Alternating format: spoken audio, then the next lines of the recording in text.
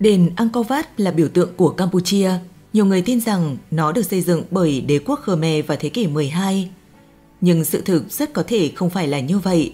Những hoa văn điêu khắc mô tả những con thú đã tuyệt chủng hàng triệu năm trước, còn có hình trọng khắc trước kính viễn vọng và hệ mặt trời. Làm sao mà những người xây dựng ngôi đền này có thể biết những sự việc của quá khứ hàng triệu năm trước và cả chuyện của hàng trăm năm sau? Ai mới là người thật sự xây dựng ngôi đền huyền bí này? Nếu những người Ai Cập rất tự hào về các kim tự tháp Ai Cập trên cao nguyên Giza, thì những người dân Campuchia cũng tự hào không kém về quần thể di tích Angkor, trong đó có đền Angkor Wat. Thậm chí đây còn được coi là biểu tượng của Campuchia và được in hình trên lá cờ của nước này. Angkor là quần thể di tích của Campuchia ở phía tây bắc biển Hồ, thuộc tỉnh Siem Reap, được UNESCO ghi nhận là quần thể di tích tôn giáo lớn nhất thế giới, với hơn 1.000 ngôi đền với quy mô khác nhau – Angkor bao gồm hai cụm quần thể cách nhau 1,7 km là Angkor Wat và Angkor Thom. Angkor Wat là một cụm các công trình tôn giáo cực lớn với diện tích lên đến 162,6 ha, tức 1,626 triệu mét vuông. Còn Angkor Thom là di tích thủ đô lâu đời và lớn nhất của đế chế Khmer, với diện tích lên đến hơn 9 km vuông. Theo nghĩa hiện đại, Angkor Wat nghĩa là thành phố của những ngôi đền, Tổ hợp kiến trúc này chủ yếu được xây dựng từ đá sa thạch, là sự kết hợp của hai nét cơ bản của kiến trúc Khmer, kiến trúc đền núi cùng với những dãy hành lang dài và nhỏ hẹp. Angkor Wat nằm phía trong một con kênh và lớp tường bao quanh dài 3,6 km. Khu chính điện có 3 tầng với kiến trúc hình chữ nhật, kết nối với nhau bởi những dãy hành lang sâu thẳm. Đền Angkor Wat được ngưỡng mộ bởi vẻ hùng vĩ và hài hòa của kiến trúc, sự phong phú của nghệ thuật điêu khắc và số lượng lớn các vị thần được trang hoàng trên những bức tường đá. Tháp trung tâm của Angkor Wat cao 65 mét, cao hơn bất cứ một tháp chuông nhà thờ nào ở châu Âu, được xây dựng trước thế kỷ 15. Bên dưới các tòa tháp lớn là các đường hành lang dài hun hút, mát lạnh với các khối phủ điêu sống động. Còn Angkor Thom nằm cách thành phố Siem Reap 7,2 km về phía bắc. Các bức tường thành cao 8 mét, dài 3 km bên ngoài là hào nước bao quanh một khu vực rộng 9 km vuông. Tường thành được xây dựng bằng đá ong với bờ công sự trên đỉnh. Tại mỗi hướng đông tây nam bắc có một cổng thành. Các con đường dẫn từ các cổng thành thẳng đến đền Bayon tại trung tâm thành phố. Theo các nhà sử học hiện nay, vua Khmer Suyavaman đệ nhị trị vì đế quốc Khmer từ năm 1113 đến năm 1145, được coi là người đã xây dựng đền Angkor Wat trong suốt những năm ông tại vị và vua Chayavaman đệ thất, người trị vì đế quốc này giai đoạn 1181 đến 1215, được coi là người đã xây dựng cụm công trình Angkor Thom và đền Bayon. So với Angkor Wat, Angkor Thom bị đổ nát khá nhiều và trình độ kiến trúc cũng thua kém xa. Theo các văn vật khai quật được, thì vua Chayavaman đệ thất có khả năng là người đã thực sự xây dựng một phần đáng kể thành Angkor Thom vì kiến trúc đậm chất Phật giáo của tổ hợp công trình này trong khi ông được ghi nhận là vị vua Khmer duy nhất theo Phật giáo. Cũng có nhiều ngôi chùa thấp được xác nhận là được vua Chayavaman đệ thất xây dựng để tôn vinh cha mẹ, đồng thời cũng là nơi thực hiện các nghi lễ của Phật giáo. Tuy nhiên, lý do vua Suyavaman đệ nhị được coi là đã xây dựng Angkor Wat có lẽ chỉ vì người ta tìm thấy bức phủ điêu khắc hình ông với Angkor Wat được tìm thấy trong quần thể di tích này sau khi nó được khám phá vào năm 1860. Nhưng so với sự vĩ đại, tinh xảo, phức tạp của Angkor Wat, thì bức phủ điêu về Suyavaman đệ nhị lại quá đơn giản, nhỏ bé và mờ nhạt. Làm sao một người đã sáng tạo ra một công trình vĩ đại lại có thể được lưu danh theo hình thức này? Một trong những du khách phương Tây đầu tiên đến thăm ngôi đền Angkor Wat là Antonio da Maddalena, một giáo sĩ người Bồ Đào Nha, người đã đến thăm ngôi đền vào năm 1586 Kinh ngạc trước vẻ đẹp và sự vĩ đại của Angkor, Antonio đã viết, đó là công trình xây dựng đặc biệt đến mức không thể miêu tả nó bằng bút mực. Đặc biệt là vì nó không giống bất cứ công trình xây dựng nào trên thế giới.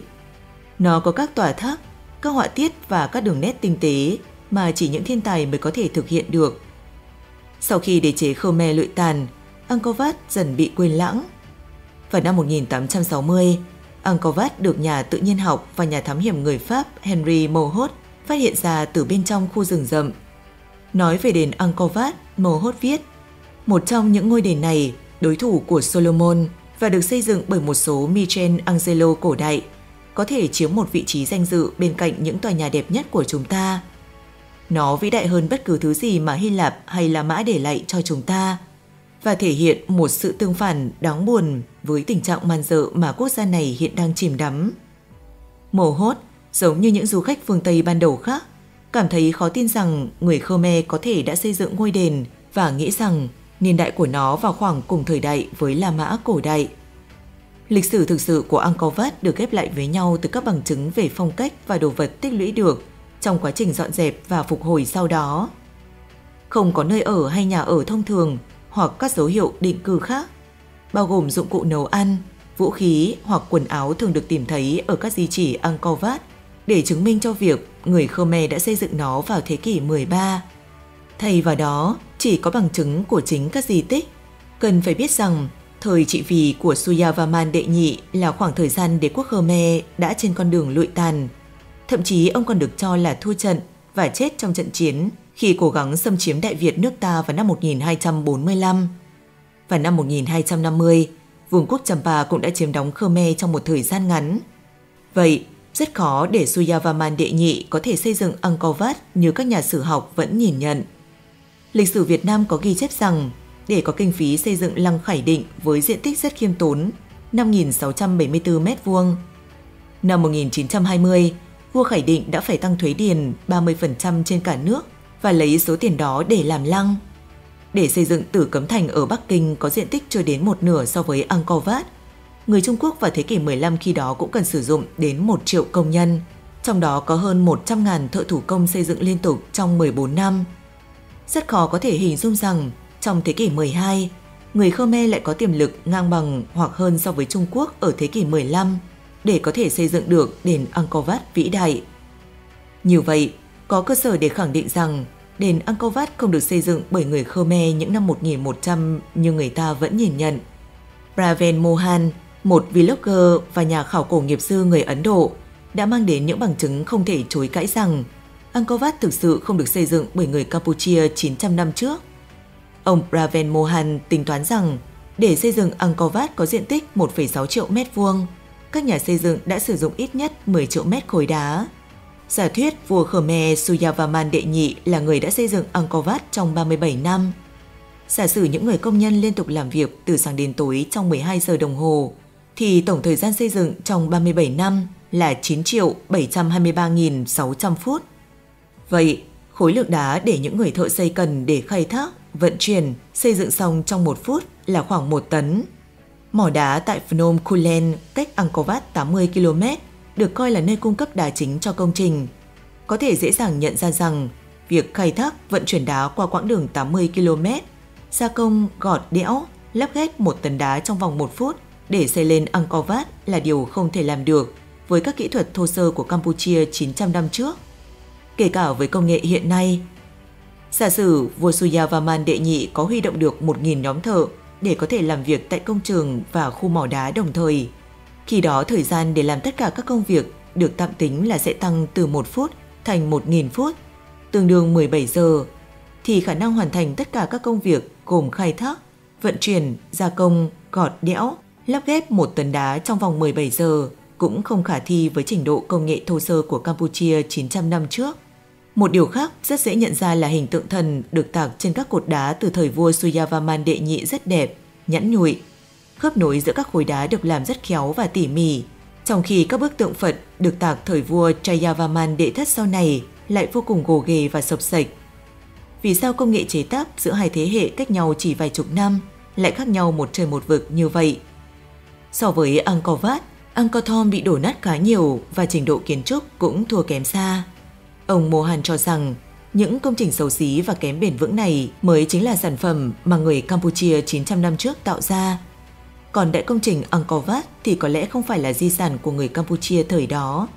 Mặc dù người ta tìm thấy bức phủ điêu khắc hình vua Suyavaman đệ nhị với Angkor Wat trong quần thể di tích này, nhưng so với sự vĩ đại, tinh xảo và phức tạp của Angkor Wat thì bức phủ điêu về đức vua lại quá đơn giản, nhỏ bé và mờ nhạt, khiến chúng ta tự hỏi làm thế nào mà người đã sáng tạo ra một công trình vĩ đại lại có thể được lưu danh theo hình thức này. Ngoài ra, trên bức tường đá tại Angkor Wat, ông Praven Mohan đã phát hiện ra hình chạm khắc một con voi bốn sừng. Đây là loài thú có thật trong lịch sử và đã bị tuyệt chủng 2 triệu năm trước. Một bộ xương hóa thạch của loài thú này được tìm thấy ở Sulawesi, Indonesia và đang được trưng bày tại Bảo tàng Quốc gia nước này. Ở một trụ đá tròn, ông Praven phát hiện ra hình chạm khắc của một con thú khác với cái đuôi lúc nào cũng nằm ngang và cái đầu kỳ dị, gọi là linh cầu răng hay Enodon. Theo các nhà khoa học, thì những con linh cầu này đã tuyệt chủng 26 triệu năm trước. Vậy, vào 900 năm trước, khi ngành khảo cổ học còn chưa phát triển, làm thế nào mà những người thợ điều khắc có thể nghĩ ra được những con thú đã tuyệt chủng này? Vậy ai là chủ nhân thực sự của Angkor Wat? Vài chục năm gần đây, các nhà khoa học đã phát hiện rằng có nhiều công trình cổ đại nổi tiếng trên trái đất đều nằm trên một đường thẳng, còn gọi là đường lây, lây lai, chạy vòng quanh trái đất. Và không chỉ có một đường như vậy xuất hiện. Một trong những đường như vậy chạy qua đảo Phục Sinh, kim tự tháp Ai Cập, các hình vẽ trên cao nguyên Nazca ở Peru, Angkor Wat, kinh đô Persepolis của đế quốc Ba Tư cổ đại, thành phố cổ Mohenjo-daro, đền thờ thần Amon trên ốc đảo Siwa, thành phố bị thất lạc Petra, một trong bảy kỳ quan mới của thế giới cổ đại, thành phố U của nền văn minh Sumer cổ đại, vùng biển chết ở gần địa Trung Hải, dãy núi Himalaya, sông Tiền Đường ở tỉnh Chiết Giang Trung Quốc và khu di tích được một số người nhìn nhận là lục địa Atlantis trong huyền thoại. Điều đáng kinh ngạc là đường tròn bí ẩn này đã liên kết các địa danh này trong một khoảng sai số không vượt quá một phần 10 của một vĩ độ, với tâm vòng tròn đặt ở miền đông nam bang Alaska, Mỹ. Ngày nay, nhiều người gọi những đường lây này là kinh mạch của trái đất vì nó chạy qua những công trình cổ đại có kiến trúc phi thường và vô cùng bí ẩn. Các công trình nằm trên đường lây có chạy qua Angkor Wat được cho là những công trình đặc biệt và khó có thể được tạo dựng bởi người cổ đại trong nền văn minh 5.000 năm lần này của chúng ta. Ví dụ như hình vẽ trên cao nguyên Nazca ở Peru, các tượng đá trên đảo Phục Sinh, thành phố Ur của người Sumer. Các nhà khoa học đã phát hiện rằng các kim tự tháp và tượng nhân sư trên cao nguyên Giza Ai Cập có dấu hiệu bị ngập trong nước biển hàng nghìn năm với các biểu hiện sói mòn của nước biển, dẫn đến giả thuyết rằng các công trình này hẳn phải được xây dựng lâu hơn 2.500 năm trước công nguyên rất nhiều. Ngoài ra, so với ba đại kim tự tháp trên cao nguyên Giza có chiều cao hơn 100 mét và kiến trúc rất bền vững. Các kim tự tháp khác ở Ai Cập thấp hơn nhiều, có kiến trúc xấu hơn, rất không bền vững và cũng không có dấu hiệu bị ngập trong nước biển. Điều này đã dẫn đến cách lý giải rằng ba đại kim tự tháp được xây dựng bởi nền văn minh tiền sử có trước nền văn minh 5.000 năm lần này của nhân loại chúng ta. Còn các kim tự tháp nhỏ hơn thực sự được người Ai Cập trong nền văn minh lần này của chúng ta mô phỏng và xây theo. Điều này đã gây lẫn lộn cho người đời sau về xuất xứ thực sự của các kim tự tháp. Và rất có thể Angkor Wat đã được xây dựng bởi những người thuộc nền văn minh tiền sử, không phải bởi đế quốc Khmer vào thế kỷ thứ 13. Nhưng liệu có chứng cứ đáng tin nào cho nhận định này không? Câu trả lời là có. Vào năm 2007, một nhóm các nhà nghiên cứu quốc tế sử dụng ảnh vệ tinh và các kỹ thuật hiện đại khác đã kết luận rằng quần thể Angkor là trung tâm của một thành phố tiền công nghiệp lớn nhất trên thế giới. Thành phố này có một hệ thống cơ sở hạ tầng phức tạp, kết nối một khu đô thị rộng từ 1.000 đến 3.000 km vuông tới những ngôi đền nổi tiếng ở trung tâm của thành phố. Thành phố này được coi là một thành phố thủy lực vì có một mạng lưới quản lý nước phức tạp, được sử dụng để ổn định, lưu trữ và phân tán nước một cách có hệ thống nhằm phục vụ sản xuất và sinh sống của lượng dân số từ 750.000 đến 1 triệu người. Nếu thành phố này thực sự tồn tại vào những năm 1100 và bị lụi tàn sau khi đế quốc Khmer bị xóa sổ vào năm 1431 và nó đủ sức xây dựng được Angkor Wat thì văn minh của người Khmer hẳn sẽ được lưu truyền đến ngày nay. Và khi đó, chắc chắn Khmer là nước hùng cường và văn minh nhất thế giới. Nhưng rõ ràng lịch sử thế giới của chúng ta không biết đến điều này. Như vậy, chỉ có thể khẳng định rằng thành phố tiền công nghiệp có chứa Angkor Wat là một thành phố tiền sử. Hay ta có thể nhận định rằng Angkor Wat là một công trình xây dựng bởi người tiền sử, những người xuất hiện trước nền văn minh 5.000 năm lần này của chúng ta. Rất có thể một phần của Angkor Thom cũng là các công trình tiền sử. Việc các vị vua Khmer xây dựng các công trình mới của Angkor Thom có chất lượng và độ bền kém hơn đã khiến cho người đời sau không thể phân biệt được đâu là sự thật. Điều này cũng tương tự như trường hợp kim tự tháp Ai Cập. Lịch sử nhân loại chứa đựng bao điều bí ẩn và hoàn toàn vượt ra khỏi trí tưởng tượng của con người hiện đại. Có lẽ chúng ta cần thoát khỏi lối tư duy cố hữu, những định kiến và những điều được học trong sách vở.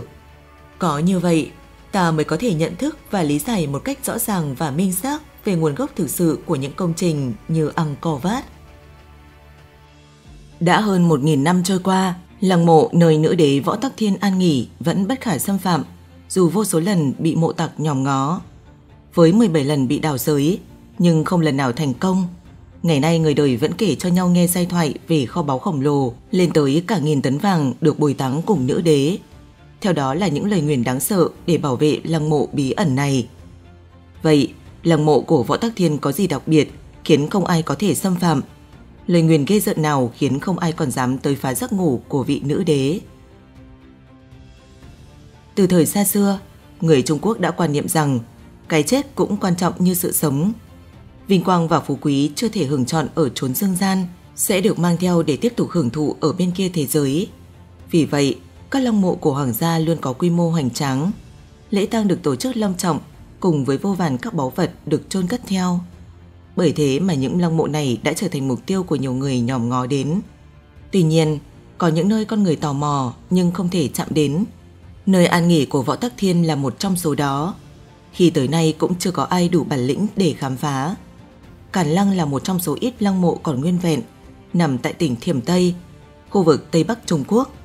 Đây cũng là lăng mộ duy nhất lịch sử Trung Quốc, hợp táng cùng lúc hai vị hoàng đế và cũng là nơi cho đến ngày nay còn tồn tại nhiều bí ẩn, khiến giới khoa học phải đau đầu. Cụ thể, Cản Lăng được xây dựng từ năm 684 và phải xây dựng dòng dã 23 năm mới hoàn thành.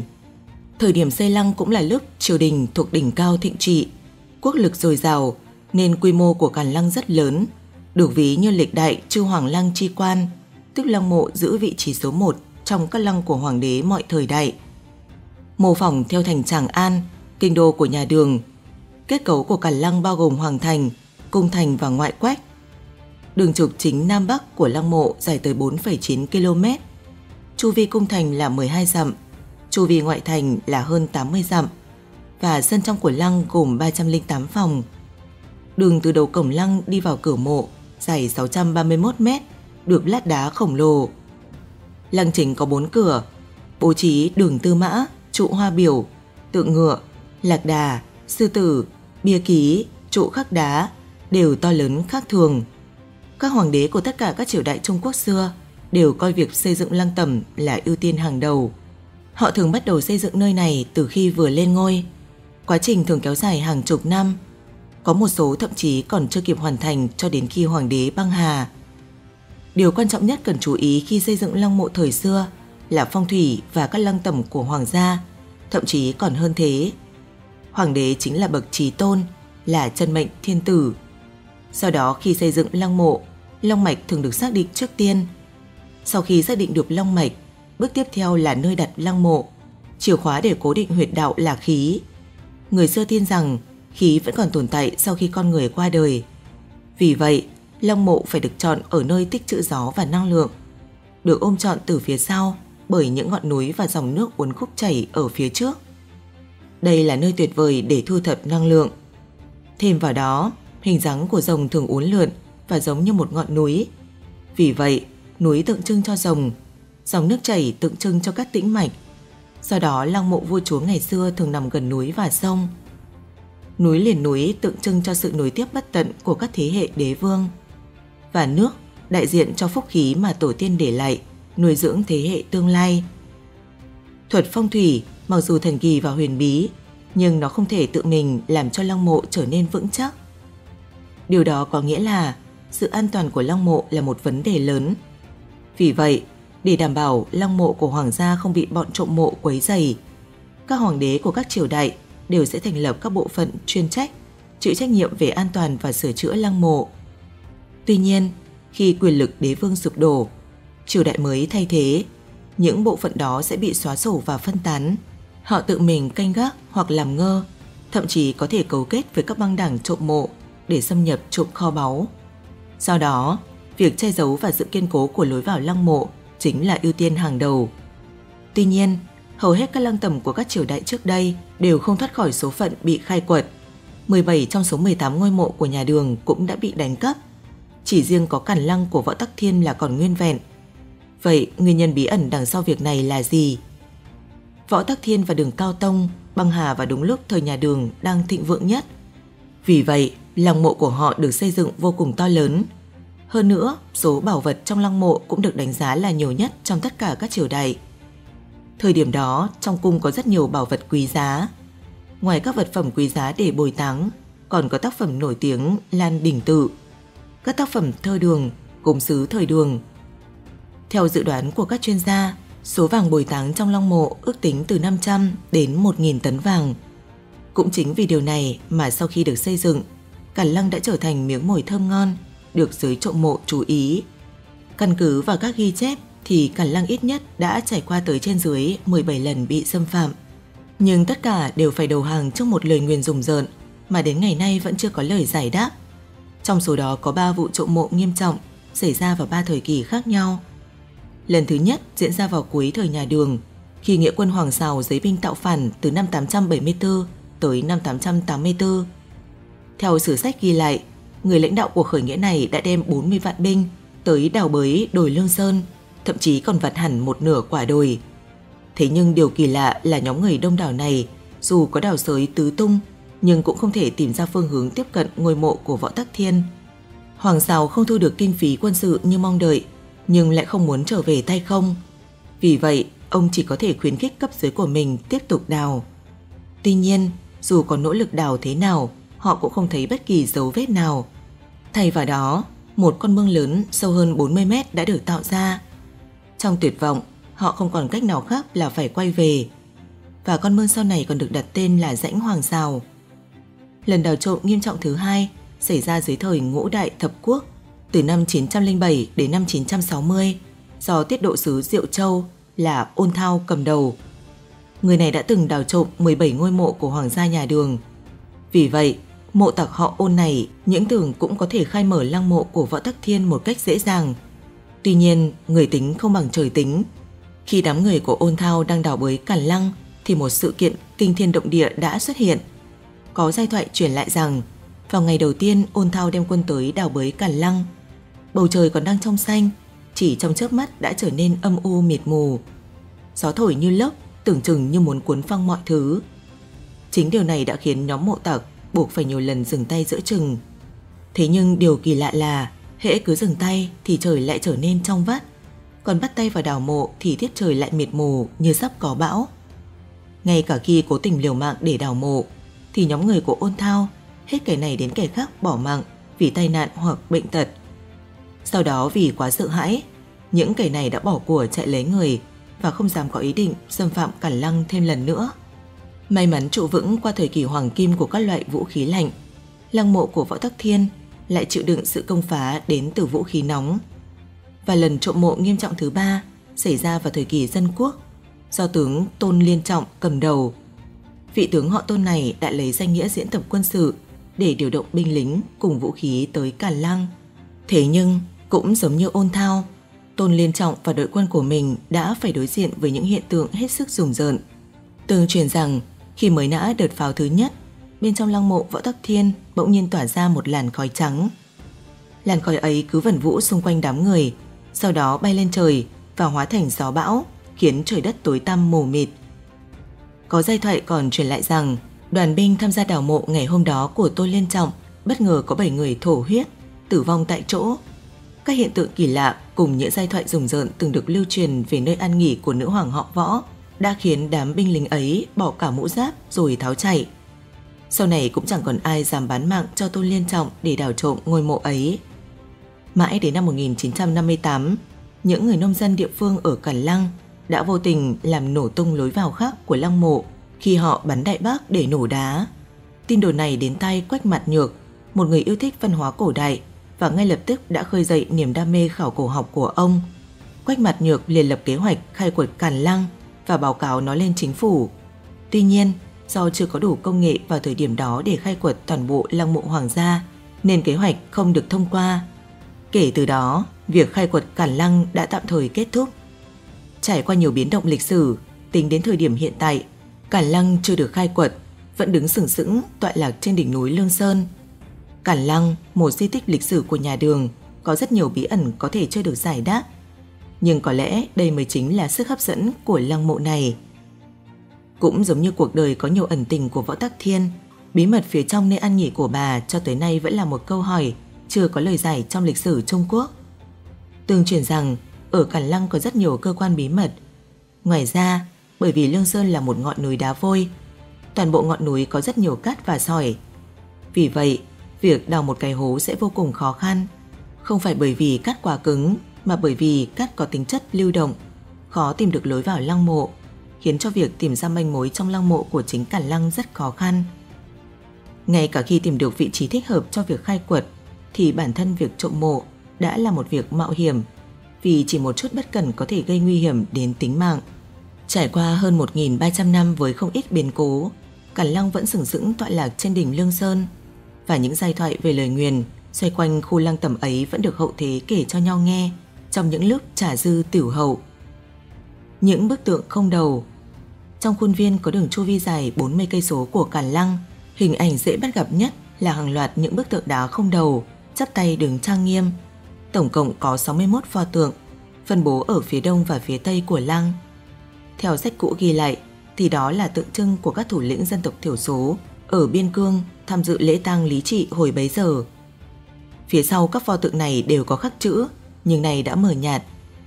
Điều kỳ lạ là đầu của 61 pho tượng đá này đều mất và còn nguyên cả vết chém. Đến nay, nguyên nhân lý giải những bức tượng bị mất đầu vẫn còn là bí ẩn trong giới sử học Trung Quốc. Có ý kiến cho rằng trong cuộc nổi dậy của An Thạch, đạo quân nghĩ rằng những bức tượng này là một sự sỉ nhục với họ nên đã phá hủy chúng.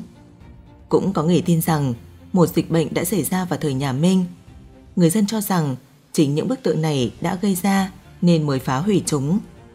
Mãi sau đó, một người dân sống trên núi Lương Sơn đang đi cuốc đất mới phát hiện một vật cứng. Đào lên thì thấy đầu người điêu khắc bằng đá. Sau đó chính quyền kết luận đây chính là phần đầu trong số 61 bức tượng tại Càn Lăng. Các nhà địa chất cho biết vào năm thứ 35 của triều đại nhà Minh 1556 từng có một trận động đất dữ dội mạnh từ 8 tới 11 độ Richter xảy ra tại tỉnh Thiểm Tây.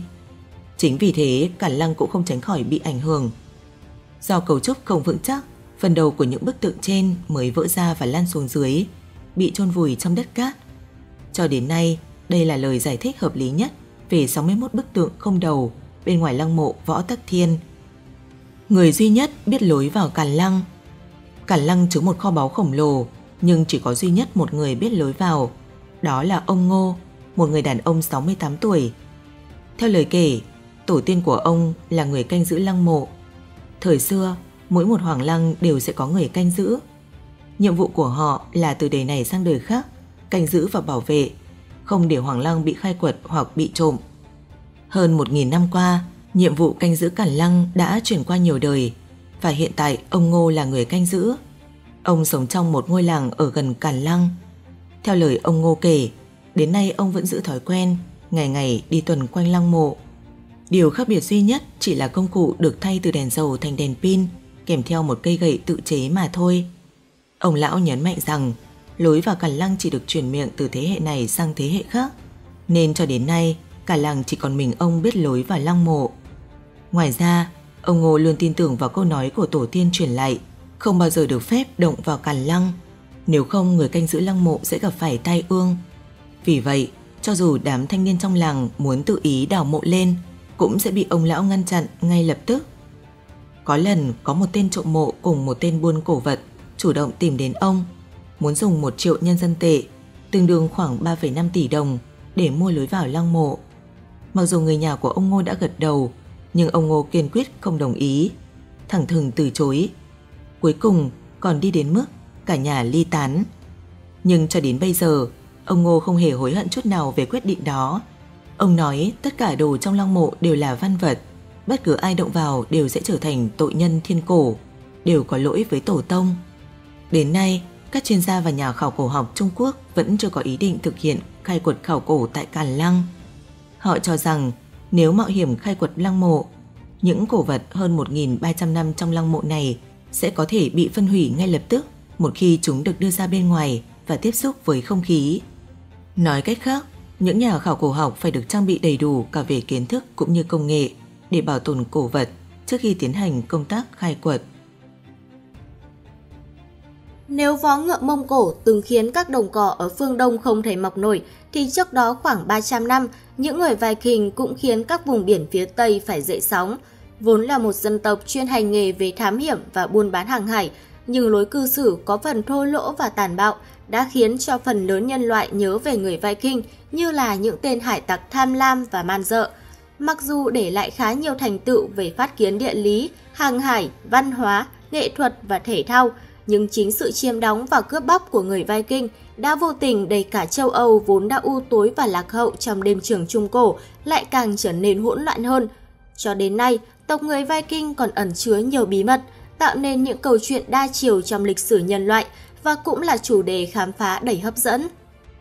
Đến thời điểm hiện tại, hầu như tất cả những gì chúng ta biết về người Viking đều thông qua các viên đá chép sử mà họ để lại. Cụ thể, những chiến binh phương Bắc lừng danh này đã lưu giữ lại lịch sử cũng như các câu chuyện về cuộc đời mình bằng cách khắc lên những viên đá lớn. Ước tính các nhà khảo cổ học đã tìm thấy 2.500 viên đá như vậy ở Thụy Điển và một số lượng lớn khác nằm rải rác khắp các quốc gia thuộc khu vực Scandinavia. Theo đó, từ Viking xuất hiện lần đầu trong bài thơ Wizards được viết bằng tiếng Anglo-Saxon cổ trong khoảng thế kỷ thứ 10. Ngoài ra, từ này cũng xuất hiện trên tấm bia đá khắc bằng chữ Runi. Theo nhà văn kiêm sử gia Đan Mạch gốc Na Uy Louis Hobbes, từ Viking đồng nghĩa với kẻ cướp biển. Còn theo nữ giáo sư kiêm sử gia Đan Mạch Elsa Roder, thì từ Viking trong ngôn ngữ Bắc Âu cổ nhánh phía Tây có nghĩa đại loại như chiến binh trên biển, kẻ cướp biển, người đi biển. Theo tục lệ của người Viking, chỉ người con trưởng được thừa kế gia tài hoặc tước vị và hầu hết con thứ thì phải đi nơi khác sinh sống. Hơn nữa, gia tăng dân số khiến cho ruộng đất và việc làm ngày càng khan hiếm, góp phần thúc đẩy họ phải ra nước ngoài. Sự thành công của các chuyến đi cướp bóc ban đầu đã khiến cho các tù trưởng ham lợi và họ đã tổ chức các chuyến hải hành cướp phá lớn hơn. Sau đó là việc thu phục nô lệ và chiếm thuộc địa. Trong một số giai đoạn, các cuộc cướp phá chinh phạt của người Viking Đan Mạch xuất phát từ nguyên nhân chính trị. Một số sử gia quả quyết rằng các chuyến đi này trùng hợp với các cuộc nội chiến nên rất có thể họ đi cướp của để lấy của cải cung cấp cho các cuộc nội chiến giữa các bộ tộc. Còn với người Viking Na Uy và Thụy Điển, họ nghiêng về việc buôn bán và chiếm thuộc địa hơn là cướp phá như người Viking Đan Mạch. Do sự thêu dệt của văn học và điện ảnh, nhiều người lầm tưởng người Viking thường to lớn, cơ bắp với khả năng hạ gục kẻ thù bằng một cú vung rìu nhưng trên thực tế thì các khai quật của giới khảo cổ Bắc Âu cho thấy người Viking chỉ cao khoảng 1,7 mét và gầy. Khoa học giải thích rằng thời điểm đó, nguồn thức ăn ít, họ thường xuyên phải đi chinh phạt những vùng đất khác để giành lấy lương thực, tài nguyên. Vũ khí thông thường của người Viking là rìu, lá chắn, mũ sắt bảo vệ đầu có tấm che mũi, áo trận với quần dài màu xám hoặc xanh dương. Chỉ những người chỉ huy mới dùng kiếm và áo giáp sắt. Kiếm của người Viking có lẽ là đồ vật hấp dẫn nhất mà họ bỏ lại. Những lưỡi kiếm phi thường này mang tính biểu tượng của một thời đại huy hoàng và chúng không chỉ đáng gờm trong trận chiến mà còn thể hiện sự khéo léo đến từng chi tiết và tinh xảo. Điều đặc biệt về những thanh kiếm Viking là bạn sẽ thấy trên rất nhiều chuôi kiếm của thời Viking lặp đi lặp lại các ký hiệu hình học. Thông thường, những chuôi kiếm này được trang trí thêm phần lớn bằng bạc hoặc có thể là đồng hoặc vàng được rát vào chuôi kiếm một số có kỹ thuật cực kỳ tiên tiến và thậm chí cho đến ngày nay không ai biết chúng được tạo ra như thế nào. Và thật kỳ lạ, nhiều trong số chúng mang dòng chữ bí ẩn Ubers. Những thanh kiếm Ubers được chế tạo từ khoảng 800 đến 1.000 năm sau công nguyên. Chúng được làm bằng thép carbon rất cao, thành phần hóa học hoàn toàn khác so với bất kỳ loại vũ khí nào khác được tìm thấy ở châu Âu thời Trung Cổ. Nó vượt trội hơn rất nhiều với bất kỳ loại vũ khí nào khác trong chiến đấu. Để rèn những thanh kiếm phi thường này, người Viking sẽ phải tạo ra nhiệt độ cực cao vượt quá 1.600 độ C. Nhưng thật đáng kinh ngạc là công nghệ để đạt được kỳ tích như vậy lại không hề tồn tại cho đến khi cách mạng công nghiệp diễn ra gần 800 năm sau khi kết thúc thời đại Viking. Những chiến binh Viking thường được mô tả với vẻ thô lỗ, bẩn thỉu trong điện ảnh, nhưng trên thực tế lại hoàn toàn ngược lại. Người Viking là một dân tộc có gu thẩm mỹ, dù thường lênh đênh trên biển nhưng họ ăn ở rất sạch sẽ. Tại những khu khai quật nơi chiến binh Viking từng sinh sống, các nhà khoa học tìm được nhíp, dao cạo dâu lược và chất rửa tay làm từ xương và gạc của động vật. Chiến binh Viking cũng không đội mũ có sừng như những gì mà người ta thường thấy trong phim ảnh và tranh vẽ. Các nhà khoa học giải thích, sự hiểu lầm này là do người Viking được chôn cất cùng mũ trận của họ và sừng động vật dùng để uống nước. Khi khai quật các ngôi mộ đầu tiên của người Viking, một số nhà khảo cổ học phỏng đoán rằng những cái sừng từng ở trên mũ của họ và rơi xuống. Người Viking thích sở hữu mái tóc vàng hoe, thậm chí là những người sinh ra không có mái tóc này sẽ sử dụng một loại xà phòng mạnh, có nồng độ kiềm cao để tẩy màu tóc của mình. Trên thực tế thì chưa có bằng chứng vật lý nào cho thấy họ thực sự xăm hình. Hơn nữa người Viking thích sạch sẽ, thậm chí bị ám ảnh về chuyện này, nên nhiều khả năng họ sẽ không phủ kín làn da bằng thứ hình xăm không thể loại bỏ. Ngoài ra, Viking cũng là một dân tộc thượng võ và trượng thể thao, với hai môn còn được lịch sử lưu lại là võ Klima và trượt tuyết. Người Viking cả nam lẫn nữ đều học võ Klima ngay từ khi lên 6 lên 7. Nhờ đó, họ luôn sở hữu một đội ngũ chiến binh mạnh mẽ trong suốt thời kỳ hưng thịnh nhất. Môn võ này rất chú trọng đến sức mạnh phản xạ và đặc biệt là sự quyết đoán. Không chỉ để chiến đấu, Klima còn giúp người Viking tăng khả năng chống chọi với các điều kiện thời tiết khắc nghiệt. Thời đại Viking từ năm 793 đến 1066, người Viking được cho là hay chơi trượt tuyết. Thay vì các nguyên liệu như gỗ hay kim loại, họ chỉ ưa các ván trượt làm từ xương ống của các loài thú lớn như hươu hoặc bò, bôi thêm mỡ vào giúp khả năng bứt tốc trở nên vượt trội so với ván sắt, gỗ. Từ trên đỉnh dốc tuyết, họ bắt đầu màn thi trượt tuyết với tốc độ kinh hoàng. Phần thưởng cho kẻ chiến thắng là nồi đồng, thìa bạc, kiếm mới và ngựa con – Nhờ lối sống lành mạnh trên mà người Viking được cho là sống rất thọ nếu như không tham gia chiến trận. Con cháu của họ hiện nay, những người Ireland có tuổi thọ trung bình là 82 tuổi, cao hơn hẳn 10 năm so với tuổi thọ trung bình của thế giới. Người Viking dành hầu hết thời gian làm nông nghiệp với cây trồng chính đó là đại mạch, lúa mạch đen và yến mạch. Họ cũng nuôi gia súc như dê, lợn, cừu trong các trang trại nhỏ. Rất nhiều người Viking dòng buồm đi tới nhiều nước trên thế giới để giao thương – từ thế kỷ thứ 8, họ buôn bán với ít nhất 37 quốc gia, từ Afghanistan đến Canada. Nhờ những chuyến buôn bán này, họ trở nên giàu có. Trong nhiều thế kỷ, người Viking là bậc thầy của biển cả và tàu thuyền là thành phần quan trọng nhất trong cuộc sống của người Viking. Họ rất giỏi trong việc xây dựng chúng, công nghệ đóng tàu của họ tiến bộ hơn rất nhiều so với bất kỳ ai khác. Người Viking sử dụng chúng để thể hiện sức mạnh, họ có thể vận chuyển chiến binh trên quãng đường dài một cách nhanh chóng, có thể cưỡi ngựa vượt sông, băng qua đại dương và thực hiện những chuyến thám hiểm dài ngày sẽ đưa bạn đến những vùng đất xa xôi. Nhưng trong khi năng lực đóng tàu đáng kinh ngạc của người Viking được nhiều người biết đến, một chìa khóa rất quan trọng khác dẫn đến thành công của họ trên biển cả vẫn còn là điều bí ẩn. Đó là người Viking định hướng trên biển như thế nào. Họ có thể điều hướng với độ chính xác cực cao, tuy nhiên theo tất cả những gì chúng ta biết, họ không có la bàn. La bàn là một phát minh của Trung Quốc. Nếu không có la bàn thì làm sao họ có thể định hướng được? Có thể bạn sẽ nghĩ ngay tới những ngôi sao, nhưng thực ra nếu bạn đã từng đến đó, phía bắc Đại Tây Dương, bạn sẽ nhận ra trời nhiều mây đến mức nào. Và một ngày nhiều mây, bạn không thể nhìn thấy mặt trời, không thể nhìn thấy được các ngôi sao. Tuy nhiên, người Viking vẫn ở đây, đang di chuyển khắp Bắc Âu. Và câu hỏi là, họ đã làm điều đó như thế nào? Trong sử thi Sagat của Bắc Âu, chúng ta có được một bản tường thuật về thứ có thể được mô tả là công nghệ của người Viking và nó liên quan đến một tinh thể bí ẩn gọi là đá mặt trời hoặc solatei như họ gọi nó. Và đây là một loại đá trong mờ có sức mạnh kỳ diệu đặc biệt. Chuyện cổ Viking kể cho chúng ta nghe về việc viên đá mặt trời vĩ đại này đã được thuyền trưởng của một tàu chiến Viking đưa lên bầu trời nhiều mây như thế nào để có thể xác định được vị trí của mặt trời nhằm có thể định hướng Vậy viên đá mặt trời kỳ diệu có phải chỉ là một tác phẩm hư cấu không? Hay nó thực sự có thể là một công cụ thực tế cho phép người Viking trở thành những nhà hàng hải phi thường?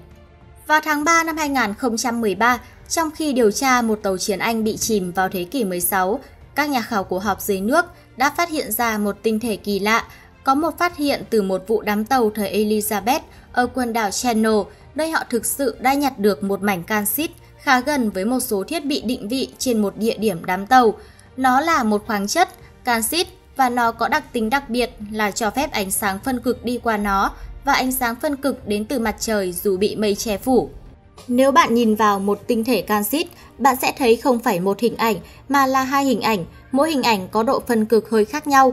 Và khi bạn quét bầu trời, cường độ của hai thay đổi này tùy thuộc vào vị trí của mặt trời. Trong khi bạn nhìn vào mặt trời, hai hình ảnh đều sáng như nhau, đó là nơi có mặt trời, và đó là cách người Viking có thể định hướng trên biển mà không cần la bàn, không cần thiết bị định vị ưu việt, không cần bản đồ phức tạp, họ chỉ đơn giản ghép hai hình ảnh trên phiến đá lại với nhau. Vào thời kỳ thịnh trị của người Viking, các quốc gia thuộc khu vực Scandinavia mà chúng ta vẫn biết tới ngày nay không hề tồn tại. Vào thời điểm này, các tộc người Bắc Âu thường phân tán thành các bộ lạc nhỏ sống rải rác. Xã hội của họ được chia thành 3 tầng lớp là Jarl, Kor và tro. Jarl là các quý tộc, những người có địa vị cao nhất.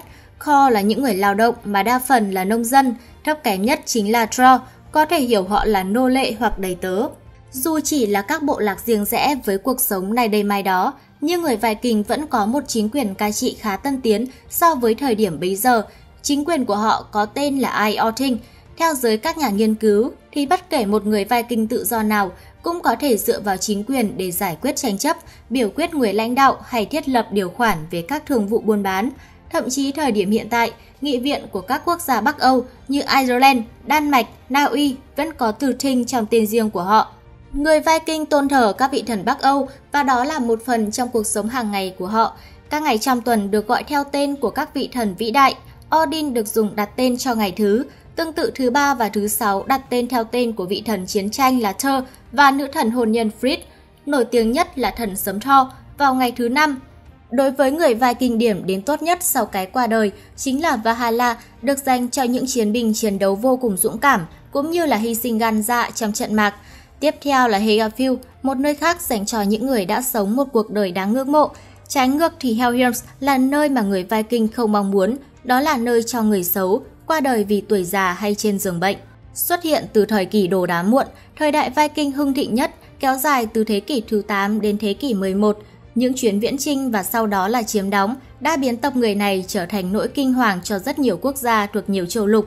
Anh, Ireland bị người Viking Đan Mạch tàn phá, cướp bóc, người Viking Na Uy vượt biển tấn công cả Scotland, quần đảo Faroe Island và đảo Greenland. Những quốc gia phía đông như Nga, đế quốc Đông La Mã cũng không chống đỡ nổi người Viking Thụy Điển. Không chỉ chiếm đóng, cướp phá, người Viking còn tham gia đánh thuế, thu phục nô lệ, buôn bán giao thương ở nhiều lãnh thổ thuộc châu Âu, Tây Nam, châu Á và vùng Bắc Đại Tây Dương. Với những chiến binh thiện chiến, sở hữu những chiếc tàu tốc độ cao có thể đi rất xa cùng khả năng đổ bộ rất nhanh mà không cần cập cảng. Người Viking song buồm lướt sóng tới tận Bắc Phi, phía đông của nước Nga và chinh phạt cả Trung Đông lẫn Constantinopolis. Các bạn chắc hẳn đã quá quen thuộc với câu chuyện Columbus khám phá ra tân thế giới.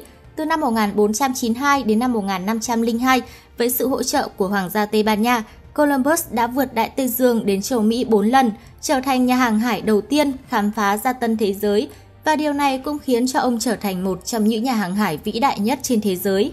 Tuy nhiên trên thực tế, Columbus không phải là người đầu tiên khám phá ra lục địa châu Mỹ.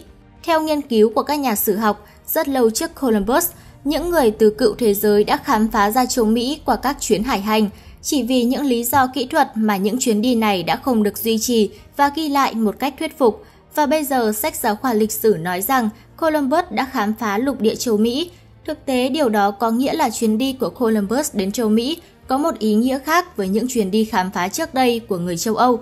Columbus lần đầu tiên vượt Đại Tây Dương từ vùng nước ôn đới chứ không phải vùng nước lạnh, đồng thời sử dụng công nghệ tương đối phức tạp để đảm bảo việc tiếp tục thực dân hóa, phá vỡ hoàn toàn sự cô lập giữa tân thế giới và cựu thế giới ở châu Mỹ.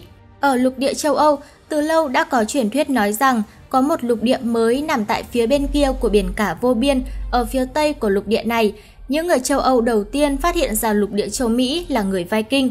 Họ đã đến Bắc Mỹ trước Columbus 500 năm. Từ lâu, các nhà khoa học đã biết được rằng người Viking đã xây dựng một khu định cư được gọi là LRC Ormidale tại Newfoundland thuộc Canada. Địa điểm này đã được các nhà khảo cổ học phát hiện từ những năm 1960. Tuy nhiên, thời điểm chính xác vẫn rất khó xác định và nghiên cứu mới nhất này đã giải đáp được những điều này. Bằng cách sử dụng tiểu vũ trụ trên các cổ vật gỗ, các nhà khoa học đã xác định được mốc thời điểm sự xuất hiện của người Viking ở Bắc Mỹ. Sau khi sử dụng kỹ thuật đặc biệt phân tích dấu hiệu để lại của một cơn bão mặt trời và nghiên cứu phóng xạ carbon từ ba mảnh gỗ thu thập được ở LNC Ormidau vào những năm 1960. Các nhà khoa học đã xác định rõ thời điểm những người Bắc Âu đến Newfoundland là vào năm 1021 sau công nguyên, sớm hơn phát hiện của nhà thám hiểm Columbus 471 năm. Hành trình đặt chân tới châu Mỹ lần đầu tiên của người Viking là một trong những cột mốc quan trọng nhất của lịch sử loài người. Điều này cũng càng giúp làm sáng tỏ cho lý thuyết cây cầu đất Beringia mà một số nhà khoa học trước đây đề xuất. Theo lý thuyết đó, vùng đất băng giá phía bắc địa cầu từng không rời rạc như ngày nay. Khoảng mười mấy ngàn năm trước, một giải đất hẹp đã nối liền châu Á và Bắc Mỹ. Vì vậy, có thể có khoảng 100 người Viking đã khai phá ra tân thế giới này rất nhiều năm trước khi Columbus tìm đến chỉ bằng phương pháp vô cùng đơn giản là đi bộ. Nhiều nhà khảo cổ tin rằng, động lực chính để người Viking đi khám phá những vùng đất mới là để tìm kiếm những nguồn gỗ tốt cho việc xây cất nhà cửa cũng như thuyền bè. Tàn tích về những tàu gỗ dài hơn 20 mét có buồm và mái chèo của người Viking cũng được tìm thấy. Bằng chứng chứng minh lần đầu tiên người Viking vượt qua Đại Tây Dương để đến châu Mỹ trước cả Christopher Columbus có ý nghĩa vô cùng đặc biệt cho thấy sự mạo hiểm của loài người trong việc đi tìm kiếm những nguyên liệu thô mới và từ đó khám phá ra những điều thú vị. Đền Angkor Wat là biểu tượng của Campuchia. Nhiều người tin rằng nó được xây dựng bởi đế quốc Khmer vào thế kỷ 12. Nhưng sự thực rất có thể không phải là như vậy. Những hoa văn điêu khắc mô tả những con thú đã tuyệt chủng hàng triệu năm trước, còn có hình trọng khắc trước kính viễn vọng và hệ mặt trời. Làm sao mà những người xây dựng ngôi đền này có thể biết những sự việc của quá khứ hàng triệu năm trước và cả chuyện của hàng trăm năm sau? Ai mới là người thật sự xây dựng ngôi đền huyền bí này? Nếu những người Ai Cập rất tự hào về các kim tự tháp Ai Cập trên cao nguyên Giza, thì những người dân Campuchia cũng tự hào không kém về quần thể di tích Angkor, trong đó có đền Angkor Wat. Thậm chí đây còn được coi là biểu tượng của Campuchia và được in hình trên lá cờ của nước này. Angkor là quần thể di tích của Campuchia ở phía tây bắc biển Hồ, thuộc tỉnh Siem Reap, được UNESCO ghi nhận là quần thể di tích tôn giáo lớn nhất thế giới, với hơn 1.000 ngôi đền với quy mô khác nhau. Angkor bao gồm hai cụm quần thể cách nhau 1,7 km là Angkor Wat và Angkor Thom. Angkor Wat là một cụm các công trình tôn giáo cực lớn với diện tích lên đến 162,6 ha, tức 1,626 triệu mét vuông. Còn Angkor Thom là di tích thủ đô lâu đời và lớn nhất của đế chế Khmer, với diện tích lên đến hơn 9 km vuông. Theo nghĩa hiện đại, Angkor Wat nghĩa là thành phố của những ngôi đền. Tổ hợp kiến trúc này chủ yếu được xây dựng từ đá sa thạch, là sự kết hợp của hai nét cơ bản của kiến trúc Khmer, kiến trúc đền núi cùng với những dãy hành lang dài và nhỏ hẹp. Angkor Wat nằm phía trong một con kênh và lớp tường bao quanh dài 3,6 km. Khu chính điện có 3 tầng với kiến trúc hình chữ nhật, kết nối với nhau bởi những dãy hành lang sâu thẳm. Đền Angkor Wat được ngưỡng mộ bởi vẻ hùng vĩ và hài hòa của kiến trúc, sự phong phú của nghệ thuật điêu khắc và số lượng lớn các vị thần được trang hoàng trên những bức tường đá. Tháp trung tâm của Angkor Wat cao 65 mét, cao hơn bất cứ một tháp chuông nhà thờ nào ở châu Âu, được xây dựng trước thế kỷ 15. Bên dưới các tòa tháp lớn là các đường hành lang dài hun hút, mát lạnh với các khối phủ điêu sống động. Còn Angkor Thom nằm cách thành phố Siem Reap 7,2 km về phía bắc. Các bức tường thành cao 8 mét, dài 3 km. Bên ngoài là hào nước bao quanh một khu vực rộng 9 km vuông. Tường thành được xây dựng bằng đá ong với bờ công sự trên đỉnh. Tại mỗi hướng đông tây nam bắc có một cổng thành. Các con đường dẫn từ các cổng thành thẳng đến đền Bayon tại trung tâm thành phố. Theo các nhà sử học hiện nay, vua Khmer Suyavaman đệ nhị trị vì đế quốc Khmer từ năm 1113 đến năm 1145, được coi là người đã xây dựng đền Angkor Wat trong suốt những năm ông tại vị. Và vua Chayavaman đệ thất người trị vì đế quốc này giai đoạn 1181 đến 1215, được coi là người đã xây dựng cụm công trình Angkor Thom và đền Bayon. So với Angkor Wat, Angkor Thom bị đổ nát khá nhiều và trình độ kiến trúc cũng thua kém xa.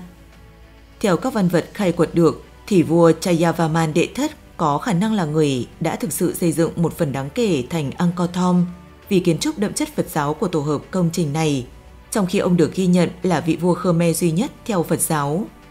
Cũng có nhiều ngôi chùa thấp được xác nhận là được vua Chayavaman đệ thất xây dựng để tôn vinh cha mẹ, đồng thời cũng là nơi thực hiện các nghi lễ của Phật giáo.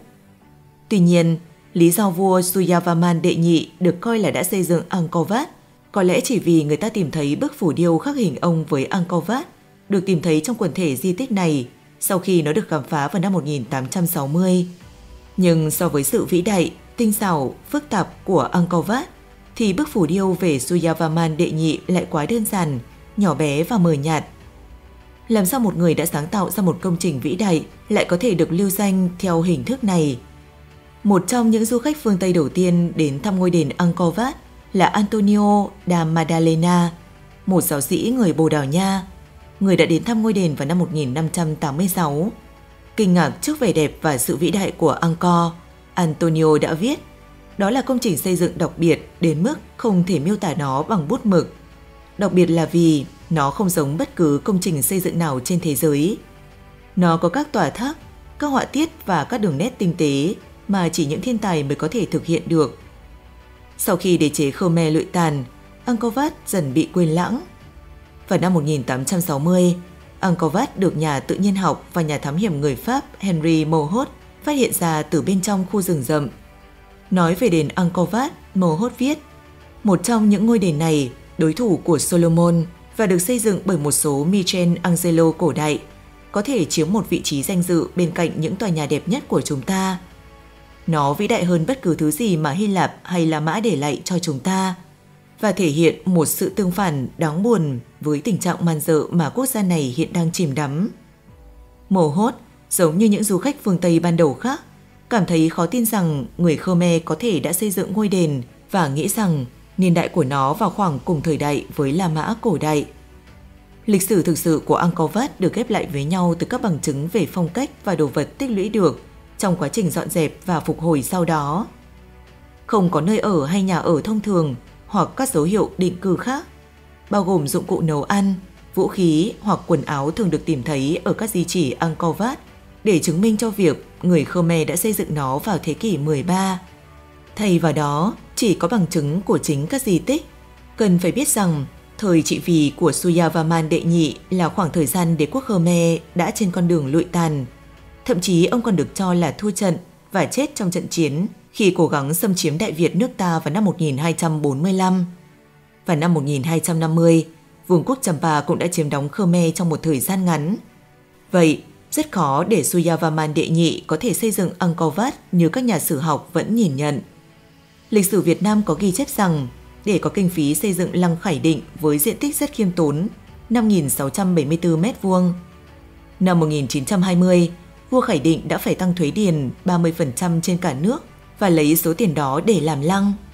Để xây dựng Tử Cấm Thành ở Bắc Kinh có diện tích chưa đến một nửa so với Angkor Wat, người Trung Quốc vào thế kỷ 15 khi đó cũng cần sử dụng đến 1 triệu công nhân, trong đó có hơn 100.000 thợ thủ công xây dựng liên tục trong 14 năm.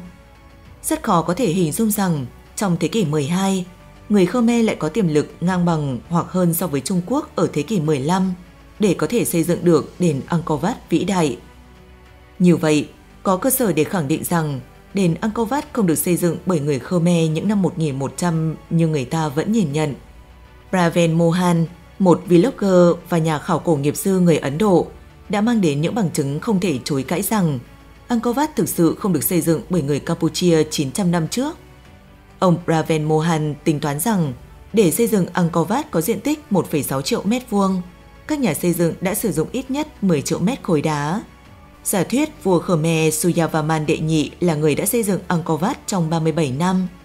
Giả sử những người công nhân liên tục làm việc từ sáng đến tối trong 12 giờ đồng hồ, thì tổng thời gian xây dựng trong 37 năm là 9 triệu 723.600 phút.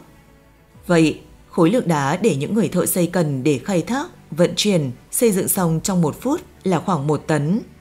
Mỏ đá tại Phnom Kulen cách Angkor Wat 80 km được coi là nơi cung cấp đá chính cho công trình. Có thể dễ dàng nhận ra rằng việc khai thác vận chuyển đá qua quãng đường 80 km, gia công, gọt đẽo, lắp ghép một tấn đá trong vòng một phút để xây lên Angkor Wat là điều không thể làm được với các kỹ thuật thô sơ của Campuchia 900 năm trước. Kể cả với công nghệ hiện nay, giả sử vua Suyavaman đệ nhị có huy động được 1.000 nhóm thợ để có thể làm việc tại công trường và khu mỏ đá đồng thời. Khi đó thời gian để làm tất cả các công việc được tạm tính là sẽ tăng từ 1 phút thành 1.000 phút. tương đương 17 giờ, thì khả năng hoàn thành tất cả các công việc gồm khai thác, vận chuyển, gia công, gọt đẽo, lắp ghép một tấn đá trong vòng 17 giờ cũng không khả thi với trình độ công nghệ thô sơ của Campuchia 900 năm trước. Một điều khác rất dễ nhận ra là hình tượng thần được tạc trên các cột đá từ thời vua Suyavaman đệ nhị rất đẹp, nhẵn nhụi. Khớp nối giữa các khối đá được làm rất khéo và tỉ mỉ, trong khi các bức tượng Phật được tạc thời vua Chayavaman đệ thất sau này lại vô cùng gồ ghề và sộc sạch.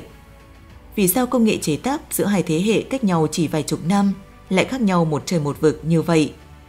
So với Angkor Wat, Angkor Thom bị đổ nát khá nhiều và trình độ kiến trúc cũng thua kém xa. Ông Mohan cho rằng những công trình xấu xí và kém bền vững này mới chính là sản phẩm mà người Campuchia 900 năm trước tạo ra. Còn đại công trình Angkor Wat thì có lẽ không phải là di sản của người Campuchia thời đó. Mặc dù người ta tìm thấy bức phủ điêu khắc hình vua Suyavaman đệ nhị với Angkor Wat trong quần thể di tích này, nhưng so với sự vĩ đại, tinh xảo và phức tạp của Angkor Wat thì bức phủ điêu về đức vua lại quá đơn giản, nhỏ bé và mờ nhạt, khiến chúng ta tự hỏi làm thế nào mà người đã sáng tạo ra một công trình vĩ đại lại có thể được lưu danh theo hình thức này. Ngoài ra, trên bức tường đá tại Angkor Wat, ông Praven Mohan đã phát hiện ra hình trọng khắc một con voi bốn sừng. Đây là loài thú có thật trong lịch sử và đã bị tuyệt chủng 2 triệu năm trước. Một bộ xương hóa thạch của loài thú này được tìm thấy ở Sulawesi, Indonesia và đang được trưng bày tại Bảo tàng Quốc gia nước này. Ở một trụ đá tròn, ông Braven phát hiện ra hình trọng khắc của một con thú khác với cái đuôi lúc nào cũng nằm ngang và cái đầu kỳ dị, gọi là linh cầu răng hay Enodon. Theo các nhà khoa học thì những con linh cầu này đã tuyệt chủng 26 triệu năm trước. Vậy, vào 900 năm trước, khi ngành khảo cổ học còn chưa phát triển, làm thế nào mà những người thợ điều khắc có thể nghĩ ra được những con thú đã tuyệt chủng này? Vậy ai là chủ nhân thực sự của Angkor Wat? Vài chục năm gần đây, các nhà khoa học đã phát hiện rằng có nhiều công trình cổ đại nổi tiếng trên trái đất đều nằm trên một đường thẳng, còn gọi là đường lây, lây lai, chạy vòng quanh trái đất. Và không chỉ có một đường như vậy xuất hiện. Một trong những đường như vậy chạy qua đảo Phục Sinh, kim tự tháp Ai Cập, các hình vẽ trên cao nguyên Nazca ở Peru, Angkor Wat, kinh đô Persepolis của đế quốc Ba Tư cổ đại, thành phố cổ Mohenjo-daro, đền thờ thần Amon trên ốc đảo Siwa, thành phố bị thất lạc Petra, một trong bảy kỳ quan mới của thế giới cổ đại, thành phố U của nền văn minh Sumer cổ đại, vùng biển chết ở gần địa Trung Hải, dãy núi Himalaya, sông Tiền Đường ở tỉnh Chiết Giang Trung Quốc và khu di tích được một số người nhìn nhận là lục địa Atlantis trong huyền thoại. Điều đáng kinh ngạc là đường tròn bí ẩn này đã liên kết các địa danh này trong một khoảng sai số không vượt quá 1 phần 10 của một vĩ độ, với tâm vòng tròn đặt ở miền đông nam bang Alaska, Mỹ. Ngày nay, nhiều người gọi những đường lây này là kinh mạch của trái đất vì nó chạy qua những công trình cổ đại có kiến trúc phi thường và vô cùng bí ẩn. Các công trình nằm trên đường lây có chạy qua Angkor Wat được cho là những công trình đặc biệt và khó có thể được tạo dựng bởi người cổ đại trong nền văn minh 5.000 năm lần này của chúng ta. Ví dụ như hình vẽ trên cao nguyên Nazca ở Peru, các tượng đá trên đảo Phục Sinh, thành phố Ur của người Sumer. Các nhà khoa học đã phát hiện rằng các kim tự tháp và tượng nhân sư trên cao nguyên Giza Ai Cập có dấu hiệu bị ngập trong nước biển hàng nghìn năm với các biểu hiện sói mòn của nước biển, dẫn đến giả thuyết rằng các công trình này hẳn phải được xây dựng lâu hơn 2.500 năm trước công nguyên rất nhiều. Ngoài ra, so với ba đại kim tự tháp trên cao nguyên Giza có chiều cao hơn 100 mét và kiến trúc rất bền vững. Các kim tự tháp khác ở Ai Cập thấp hơn nhiều, có kiến trúc xấu hơn, rất không bền vững và cũng không có dấu hiệu bị ngập trong nước biển. Điều này đã dẫn đến cách lý giải rằng bà đại kim tự tháp được xây dựng bởi nền văn minh tiền sử, có trước nền văn minh 5.000 năm lần này của nhân loại chúng ta. Còn các kim tự tháp nhỏ hơn thực sự được người Ai Cập trong nền văn minh lần này của chúng ta mô phỏng và xây theo. Điều này đã gây lẫn lộn cho người đời sau về xuất xứ thực sự của các kim tự tháp. Và rất có thể Angkor Wat đã được xây dựng bởi những người thuộc nền văn minh tiền sử, không phải bởi đế quốc Khmer vào thế kỷ thứ 13. Nhưng liệu có chứng cứ đáng tin nào cho nhận định này không? Câu trả lời là có. Vào năm 2007, một nhóm các nhà nghiên cứu quốc tế sử dụng ảnh vệ tinh và các kỹ thuật hiện đại khác đã kết luận rằng quần thể Angkor là trung tâm của một thành phố tiền công nghiệp lớn nhất trên thế giới. Thành phố này có một hệ thống cơ sở hạ tầng phức tạp, kết nối một khu đô thị rộng từ 1.000 đến 3.000 km vuông tới những ngôi đền nổi tiếng ở trung tâm của thành phố. Thành phố này được coi là một thành phố thủy lực vì có một mạng lưới quản lý nước phức tạp, được sử dụng để ổn định, lưu trữ và phân tán nước một cách có hệ thống nhằm phục vụ sản xuất và sinh sống của lượng dân số từ 750.000 đến 1 triệu người. Nếu thành phố này thực sự tồn tại vào những năm 1100 và bị lụi tàn sau khi đế quốc Khmer bị xóa sổ vào năm 1431 và nó đủ sức xây dựng được Angkor Wat thì văn minh của người Khmer hẳn sẽ được lưu truyền đến ngày nay. Và khi đó, chắc chắn Khmer là nước hùng cường và văn minh nhất thế giới. Nhưng rõ ràng lịch sử thế giới của chúng ta không biết đến điều này. Như vậy, chỉ có thể khẳng định rằng thành phố tiền công nghiệp có chứa Angkor Wat là một thành phố tiền sử. Hay ta có thể nhận định rằng Angkor Wat là một công trình xây dựng bởi người tiền sử, những người xuất hiện trước nền văn minh 5.000 năm lần này của chúng ta. Rất có thể, một phần của Angkor Thom cũng là các công trình tiền sử. Việc các vị vua Khmer xây dựng các công trình mới của Angkor Thom có chất lượng và độ bền kém hơn đã khiến cho người đời sau không thể phân biệt được đâu là sự thật. Điều này cũng tương tự như trường hợp kim tự tháp Ai Cập. Lịch sử nhân loại chứa đựng bao điều bí ẩn và hoàn toàn vượt ra khỏi trí tưởng tượng của con người hiện đại. Có lẽ chúng ta cần thoát khỏi lối tư duy cố hữu, những định kiến và những điều được học trong sách vở. Có như vậy, ta mới có thể nhận thức và lý giải một cách rõ ràng và minh xác về nguồn gốc thực sự của những công trình như Angkor Wat. Đã hơn 1.000 năm trôi qua, lăng mộ nơi nữ đế Võ Tắc Thiên an nghỉ vẫn bất khả xâm phạm, dù vô số lần bị mộ tặc nhòm ngó. Với 17 lần bị đào giới, nhưng không lần nào thành công. Ngày nay người đời vẫn kể cho nhau nghe giai thoại về kho báu khổng lồ lên tới cả nghìn tấn vàng được bồi táng cùng nữ đế. Theo đó là những lời nguyền đáng sợ để bảo vệ lăng mộ bí ẩn này. Vậy, lăng mộ của Võ Tắc Thiên có gì đặc biệt khiến không ai có thể xâm phạm? Lời nguyền ghê rợn nào khiến không ai còn dám tới phá giấc ngủ của vị nữ đế? Từ thời xa xưa, người Trung Quốc đã quan niệm rằng cái chết cũng quan trọng như sự sống. Vinh quang và phú quý chưa thể hưởng trọn ở chốn dương gian sẽ được mang theo để tiếp tục hưởng thụ ở bên kia thế giới. Vì vậy, các lăng mộ của hoàng gia luôn có quy mô hoành tráng.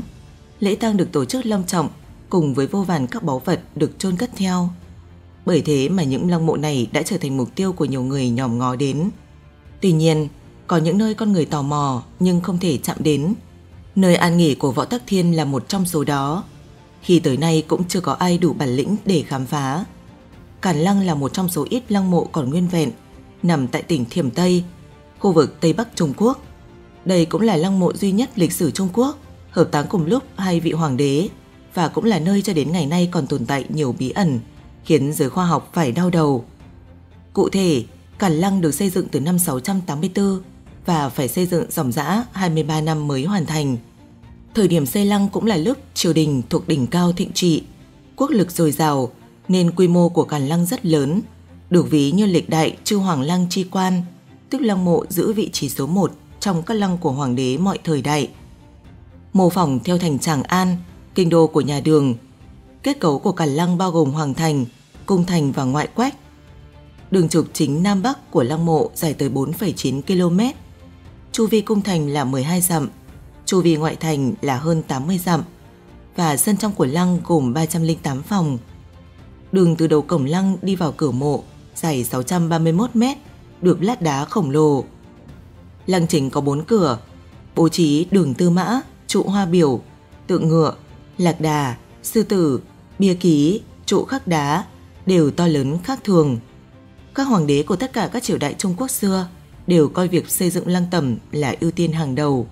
Họ thường bắt đầu xây dựng nơi này từ khi vừa lên ngôi. Quá trình thường kéo dài hàng chục năm. Có một số thậm chí còn chưa kịp hoàn thành cho đến khi hoàng đế băng hà. Điều quan trọng nhất cần chú ý khi xây dựng lăng mộ thời xưa là phong thủy và các lăng tẩm của hoàng gia, thậm chí còn hơn thế. Hoàng đế chính là bậc trí tôn, là chân mệnh thiên tử. Sau đó khi xây dựng lăng mộ, long mạch thường được xác định trước tiên. Sau khi xác định được long mạch, bước tiếp theo là nơi đặt lăng mộ. Chìa khóa để cố định huyệt đạo là khí.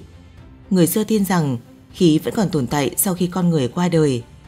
Vì vậy, lăng mộ phải được chọn ở nơi tích trữ gió và năng lượng, được ôm trọn từ phía sau bởi những ngọn núi và dòng nước uốn khúc chảy ở phía trước. Đây là nơi tuyệt vời để thu thập năng lượng. Thêm vào đó, hình dáng của rồng thường uốn lượn và giống như một ngọn núi. Vì vậy, núi tượng trưng cho rồng, dòng nước chảy tượng trưng cho các tĩnh mạch. Do đó, lăng mộ vua chúa ngày xưa thường nằm gần núi và sông. Núi liền núi tượng trưng cho sự nối tiếp bất tận của các thế hệ đế vương. Và nước đại diện cho phúc khí mà tổ tiên để lại, nuôi dưỡng thế hệ tương lai. Thuật phong thủy mặc dù thần kỳ và huyền bí, nhưng nó không thể tự mình làm cho lăng mộ trở nên vững chắc. Điều đó có nghĩa là sự an toàn của lăng mộ là một vấn đề lớn. Vì vậy, để đảm bảo lăng mộ của hoàng gia không bị bọn trộm mộ quấy dày, các hoàng đế của các triều đại đều sẽ thành lập các bộ phận chuyên trách, chịu trách nhiệm về an toàn và sửa chữa lăng mộ.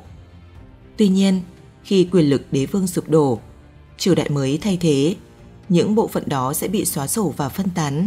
Họ tự mình canh gác hoặc làm ngơ, thậm chí có thể cấu kết với các băng đảng trộm mộ để xâm nhập trộm kho báu. Do đó, việc che giấu và sự kiên cố của lối vào lăng mộ chính là ưu tiên hàng đầu. Tuy nhiên, hầu hết các lăng tẩm của các triều đại trước đây đều không thoát khỏi số phận bị khai quật. 17 trong số 18 ngôi mộ của nhà đường cũng đã bị đánh cắp. Chỉ riêng có cản lăng của Võ Tắc Thiên là còn nguyên vẹn. Vậy nguyên nhân bí ẩn đằng sau việc này là gì? Võ Tắc Thiên và đường Cao Tông, băng hà và đúng lúc thời nhà đường đang thịnh vượng nhất. Vì vậy, lăng mộ của họ được xây dựng vô cùng to lớn. Hơn nữa, số bảo vật trong lăng mộ cũng được đánh giá là nhiều nhất trong tất cả các triều đại. Thời điểm đó, trong cung có rất nhiều bảo vật quý giá. Ngoài các vật phẩm quý giá để bồi táng, còn có tác phẩm nổi tiếng Lan đình Tự, các tác phẩm thơ đường, gốm sứ thời đường. Theo dự đoán của các chuyên gia, số vàng bồi táng trong lăng mộ ước tính từ 500 đến 1.000 tấn vàng. Cũng chính vì điều này mà sau khi được xây dựng, Cản Lăng đã trở thành miếng mồi thơm ngon, được giới trộm mộ chú ý. Căn cứ vào các ghi chép thì Cản Lăng ít nhất đã trải qua tới trên dưới 17 lần bị xâm phạm. Nhưng tất cả đều phải đầu hàng trước một lời nguyền rùng rợn mà đến ngày nay vẫn chưa có lời giải đáp. Trong số đó có 3 vụ trộm mộ nghiêm trọng xảy ra vào 3 thời kỳ khác nhau. Lần thứ nhất diễn ra vào cuối thời nhà Đường, khi nghĩa quân Hoàng Sào giấy binh tạo phản từ năm 874 tới năm 884. Theo sử sách ghi lại, người lãnh đạo của khởi nghĩa này đã đem 40 vạn binh tới đào bới đồi Lương Sơn, thậm chí còn vặt hẳn một nửa quả đồi. Thế nhưng điều kỳ lạ là nhóm người đông đảo này, dù có đào sới tứ tung, nhưng cũng không thể tìm ra phương hướng tiếp cận ngôi mộ của Võ Tắc Thiên. Hoàng Sào không thu được kinh phí quân sự như mong đợi, nhưng lại không muốn trở về tay không. Vì vậy, ông chỉ có thể khuyến khích cấp dưới của mình tiếp tục đào. Tuy nhiên, dù có nỗ lực đào thế nào, họ cũng không thấy bất kỳ dấu vết nào. Thay vào đó, một con mương lớn sâu hơn 40 mét đã được tạo ra. Trong tuyệt vọng, họ không còn cách nào khác là phải quay về. Và con mương sau này còn được đặt tên là rãnh Hoàng Sào. Lần đào trộm nghiêm trọng thứ hai xảy ra dưới thời ngũ đại thập quốc từ năm 907 đến năm 960 do tiết độ sứ Diệu Châu là Ôn Thao cầm đầu. Người này đã từng đào trộm 17 ngôi mộ của hoàng gia nhà đường. Vì vậy, mộ tặc họ ôn này những tưởng cũng có thể khai mở lăng mộ của Võ Tắc Thiên một cách dễ dàng. Tuy nhiên, người tính không bằng trời tính. Khi đám người của ôn thao đang đào bới cản lăng thì một sự kiện kinh thiên động địa đã xuất hiện. Có giai thoại truyền lại rằng vào ngày đầu tiên ôn thao đem quân tới đào bới cản lăng bầu trời còn đang trong xanh, chỉ trong chớp mắt đã trở nên âm u mịt mù. Gió thổi như lốc, tưởng chừng như muốn cuốn phăng mọi thứ. Chính điều này đã khiến nhóm mộ tặc buộc phải nhiều lần dừng tay giữa chừng. Thế nhưng điều kỳ lạ là hễ cứ dừng tay thì trời lại trở nên trong vắt, còn bắt tay vào đào mộ thì tiết trời lại mịt mù như sắp có bão. Ngay cả khi cố tình liều mạng để đào mộ, thì nhóm người của ôn thao hết kẻ này đến kẻ khác bỏ mạng vì tai nạn hoặc bệnh tật. Sau đó vì quá sợ hãi, những kẻ này đã bỏ của chạy lấy người và không dám có ý định xâm phạm Cản Lăng thêm lần nữa. May mắn trụ vững qua thời kỳ hoàng kim của các loại vũ khí lạnh, lăng mộ của Võ Tắc Thiên lại chịu đựng sự công phá đến từ vũ khí nóng. Và lần trộm mộ nghiêm trọng thứ ba xảy ra vào thời kỳ dân quốc, do tướng Tôn Liên Trọng cầm đầu. Vị tướng họ Tôn này đã lấy danh nghĩa diễn tập quân sự để điều động binh lính cùng vũ khí tới Càn Lăng Thế nhưng, cũng giống như ôn thao, Tôn Liên Trọng và đội quân của mình đã phải đối diện với những hiện tượng hết sức rùng rợn. Tương truyền rằng, khi mới nã đợt pháo thứ nhất, bên trong lăng mộ Võ Tắc Thiên bỗng nhiên tỏa ra một làn khói trắng. Làn khói ấy cứ vẩn vũ xung quanh đám người, sau đó bay lên trời và hóa thành gió bão, khiến trời đất tối tăm mù mịt. Có giai thoại còn truyền lại rằng đoàn binh tham gia đào mộ ngày hôm đó của Tôn Liên Trọng bất ngờ có 7 người thổ huyết, tử vong tại chỗ. Các hiện tượng kỳ lạ cùng những giai thoại rùng rợn từng được lưu truyền về nơi an nghỉ của nữ hoàng họ võ đã khiến đám binh lính ấy bỏ cả mũ giáp rồi tháo chạy. Sau này cũng chẳng còn ai dám bán mạng cho Tôn Liên Trọng để đào trộm ngôi mộ ấy. Mãi đến năm 1958, những người nông dân địa phương ở Cản Lăng đã vô tình làm nổ tung lối vào khác của lăng mộ khi họ bắn đại bác để nổ đá. Tin đồn này đến tay Quách Mặt Nhược, một người yêu thích văn hóa cổ đại và ngay lập tức đã khơi dậy niềm đam mê khảo cổ học của ông. Quách Mặt Nhược liền lập kế hoạch khai quật Càn Lăng và báo cáo nó lên chính phủ. Tuy nhiên, do chưa có đủ công nghệ vào thời điểm đó để khai quật toàn bộ lăng mộ hoàng gia, nên kế hoạch không được thông qua. Kể từ đó, việc khai quật Càn Lăng đã tạm thời kết thúc. Trải qua nhiều biến động lịch sử, tính đến thời điểm hiện tại, cản Lăng chưa được khai quật, vẫn đứng sừng sững tọa lạc trên đỉnh núi Lương Sơn. Cản Lăng, một di tích lịch sử của nhà Đường, có rất nhiều bí ẩn có thể chưa được giải đáp. Nhưng có lẽ đây mới chính là sức hấp dẫn của lăng mộ này. Cũng giống như cuộc đời có nhiều ẩn tình của Võ Tắc Thiên, bí mật phía trong nơi ăn nghỉ của bà cho tới nay vẫn là một câu hỏi chưa có lời giải trong lịch sử Trung Quốc. Tương truyền rằng ở Cản Lăng có rất nhiều cơ quan bí mật. Ngoài ra, bởi vì Lương Sơn là một ngọn núi đá vôi, toàn bộ ngọn núi có rất nhiều cát và sỏi. Vì vậy, việc đào một cái hố sẽ vô cùng khó khăn. Không phải bởi vì cát quá cứng, mà bởi vì cát có tính chất lưu động, khó tìm được lối vào lăng mộ, khiến cho việc tìm ra manh mối trong lăng mộ của chính Cản Lăng rất khó khăn. Ngay cả khi tìm được vị trí thích hợp cho việc khai quật, thì bản thân việc trộm mộ đã là một việc mạo hiểm vì chỉ một chút bất cẩn có thể gây nguy hiểm đến tính mạng. Trải qua hơn 1.300 năm với không ít biến cố, Cản Lăng vẫn sừng sững tọa lạc trên đỉnh Lương Sơn và những giai thoại về lời nguyền xoay quanh khu lăng tẩm ấy vẫn được hậu thế kể cho nhau nghe trong những lúc trả dư tiểu hậu. Những bức tượng không đầu Trong khuôn viên có đường chu vi dài 40 cây số của cản Lăng, hình ảnh dễ bắt gặp nhất là hàng loạt những bức tượng đá không đầu, chắp tay đứng trang nghiêm. Tổng cộng có 61 pho tượng, phân bố ở phía đông và phía tây của lăng. Theo sách cũ ghi lại, thì đó là tượng trưng của các thủ lĩnh dân tộc thiểu số ở biên cương tham dự lễ tang lý trị hồi bấy giờ. Phía sau các pho tượng này đều có khắc chữ, nhưng này đã mờ nhạt. Điều kỳ lạ là đầu của 61 pho tượng đá này đều mất và còn nguyên cả vết chém. Đến nay, nguyên nhân lý giải những bức tượng bị mất đầu vẫn còn là bí ẩn trong giới sử học Trung Quốc. Có ý kiến cho rằng trong cuộc nổi dậy của An Thạch, đạo quân nghĩ rằng những bức tượng này là một sự sỉ nhục với họ nên đã phá hủy chúng. Cũng có người tin rằng một dịch bệnh đã xảy ra vào thời nhà Minh. Người dân cho rằng chính những bức tượng này đã gây ra nên mới phá hủy chúng. Mãi sau đó, một người dân sống trên núi Lương Sơn đang đi cuốc đất mới phát hiện một vật cứng. Đào lên thì thấy đầu người điêu khắc bằng đá. Sau đó chính quyền kết luận đây chính là phần đầu trong số 61 bức tượng tại Càn Lăng. Các nhà địa chất cho biết vào năm thứ 35 của triều đại nhà Minh 1556 từng có một trận động đất dữ dội mạnh từ 8 tới 11 độ Richter xảy ra tại tỉnh Thiểm Tây. Chính vì thế, Cản Lăng cũng không tránh khỏi bị ảnh hưởng. Do cấu trúc không vững chắc, phần đầu của những bức tượng trên mới vỡ ra và lan xuống dưới, bị chôn vùi trong đất cát. Cho đến nay, đây là lời giải thích hợp lý nhất về 61 bức tượng không đầu bên ngoài lăng mộ Võ Tắc Thiên. Người duy nhất biết lối vào Càn Lăng. Càn Lăng chứa một kho báu khổng lồ, nhưng chỉ có duy nhất một người biết lối vào, đó là ông Ngô, một người đàn ông 68 tuổi. Theo lời kể, tổ tiên của ông là người canh giữ lăng mộ. Thời xưa, mỗi một hoàng lăng đều sẽ có người canh giữ. Nhiệm vụ của họ là từ đời này sang đời khác, canh giữ và bảo vệ, không để hoàng lăng bị khai quật hoặc bị trộm. Hơn 1.000 năm qua, nhiệm vụ canh giữ cản lăng đã chuyển qua nhiều đời và hiện tại ông Ngô là người canh giữ. Ông sống trong một ngôi làng ở gần cản lăng. Theo lời ông Ngô kể, đến nay ông vẫn giữ thói quen ngày ngày đi tuần quanh lăng mộ. Điều khác biệt duy nhất chỉ là công cụ được thay từ đèn dầu thành đèn pin, kèm theo một cây gậy tự chế mà thôi. Ông lão nhấn mạnh rằng lối vào cả lăng chỉ được truyền miệng từ thế hệ này sang thế hệ khác, nên cho đến nay cả làng chỉ còn mình ông biết lối vào lăng mộ.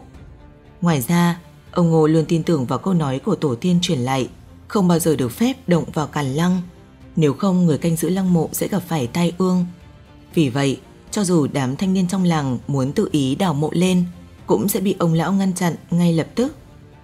Có lần có một tên trộm mộ cùng một tên buôn cổ vật chủ động tìm đến ông, muốn dùng một triệu nhân dân tệ, tương đương khoảng 3,5 tỷ đồng để mua lối vào lăng mộ. Mặc dù người nhà của ông Ngô đã gật đầu, nhưng ông Ngô kiên quyết không đồng ý, thẳng thừng từ chối. Cuối cùng còn đi đến mức cả nhà ly tán. Nhưng cho đến bây giờ, ông Ngô không hề hối hận chút nào về quyết định đó. Ông nói tất cả đồ trong lăng mộ đều là văn vật, bất cứ ai động vào đều sẽ trở thành tội nhân thiên cổ, đều có lỗi với tổ tông. Đến nay, các chuyên gia và nhà khảo cổ học Trung Quốc vẫn chưa có ý định thực hiện khai quật khảo cổ tại Càn Lăng. Họ cho rằng nếu mạo hiểm khai quật lăng mộ, những cổ vật hơn 1.300 năm trong lăng mộ này sẽ có thể bị phân hủy ngay lập tức một khi chúng được đưa ra bên ngoài và tiếp xúc với không khí.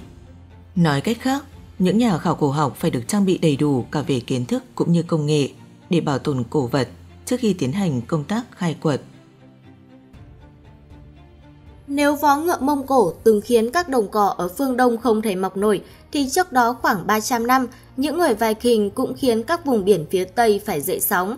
Vốn là một dân tộc chuyên hành nghề về thám hiểm và buôn bán hàng hải, nhưng lối cư xử có phần thô lỗ và tàn bạo đã khiến cho phần lớn nhân loại nhớ về người Viking như là những tên hải tặc tham lam và man dợ. Mặc dù để lại khá nhiều thành tựu về phát kiến địa lý, hàng hải, văn hóa, nghệ thuật và thể thao, nhưng chính sự chiếm đóng và cướp bóc của người Viking đã vô tình đẩy cả châu Âu vốn đã u tối và lạc hậu trong đêm trường Trung Cổ lại càng trở nên hỗn loạn hơn. Cho đến nay, tộc người Viking còn ẩn chứa nhiều bí mật, tạo nên những câu chuyện đa chiều trong lịch sử nhân loại và cũng là chủ đề khám phá đầy hấp dẫn.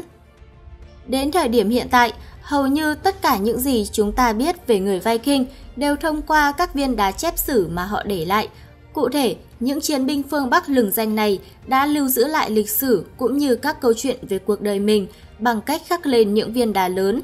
Ước tính các nhà khảo cổ học đã tìm thấy 2.500 viên đá như vậy ở Thụy Điển và một số lượng lớn khác nằm rải rác khắp các quốc gia thuộc khu vực Scandinavia. Theo đó, từ Viking xuất hiện lần đầu trong bài thơ Wizards được viết bằng tiếng Anglo-Saxon cổ trong khoảng thế kỷ thứ 10. Ngoài ra, từ này cũng xuất hiện trên tấm bia đá khắc bằng chữ Runi. Theo nhà văn kiêm sử gia Đan Mạch gốc Na Uy Louis Hobbes, từ Viking đồng nghĩa với kẻ cướp biển. Còn theo nữ giáo sư kiêm sử gia Đan Mạch Elsa Roder, thì từ Viking trong ngôn ngữ Bắc Âu cổ nhánh phía Tây có nghĩa đại loại như chiến binh trên biển, kẻ cướp biển, người đi biển. Theo tục lệ của người Viking, chỉ người con trưởng được thừa kế gia tài hoặc tước vị và hầu hết con thứ thì phải đi nơi khác sinh sống. Hơn nữa, gia tăng dân số khiến cho ruộng đất và việc làm ngày càng khan hiếm, góp phần thúc đẩy họ phải ra nước ngoài. Sự thành công của các chuyến đi cướp bóc ban đầu đã khiến cho các tù trưởng ham lợi và họ đã tổ chức các chuyến hải hành cướp phá lớn hơn. Sau đó là việc thu phục nô lệ và chiếm thuộc địa. Trong một số giai đoạn, các cuộc cướp phá chinh phạt của người Viking Đan Mạch xuất phát từ nguyên nhân chính trị. Một số sử gia quả quyết rằng các chuyến đi này trùng hợp với các cuộc nội chiến nên rất có thể họ đi cướp của để lấy của cải cung cấp cho các cuộc nội chiến giữa các bộ tộc. Còn với người Viking Na Uy và Thụy Điển, họ nghiêng về việc buôn bán và chiếm thuộc địa hơn là cướp phá như người Viking Đan Mạch. Do sự thêu dệt của văn học và điện ảnh, nhiều người lầm tưởng người Viking thường to lớn, cơ bắp với khả năng hạ gục kẻ thù bằng một cú vung dìu. Nhưng trên thực tế thì các khai quật của giới khảo cổ Bắc Âu cho thấy người Viking chỉ cao khoảng 1,7 mét và gầy. Khoa học giải thích rằng thời điểm đó, nguồn thức ăn ít, họ thường xuyên phải đi chinh phạt những vùng đất khác để giành lấy lương thực, tài nguyên. Vũ khí thông thường của người Viking là rìu, lá chắn, mũ sắt bảo vệ đầu có tấm che mũi, áo trận với quần dài màu xám hoặc xanh dương. Chỉ những người chỉ huy mới dùng kiếm và áo giáp sắt. Kiếm của người Viking có lẽ là đồ vật hấp dẫn nhất mà họ bỏ lại. Những lưỡi kiếm phi thường này mang tính biểu tượng của một thời đại huy hoàng và chúng không chỉ đáng gờm trong trận chiến mà còn thể hiện sự khéo léo đến từng chi tiết và tinh xảo. Điều đặc biệt về những thanh kiếm Viking là bạn sẽ thấy trên rất nhiều chuôi kiếm của thời Viking lặp đi lặp lại các ký hiệu hình học. Thông thường, những chuôi kiếm này được trang trí thêm phần lớn bằng bạc, hoặc có thể là đồng hoặc vàng được rát vào chuôi kiếm. Một số có kỹ thuật cực kỳ tiên tiến và thậm chí cho đến ngày nay không ai biết chúng được tạo ra như thế nào. Và thật kỳ lạ, nhiều trong số chúng mang dòng chữ bí ẩn Ubers. Những thanh kiếm Ubers được chế tạo từ khoảng 800 đến 1.000 năm sau công nguyên. Chúng được làm bằng thép carbon rất cao, thành phần hóa học hoàn toàn khác so với bất kỳ loại vũ khí nào khác được tìm thấy ở châu Âu thời Trung Cổ. Nó vượt trội hơn rất nhiều với bất kỳ loại vũ khí nào khác trong chiến đấu. Để rèn những thanh kiếm phi thường này, người Viking sẽ phải tạo ra nhiệt độ cực cao vượt quá 1.600 độ C. Nhưng thật đáng kinh ngạc là công nghệ để đạt được kỳ tích như vậy lại không hề tồn tại cho đến khi cách mạng công nghiệp diễn ra gần 800 năm sau khi kết thúc thời đại Viking. Những chiến binh Viking thường được mô tả với vẻ thô lỗ, bẩn thỉu trong điện ảnh, nhưng trên thực tế lại hoàn toàn ngược lại. Người Viking là một dân tộc có gu thẩm mỹ, dù thường lênh đênh trên biển, nhưng họ ăn ở rất sạch sẽ. Tại những khu khai quật nơi chiến binh Viking từng sinh sống, các nhà khoa học tìm được nhíp, dao cạo râu, luộc và chất rửa tay làm từ xương và gạc của động vật.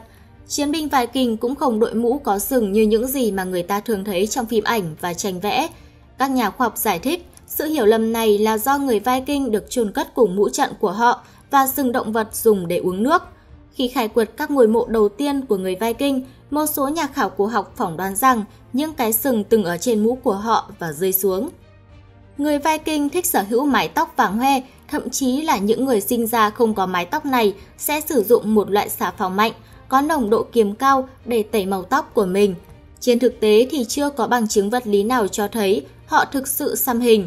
Hơn nữa người Viking thích sạch sẽ, thậm chí bị ám ảnh về chuyện này, nên nhiều khả năng họ sẽ không phủ kín làn da bằng thứ hình xăm không thể loại bỏ. Ngoài ra, Viking cũng là một dân tộc thượng võ và chuộng thể thao, với hai môn còn được lịch sử lưu lại là võ Klima và trượt tuyết. Người Viking cả nam lẫn nữ đều học võ Klima ngay từ khi lên 6 lên 7. Nhờ đó, họ luôn sở hữu một đội ngũ chiến binh mạnh mẽ trong suốt thời kỳ hưng thịnh nhất. Môn võ này rất chú trọng đến sức mạnh phản xạ và đặc biệt là sự quyết đoán.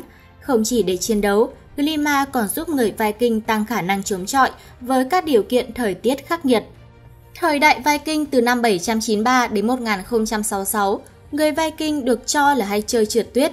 Thay vì các nguyên liệu như gỗ hay kim loại, họ chỉ ưa các ván trượt làm từ xương ống của các loài thú lớn như hươu hoặc bò, bôi thêm mỡ vào giúp khả năng bứt tốc trở nên vượt trội so với ván sắt, gỗ.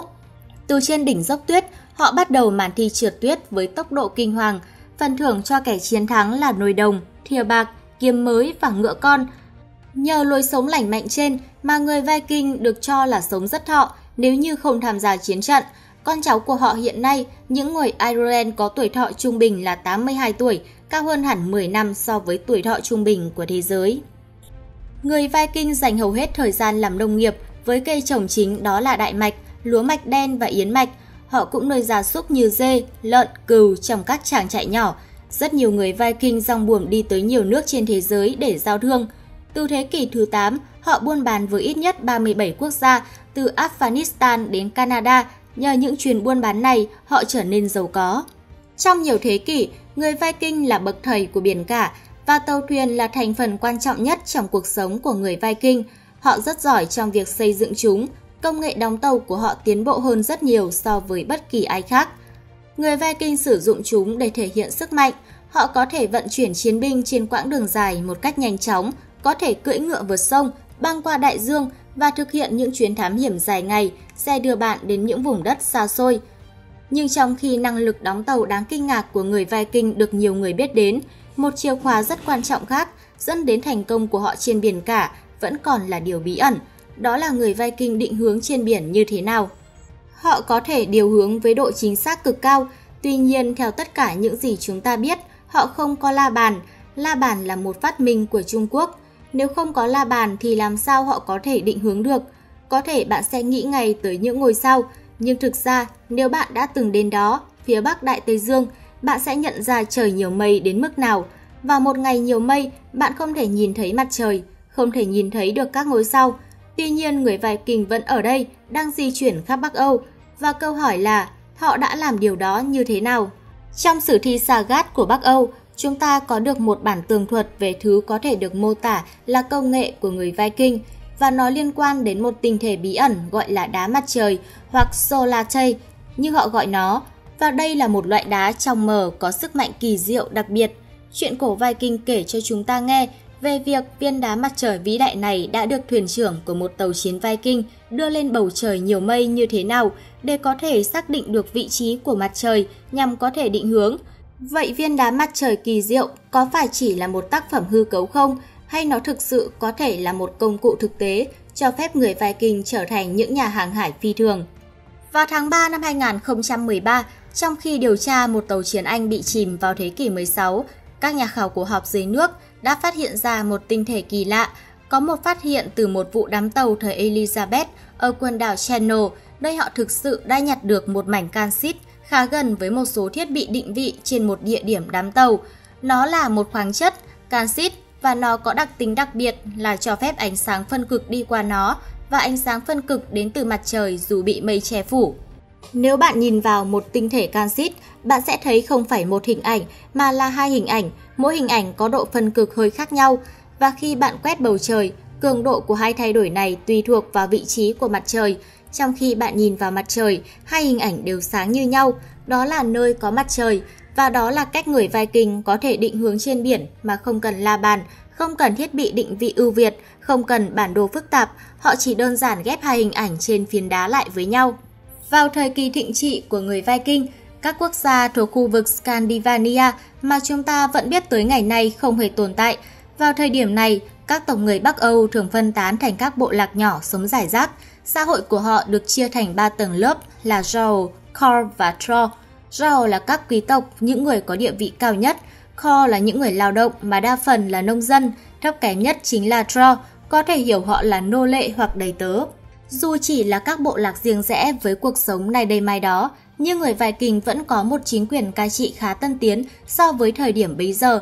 Chính quyền của họ có tên là Iorting. Theo giới các nhà nghiên cứu, thì bất kể một người Viking tự do nào cũng có thể dựa vào chính quyền để giải quyết tranh chấp, biểu quyết người lãnh đạo hay thiết lập điều khoản về các thương vụ buôn bán. Thậm chí thời điểm hiện tại, nghị viện của các quốc gia Bắc Âu như Ireland, Đan Mạch, Na Uy vẫn có từ trinh trong tên riêng của họ. Người Viking tôn thờ các vị thần Bắc Âu và đó là một phần trong cuộc sống hàng ngày của họ. Các ngày trong tuần được gọi theo tên của các vị thần vĩ đại. Odin được dùng đặt tên cho ngày thứ, tương tự thứ ba và thứ sáu đặt tên theo tên của vị thần chiến tranh là Thor và nữ thần hôn nhân Frid, Nổi tiếng nhất là thần sấm Thor vào ngày thứ năm. Đối với người Viking điểm đến tốt nhất sau cái qua đời chính là Valhalla được dành cho những chiến binh chiến đấu vô cùng dũng cảm cũng như là hy sinh gan dạ trong trận mạc. Tiếp theo là Hegafield, một nơi khác dành cho những người đã sống một cuộc đời đáng ngưỡng mộ. Trái ngược thì Helheim là nơi mà người Viking không mong muốn, đó là nơi cho người xấu, qua đời vì tuổi già hay trên giường bệnh. Xuất hiện từ thời kỳ đồ đá muộn, thời đại Viking hưng thịnh nhất, kéo dài từ thế kỷ thứ 8 đến thế kỷ 11. Những chuyến viễn chinh và sau đó là chiếm đóng đã biến tộc người này trở thành nỗi kinh hoàng cho rất nhiều quốc gia thuộc nhiều châu lục. Anh, Ireland bị người Viking Đan Mạch tàn phá, cướp bóc, người Viking Na Uy vượt biển tấn công cả Scotland, quần đảo Faroe Island và đảo Greenland. Những quốc gia phía đông như Nga, đế quốc Đông La Mã cũng không chống đỡ nổi người Viking Thụy Điển. Không chỉ chiếm đóng, cướp phá, người Viking còn tham gia đánh thuế, thu phục nô lệ, buôn bán giao thương ở nhiều lãnh thổ thuộc châu Âu, Tây Nam, châu Á và vùng Bắc Đại Tây Dương. Với những chiến binh thiện chiến, sở hữu những chiếc tàu tốc độ cao có thể đi rất xa cùng khả năng đổ bộ rất nhanh mà không cần cập cảng. Người Viking song buồm lướt sóng tới tận Bắc Phi, phía đông của nước Nga và chinh phạt cả Trung Đông lẫn Constantinopolis. Các bạn chắc hẳn đã quá quen thuộc với câu chuyện Columbus khám phá ra tân thế giới từ năm 1492 đến năm 1502 với sự hỗ trợ của Hoàng gia Tây Ban Nha. Columbus đã vượt Đại Tây Dương đến châu Mỹ 4 lần, trở thành nhà hàng hải đầu tiên khám phá ra tân thế giới và điều này cũng khiến cho ông trở thành một trong những nhà hàng hải vĩ đại nhất trên thế giới. Tuy nhiên trên thực tế, Columbus không phải là người đầu tiên khám phá ra lục địa châu Mỹ. Theo nghiên cứu của các nhà sử học, rất lâu trước Columbus, những người từ cựu thế giới đã khám phá ra châu Mỹ qua các chuyến hải hành. Chỉ vì những lý do kỹ thuật mà những chuyến đi này đã không được duy trì và ghi lại một cách thuyết phục. Và bây giờ sách giáo khoa lịch sử nói rằng Columbus đã khám phá lục địa châu Mỹ. Thực tế điều đó có nghĩa là chuyến đi của Columbus đến châu Mỹ có một ý nghĩa khác với những chuyến đi khám phá trước đây của người châu Âu. Columbus lần đầu tiên vượt Đại Tây Dương từ vùng nước ôn đới chứ không phải vùng nước lạnh, đồng thời sử dụng công nghệ tương đối phức tạp để đảm bảo việc tiếp tục thực dân hóa, phá vỡ hoàn toàn sự cô lập giữa tân thế giới và cựu thế giới ở châu Mỹ. Ở lục địa châu Âu, từ lâu đã có truyền thuyết nói rằng có một lục địa mới nằm tại phía bên kia của biển cả vô biên, ở phía tây của lục địa này. Những người châu Âu đầu tiên phát hiện ra lục địa châu Mỹ là người Viking. Họ đã đến Bắc Mỹ trước Columbus 500 năm. Từ lâu, các nhà khoa học đã biết được rằng người Viking đã xây dựng một khu định cư được gọi là LRC Ormeadow tại Newfoundland thuộc Canada. Địa điểm này đã được các nhà khảo cổ học phát hiện từ những năm 1960. Tuy nhiên, thời điểm chính xác vẫn rất khó xác định và nghiên cứu mới nhất này đã giải đáp được những điều này. Bằng cách sử dụng tiểu vũ trụ trên các cổ vật gỗ, các nhà khoa học đã xác định được mốc thời điểm sự xuất hiện của người Viking ở Bắc Mỹ. Sau khi sử dụng kỹ thuật đặc biệt phân tích dấu hiệu để lại của một cơn bão mặt trời và nghiên cứu phóng xạ carbon từ ba mảnh gỗ thu thập được ở LNC Ormidau vào những năm 1960, các nhà khoa học đã xác định rõ thời điểm những người Bắc Âu đến Newfoundland là vào năm 1021 sau công nguyên, sớm hơn phát hiện của nhà thám hiểm Columbus 471 năm. Hành trình đặt chân tới châu Mỹ lần đầu tiên của người Viking là một trong những cột mốc quan trọng nhất của lịch sử loài người. Điều này cũng càng giúp làm sáng tỏ cho lý thuyết cây cầu đất Beringia mà một số nhà khoa học trước đây đề xuất. Theo lý thuyết đó, vùng đất băng giá phía bắc địa cầu từng không rời rạc như ngày nay. Khoảng mấy mấy ngàn năm trước, một giải đất hẹp đã nối liền châu Á và Bắc Mỹ. Vì vậy, có thể có khoảng 100 người Viking đã khai phá ra tân thế giới này rất nhiều năm trước khi Columbus tìm đến chỉ bằng phương pháp vô cùng đơn giản là đi bộ. Nhiều nhà khảo cổ tin rằng động lực chính để người Viking đi khám phá những vùng đất mới là để tìm kiếm những nguồn gỗ tốt cho việc xây cất nhà cửa cũng như thuyền bè. Tàn tích với những tàu gỗ dài hơn 20 mét có buồm và mái chèo của người Viking cũng được tìm thấy. Bằng chứng chứng minh lần đầu tiên người Viking vượt qua Đại Tây Dương để đến châu Mỹ trước cả Christopher Columbus có ý nghĩa vô cùng đặc biệt cho thấy sự mạo hiểm của loài người trong việc đi tìm kiếm những nguyên liệu thô mới và từ đó khám phá ra những điều thú vị. Đền Angkor Wat là biểu tượng của Campuchia. Nhiều người tin rằng nó được xây dựng bởi đế quốc Khmer vào thế kỷ 12. Nhưng sự thực rất có thể không phải là như vậy. Những hoa văn điêu khắc mô tả những con thú đã tuyệt chủng hàng triệu năm trước, còn có hình trọng khắc trước kính viễn vọng và hệ mặt trời. Làm sao mà những người xây dựng ngôi đền này có thể biết những sự việc của quá khứ hàng triệu năm trước? Và cả chuyện của hàng trăm năm sau. Ai mới là người thật sự xây dựng ngôi đền huyền bí này? Nếu những người Ai Cập rất tự hào về các kim tự tháp Ai Cập trên cao nguyên Giza, thì những người dân Campuchia cũng tự hào không kém về quần thể di tích Angkor, trong đó có đền Angkor Wat. Thậm chí đây còn được coi là biểu tượng của Campuchia và được in hình trên lá cờ của nước này. Angkor là quần thể di tích của Campuchia ở phía tây bắc biển Hồ, thuộc tỉnh Siem Reap được UNESCO ghi nhận là quần thể di tích tôn giáo lớn nhất thế giới, với hơn 1.000 ngôi đền với quy mô khác nhau. Angkor bao gồm hai cụm quần thể cách nhau 1,7 km là Angkor Wat và Angkor Thom. Angkor Wat là một cụm các công trình tôn giáo cực lớn với diện tích lên đến 162,6 ha, tức 1,626 triệu mét vuông. Còn Angkor Thom là di tích thủ đô lâu đời và lớn nhất của đế chế Khmer, với diện tích lên đến hơn 9 km vuông. Theo nghĩa hiện đại, Angkor Wat nghĩa là thành phố của những ngôi đền. Tổ hợp kiến trúc này chủ yếu được xây dựng từ đá sa thạch, là sự kết hợp của hai nét cơ bản của kiến trúc Khmer, kiến trúc đền núi cùng với những dãy hành lang dài và nhỏ hẹp. Angkor Wat nằm phía trong một con kênh và lớp tường bao quanh dài 3,6 km. Khu chính điện có 3 tầng với kiến trúc hình chữ nhật, kết nối với nhau bởi những dãy hành lang sâu thẳm. Đền Angkor Wat được ngưỡng mộ bởi vẻ hùng vĩ và hài hòa của kiến trúc, sự phong phú của nghệ thuật điêu khắc và số lượng lớn các vị thần được trang hoàng trên những bức tường đá. Tháp trung tâm của Angkor Wat cao 65 mét, cao hơn bất cứ một tháp chuông nhà thờ nào ở châu Âu, được xây dựng trước thế kỷ 15. Bên dưới các tòa tháp lớn là các đường hành lang dài hun hút, mát lạnh với các khối phủ điêu sống động còn Angkor Thom nằm cách thành phố Siem Reap 7,2 km về phía bắc. Các bức tường thành cao 8 m, dài 3 km. Bên ngoài là hào nước bao quanh một khu vực rộng 9 km vuông. Tường thành được xây dựng bằng đá ong với bờ công sự trên đỉnh. Tại mỗi hướng đông tây nam bắc có một cổng thành. Các con đường dẫn từ các cổng thành thẳng đến đền Bayon tại trung tâm thành phố. Theo các nhà sử học hiện nay, vua Khmer Suyavaman đệ nhị trị vì đế quốc Khmer từ năm 1113 đến năm 1145, được coi là người đã xây dựng đền Angkor Wat trong suốt những năm ông tại vị, và vua Chayavaman đệ thất, người trị vì đế quốc này giai đoạn 1181 đến 1215, được coi là người đã xây dựng cụm công trình Angkor Thom và đền Bayon. So với Angkor Wat, Angkor Thom bị đổ nát khá nhiều và trình độ kiến trúc cũng thua kém xa. Theo các văn vật khai quật được, thì vua Chayavaman đệ thất có khả năng là người đã thực sự xây dựng một phần đáng kể thành Angkor Thom vì kiến trúc đậm chất Phật giáo của tổ hợp công trình này, trong khi ông được ghi nhận là vị vua Khmer duy nhất theo Phật giáo. Cũng có nhiều ngôi chùa thấp được xác nhận là được vua Chayavaman đệ thất xây dựng để tôn vinh cha mẹ, đồng thời cũng là nơi thực hiện các nghi lễ của Phật giáo.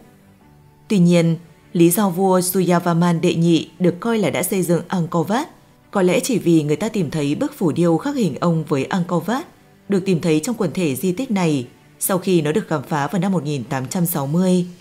Nhưng so với sự vĩ đại, tinh xảo, phức tạp của Angkor Wat, thì bức phủ điêu về Suyavaman đệ nhị lại quá đơn giản, nhỏ bé và mờ nhạt. Làm sao một người đã sáng tạo ra một công trình vĩ đại lại có thể được lưu danh theo hình thức này? Một trong những du khách phương Tây đầu tiên đến thăm ngôi đền Angkor Wat là Antonio da Maddalena, một giáo sĩ người Bồ Đào Nha, người đã đến thăm ngôi đền vào năm 1586. Kinh ngạc trước vẻ đẹp và sự vĩ đại của Angkor, Antonio đã viết, đó là công trình xây dựng đặc biệt đến mức không thể miêu tả nó bằng bút mực.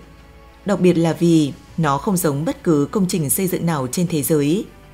Nó có các tòa tháp, các họa tiết và các đường nét tinh tế mà chỉ những thiên tài mới có thể thực hiện được.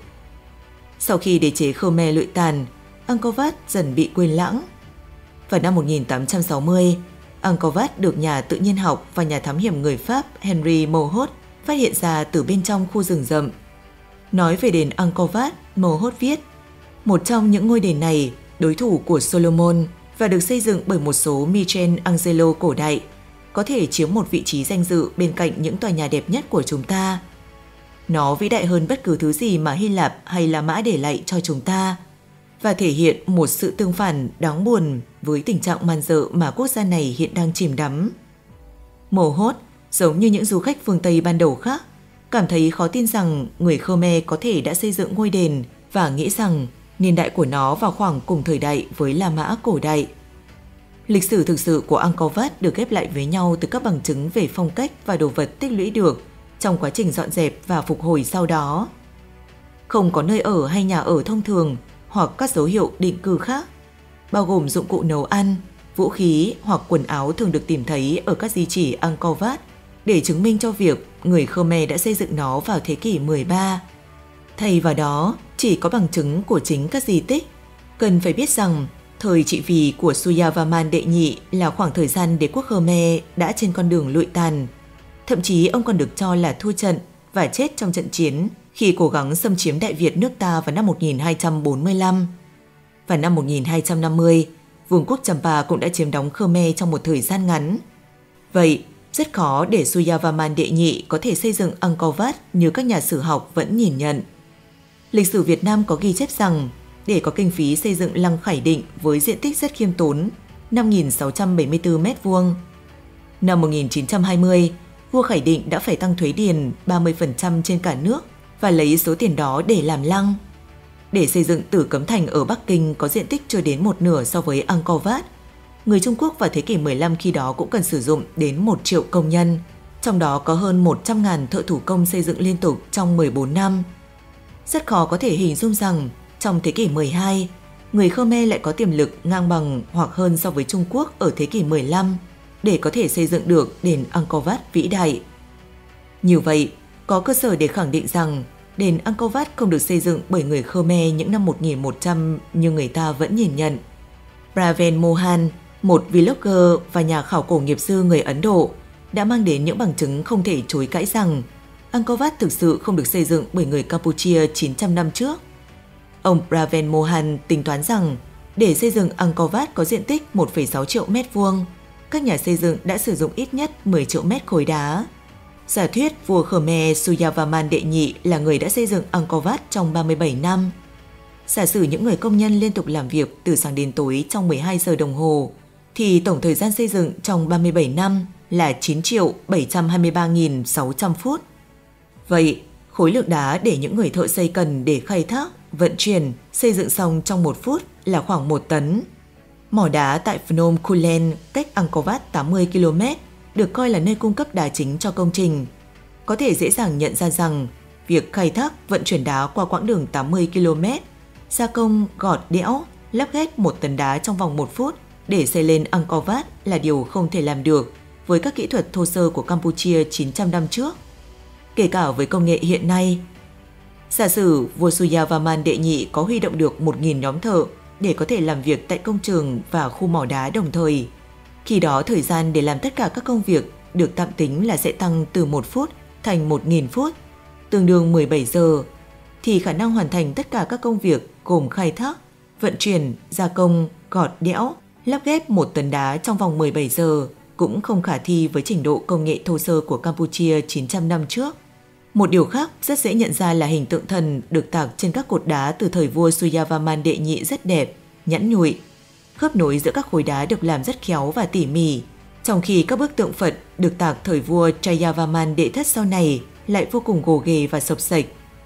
Vì sao công nghệ chế tác giữa hai thế hệ cách nhau chỉ vài chục năm lại khác nhau một trời một vực như vậy? So với Angkor Wat, Angkor Thom bị đổ nát khá nhiều và trình độ kiến trúc cũng thua kém xa. Ông Mohan cho rằng những công trình xấu xí và kém bền vững này mới chính là sản phẩm mà người Campuchia 900 năm trước tạo ra. Còn đại công trình Angkor Wat thì có lẽ không phải là di sản của người Campuchia thời đó. Mặc dù người ta tìm thấy bức phủ điêu khắc hình vua Suyavaman đệ nhị với Angkor Wat trong quần thể di tích này, nhưng so với sự vĩ đại, tinh xảo và phức tạp của Angkor Wat thì bức phủ điêu về đức vua lại quá đơn giản, nhỏ bé và mờ nhạt, khiến chúng ta tự hỏi làm thế nào mà người đã sáng tạo ra một công trình vĩ đại lại có thể được lưu danh theo hình thức này. Ngoài ra, trên bức tường đá tại Angkor Wat, ông Praven Mohan đã phát hiện ra hình chạm khắc một con voi bốn sừng. Đây là loài thú có thật trong lịch sử và đã bị tuyệt chủng 2 triệu năm trước. Một bộ xương hóa thạch của loài thú này được tìm thấy ở Sulawesi, Indonesia và đang được trưng bày tại Bảo tàng Quốc gia nước này. Ở một trụ đá tròn, ông Praven phát hiện ra hình chạm khắc của một con thú khác với cái đuôi lúc nào cũng nằm ngang và cái đầu kỳ dị, gọi là linh cầu răng hay Enodon. Theo các nhà khoa học thì những con linh cầu này đã tuyệt chủng 26 triệu năm trước. Vậy, vào 900 năm trước, khi ngành khảo cổ học còn chưa phát triển, làm thế nào mà những người thợ điều khắc có thể nghĩ ra được những con thú đã tuyệt chủng này? Vậy ai là chủ nhân thực sự của Angkor Wat? Vài chục năm gần đây, các nhà khoa học đã phát hiện rằng có nhiều công trình cổ đại nổi tiếng trên trái đất đều nằm trên một đường thẳng, còn gọi là đường lây, lây lai, chạy vòng quanh trái đất. Và không chỉ có một đường như vậy xuất hiện.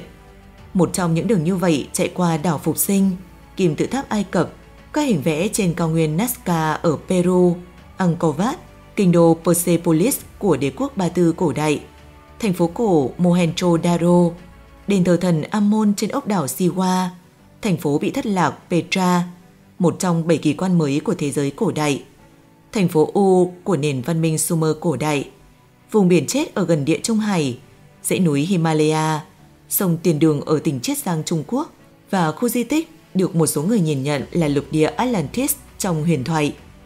Điều đáng kinh ngạc là đường tròn bí ẩn này đã liên kết các địa danh này trong một khoảng sai số không vượt quá một phần 10 của một vĩ độ, với tâm vòng tròn đặt ở miền đông nam bang Alaska, Mỹ. Ngày nay, nhiều người gọi những đường lây này là kinh mạch của trái đất vì nó chạy qua những công trình cổ đại có kiến trúc phi thường và vô cùng bí ẩn.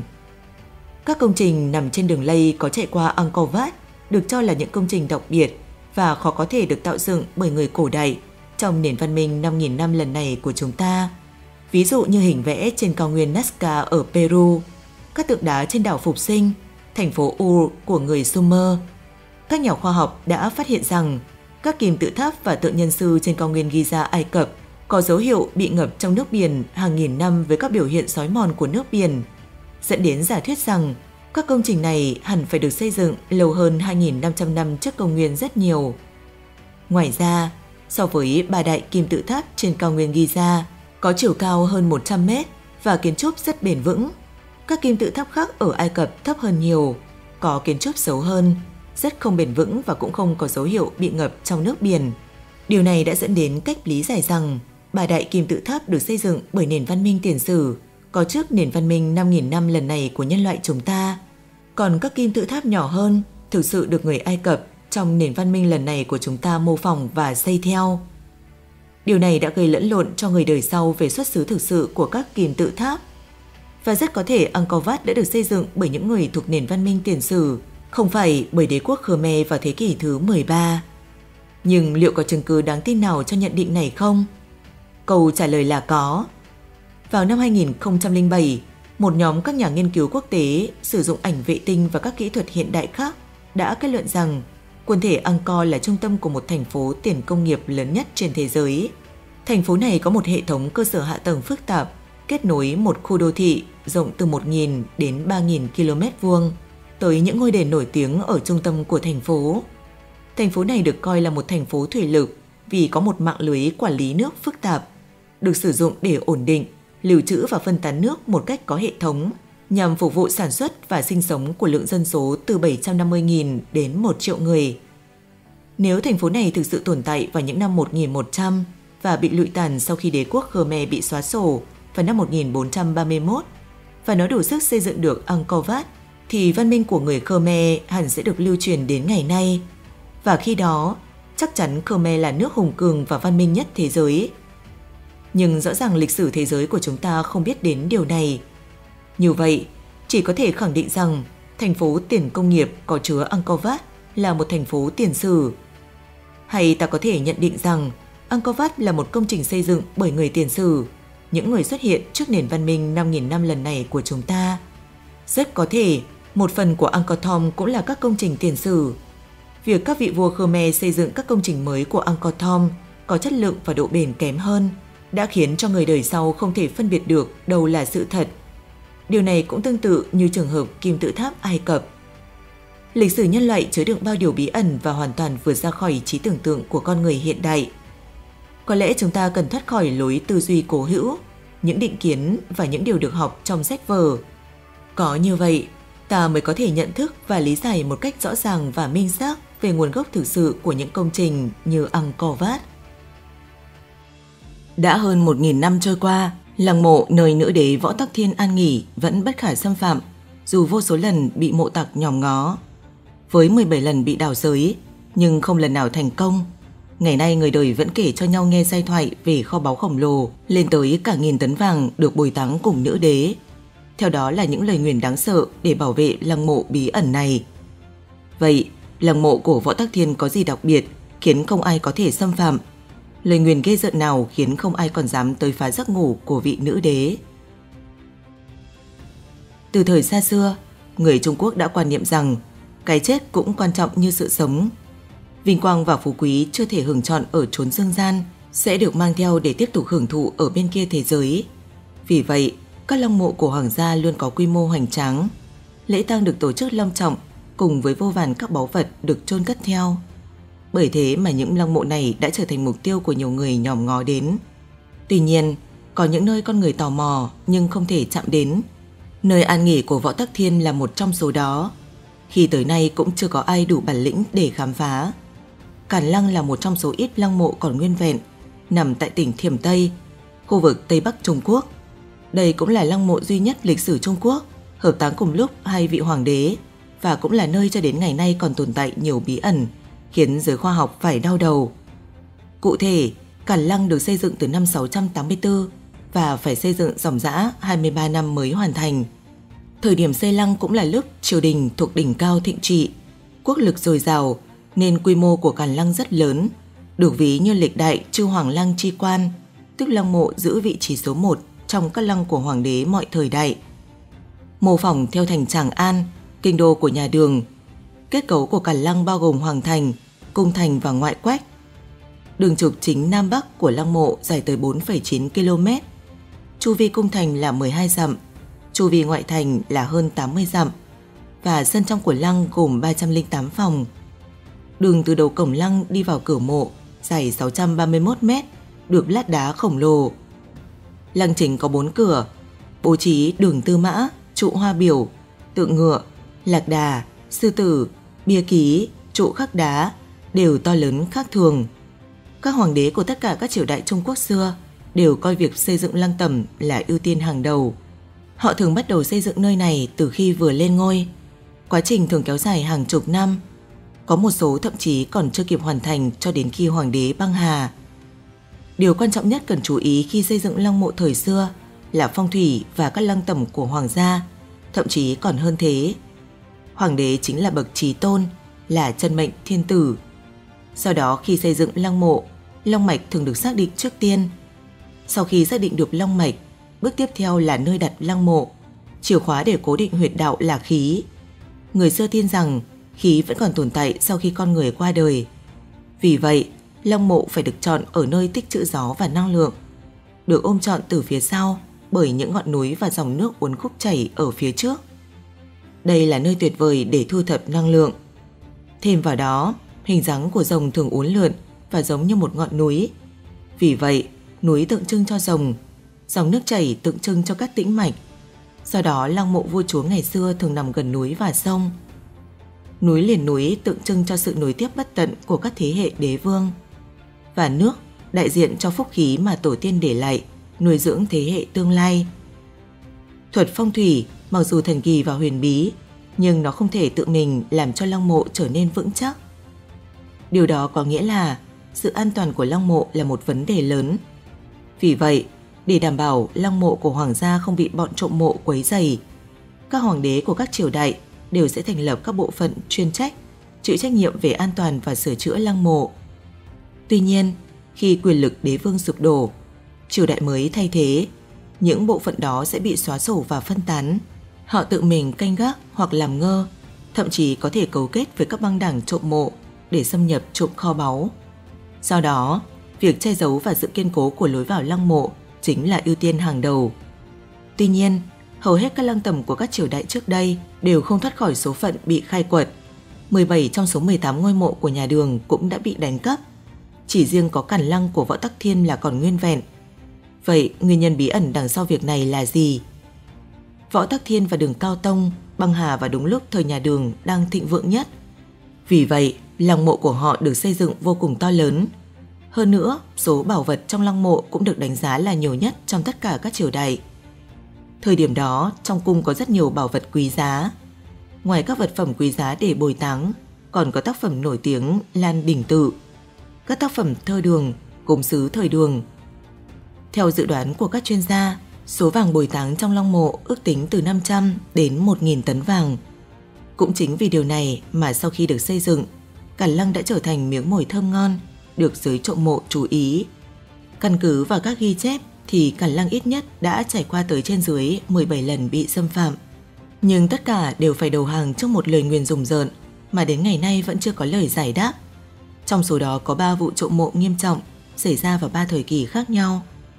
Lần thứ nhất diễn ra vào cuối thời nhà Đường, khi nghĩa quân Hoàng Sào giấy binh tạo phản từ năm 874 tới năm 884. Theo sử sách ghi lại, người lãnh đạo của khởi nghĩa này đã đem 40 vạn binh tới đào bới đồi Lương Sơn, thậm chí còn vặt hẳn một nửa quả đồi. Thế nhưng điều kỳ lạ là nhóm người đông đảo này, dù có đào sới tứ tung, nhưng cũng không thể tìm ra phương hướng tiếp cận ngôi mộ của Võ Tắc Thiên. Hoàng Sào không thu được kinh phí quân sự như mong đợi, nhưng lại không muốn trở về tay không. Vì vậy, ông chỉ có thể khuyến khích cấp dưới của mình tiếp tục đào. Tuy nhiên, dù có nỗ lực đào thế nào, họ cũng không thấy bất kỳ dấu vết nào. Thay vào đó, một con mương lớn sâu hơn 40 mét đã được tạo ra. Trong tuyệt vọng, họ không còn cách nào khác là phải quay về.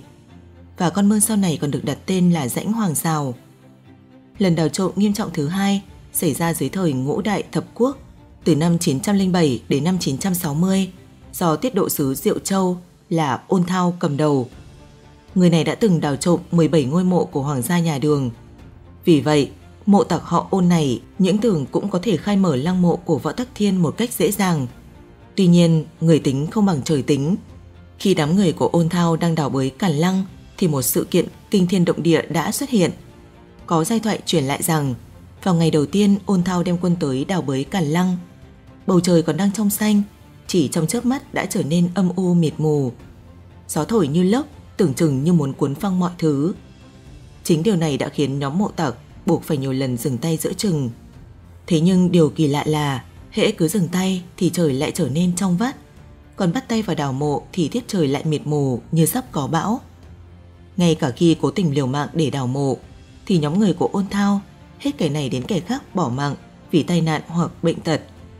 Sau đó vì quá sợ hãi, những kẻ này đã bỏ của chạy lấy người và không dám có ý định xâm phạm Cản Lăng thêm lần nữa. May mắn trụ vững qua thời kỳ hoàng kim của các loại vũ khí lạnh, lăng mộ của Võ Tắc Thiên lại chịu đựng sự công phá đến từ vũ khí nóng. Và lần trộm mộ nghiêm trọng thứ ba xảy ra vào thời kỳ dân quốc do tướng Tôn Liên Trọng cầm đầu. Vị tướng họ Tôn này đã lấy danh nghĩa diễn tập quân sự để điều động binh lính cùng vũ khí tới Càn Lăng. Thế nhưng, cũng giống như ôn thao, Tôn Liên Trọng và đội quân của mình đã phải đối diện với những hiện tượng hết sức rùng rợn. Tương truyền rằng, khi mới nã đợt pháo thứ nhất, bên trong lăng mộ Võ Tắc Thiên bỗng nhiên tỏa ra một làn khói trắng. Làn khói ấy cứ vẩn vũ xung quanh đám người, sau đó bay lên trời và hóa thành gió bão, khiến trời đất tối tăm mù mịt. Có giai thoại còn truyền lại rằng đoàn binh tham gia đào mộ ngày hôm đó của Tôn Liên Trọng bất ngờ có 7 người thổ huyết, tử vong tại chỗ. Các hiện tượng kỳ lạ cùng những giai thoại rùng rợn từng được lưu truyền về nơi an nghỉ của nữ hoàng họ võ đã khiến đám binh lính ấy bỏ cả mũ giáp rồi tháo chạy.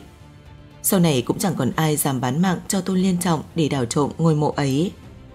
Mãi đến năm 1958, những người nông dân địa phương ở Cần Lăng đã vô tình làm nổ tung lối vào khác của lăng mộ khi họ bắn đại bác để nổ đá. Tin đồn này đến tay Quách Mặt Nhược, một người yêu thích văn hóa cổ đại và ngay lập tức đã khơi dậy niềm đam mê khảo cổ học của ông. Quách Mặt Nhược liền lập kế hoạch khai quật Càn Lăng và báo cáo nó lên chính phủ. Tuy nhiên, do chưa có đủ công nghệ vào thời điểm đó để khai quật toàn bộ lăng mộ hoàng gia, nên kế hoạch không được thông qua. Kể từ đó, việc khai quật Càn Lăng đã tạm thời kết thúc. Trải qua nhiều biến động lịch sử, tính đến thời điểm hiện tại, Cản Lăng chưa được khai quật, vẫn đứng sừng sững tọa lạc trên đỉnh núi Lương Sơn. Cản Lăng, một di tích lịch sử của nhà Đường, có rất nhiều bí ẩn có thể chưa được giải đáp. Nhưng có lẽ đây mới chính là sức hấp dẫn của lăng mộ này. Cũng giống như cuộc đời có nhiều ẩn tình của Võ Tắc Thiên, bí mật phía trong nơi ăn nghỉ của bà cho tới nay vẫn là một câu hỏi chưa có lời giải trong lịch sử Trung Quốc. Tương truyền rằng ở Cản Lăng có rất nhiều cơ quan bí mật. Ngoài ra, bởi vì Lương Sơn là một ngọn núi đá vôi, toàn bộ ngọn núi có rất nhiều cát và sỏi. Vì vậy, việc đào một cái hố sẽ vô cùng khó khăn. Không phải bởi vì cát quá cứng, mà bởi vì cát có tính chất lưu động, khó tìm được lối vào lăng mộ, khiến cho việc tìm ra manh mối trong lăng mộ của chính Cản Lăng rất khó khăn. Ngay cả khi tìm được vị trí thích hợp cho việc khai quật, thì bản thân việc trộm mộ đã là một việc mạo hiểm vì chỉ một chút bất cẩn có thể gây nguy hiểm đến tính mạng. Trải qua hơn 1.300 năm với không ít biến cố, Cản Lăng vẫn sừng sững tọa lạc trên đỉnh Lương Sơn và những giai thoại về lời nguyền xoay quanh khu lăng tầm ấy vẫn được hậu thế kể cho nhau nghe trong những lúc trả dư tiểu hậu. Những bức tượng không đầu Trong khuôn viên có đường chu vi dài 40 cây số của Càn Lăng, hình ảnh dễ bắt gặp nhất là hàng loạt những bức tượng đá không đầu, chắp tay đứng trang nghiêm. Tổng cộng có 61 pho tượng, phân bố ở phía đông và phía tây của lăng. Theo sách cũ ghi lại, thì đó là tượng trưng của các thủ lĩnh dân tộc thiểu số ở biên cương tham dự lễ tang lý trị hồi bấy giờ.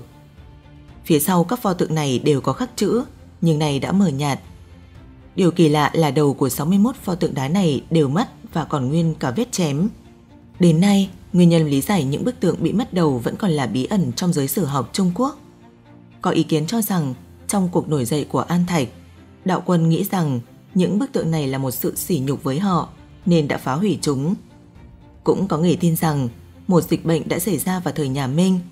Người dân cho rằng chính những bức tượng này đã gây ra nên mới phá hủy chúng. Mãi sau đó, một người dân sống trên núi Lương Sơn đang đi cuốc đất mới phát hiện một vật cứng. Đào lên thì thấy đầu người điêu khắc bằng đá, Sau đó chính quyền kết luận đây chính là phần đầu trong số 61 bức tượng tại Càn Lăng. Các nhà địa chất cho biết vào năm thứ 35 của triều đại nhà Minh 1556 từng có một trận động đất dữ dội mạnh từ 8 tới 11 độ Richter xảy ra tại tỉnh Thiểm Tây. Chính vì thế, Càn Lăng cũng không tránh khỏi bị ảnh hưởng. Do cấu trúc không vững chắc, phần đầu của những bức tượng trên mới vỡ ra và lan xuống dưới, bị chôn vùi trong đất cát. Cho đến nay, đây là lời giải thích hợp lý nhất về 61 bức tượng không đầu bên ngoài lăng mộ Võ Tắc Thiên. Người duy nhất biết lối vào Càn Lăng. Càn Lăng chứa một kho báu khổng lồ, nhưng chỉ có duy nhất một người biết lối vào, đó là ông Ngô, một người đàn ông 68 tuổi. Theo lời kể, tổ tiên của ông là người canh giữ lăng mộ. Thời xưa, mỗi một hoàng lăng đều sẽ có người canh giữ. Nhiệm vụ của họ là từ đời này sang đời khác, canh giữ và bảo vệ, không để hoàng lăng bị khai quật hoặc bị trộm. Hơn 1.000 năm qua, nhiệm vụ canh giữ cản lăng đã chuyển qua nhiều đời và hiện tại ông Ngô là người canh giữ. Ông sống trong một ngôi làng ở gần cản lăng. Theo lời ông Ngô kể, đến nay ông vẫn giữ thói quen ngày ngày đi tuần quanh lăng mộ. Điều khác biệt duy nhất chỉ là công cụ được thay từ đèn dầu thành đèn pin kèm theo một cây gậy tự chế mà thôi. Ông lão nhấn mạnh rằng lối vào cả lăng chỉ được truyền miệng từ thế hệ này sang thế hệ khác, nên cho đến nay cả làng chỉ còn mình ông biết lối vào lăng mộ. Ngoài ra, ông Ngô luôn tin tưởng vào câu nói của tổ tiên truyền lại, không bao giờ được phép động vào càn lăng, nếu không người canh giữ lăng mộ sẽ gặp phải tai ương. Vì vậy, cho dù đám thanh niên trong làng muốn tự ý đào mộ lên, cũng sẽ bị ông lão ngăn chặn ngay lập tức. Có lần có một tên trộm mộ cùng một tên buôn cổ vật chủ động tìm đến ông, muốn dùng một triệu nhân dân tệ, tương đương khoảng 3,5 tỷ đồng để mua lối vào lăng mộ. Mặc dù người nhà của ông Ngô đã gật đầu, nhưng ông Ngô kiên quyết không đồng ý, thẳng thừng từ chối. Cuối cùng còn đi đến mức cả nhà ly tán. Nhưng cho đến bây giờ, ông Ngô không hề hối hận chút nào về quyết định đó. Ông nói tất cả đồ trong lăng mộ đều là văn vật, bất cứ ai động vào đều sẽ trở thành tội nhân thiên cổ, đều có lỗi với tổ tông. Đến nay, các chuyên gia và nhà khảo cổ học Trung Quốc vẫn chưa có ý định thực hiện khai quật khảo cổ tại Càn Lăng.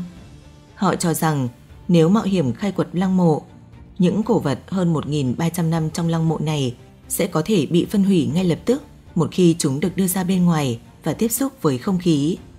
Nói cách khác, những nhà khảo cổ học phải được trang bị đầy đủ cả về kiến thức cũng như công nghệ để bảo tồn cổ vật trước khi tiến hành công tác khai quật.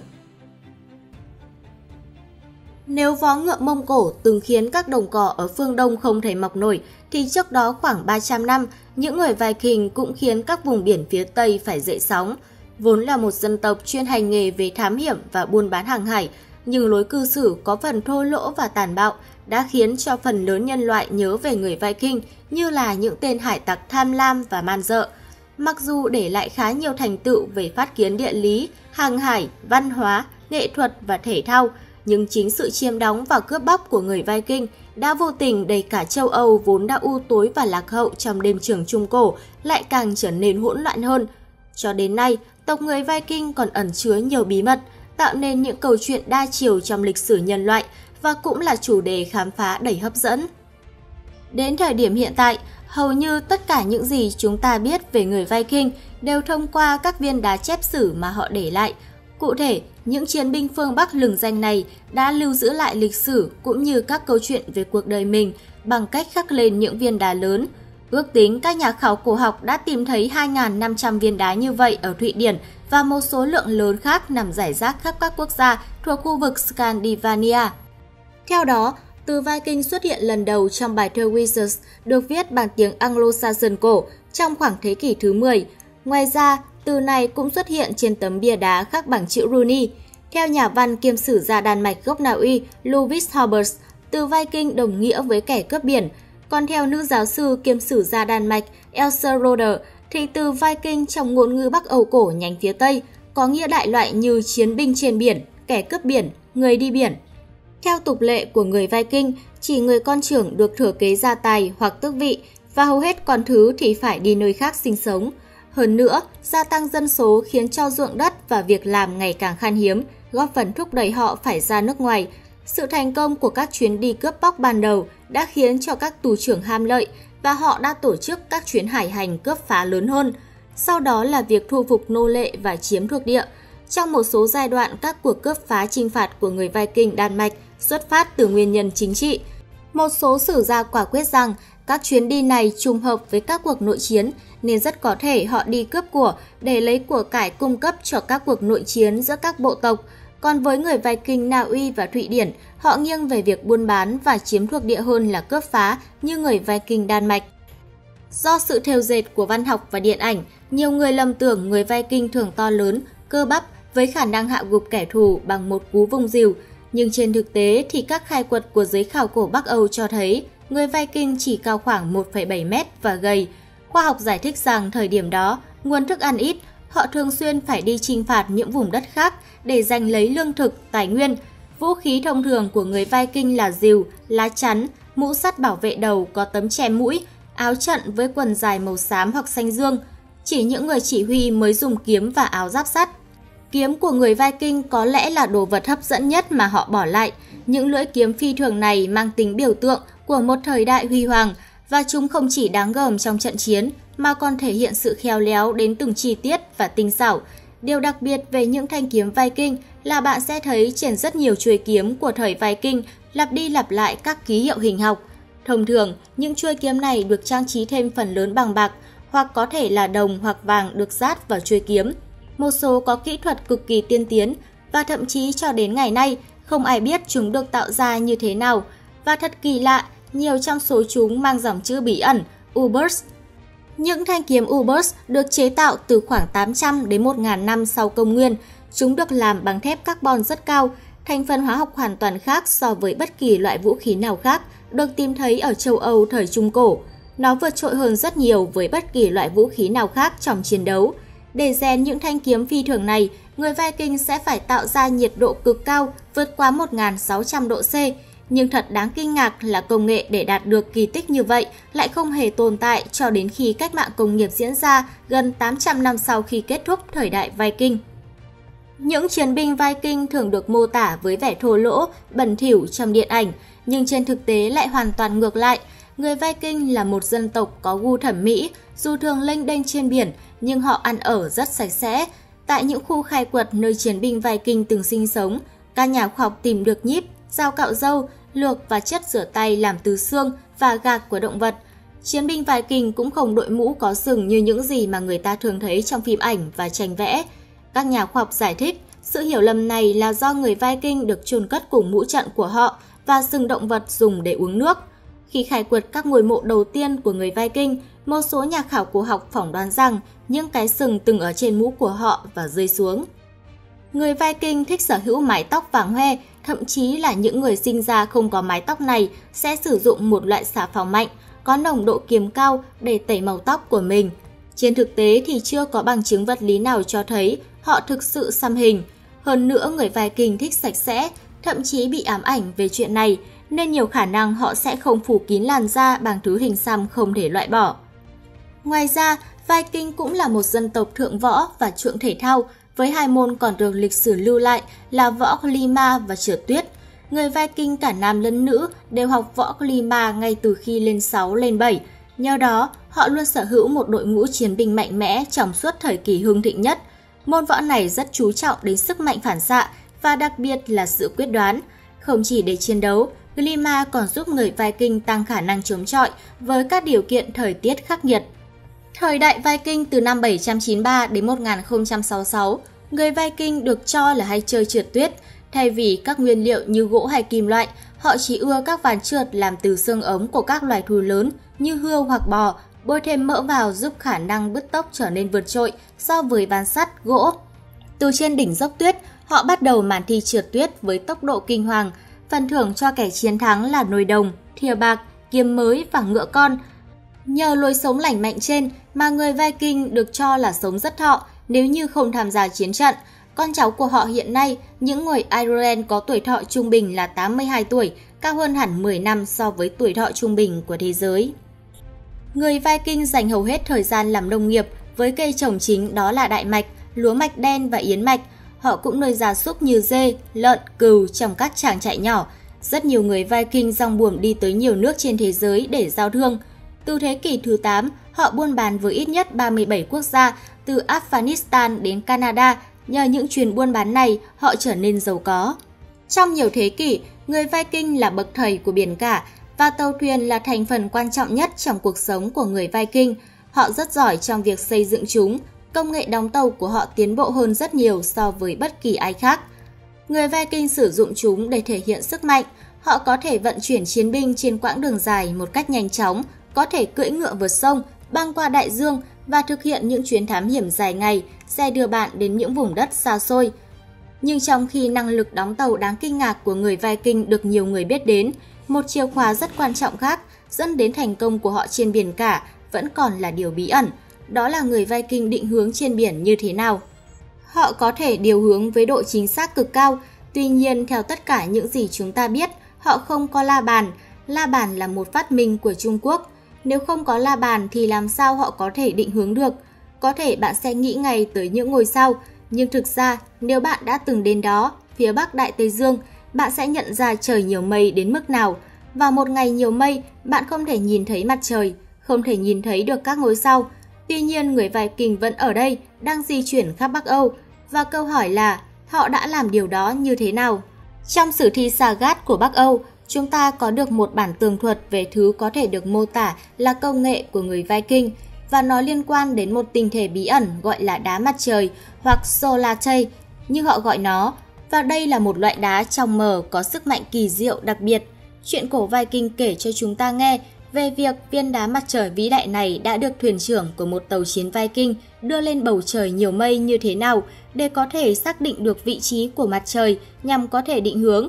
Vậy viên đá mặt trời kỳ diệu có phải chỉ là một tác phẩm hư cấu không? Hay nó thực sự có thể là một công cụ thực tế cho phép người Viking trở thành những nhà hàng hải phi thường?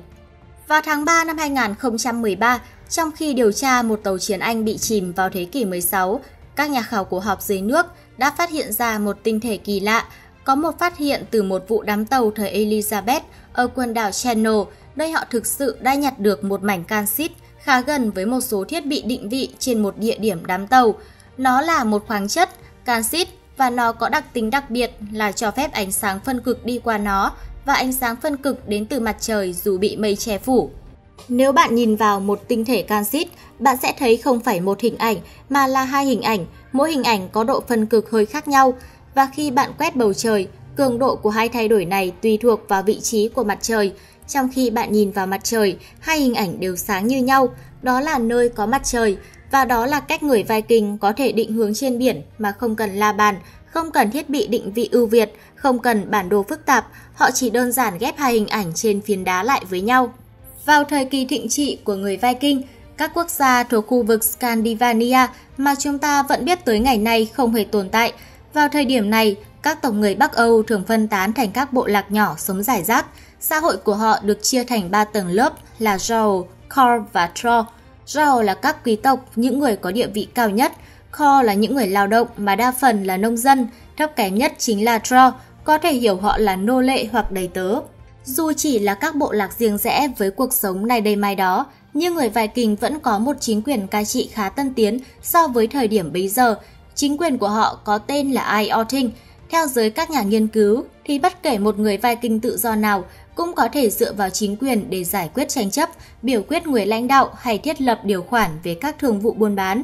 Thậm chí thời điểm hiện tại, nghị viện của các quốc gia Bắc Âu như Ireland, Đan Mạch, Na Uy vẫn có từ thinh trong tên riêng của họ. Người Viking tôn thờ các vị thần Bắc Âu và đó là một phần trong cuộc sống hàng ngày của họ. Các ngày trong tuần được gọi theo tên của các vị thần vĩ đại.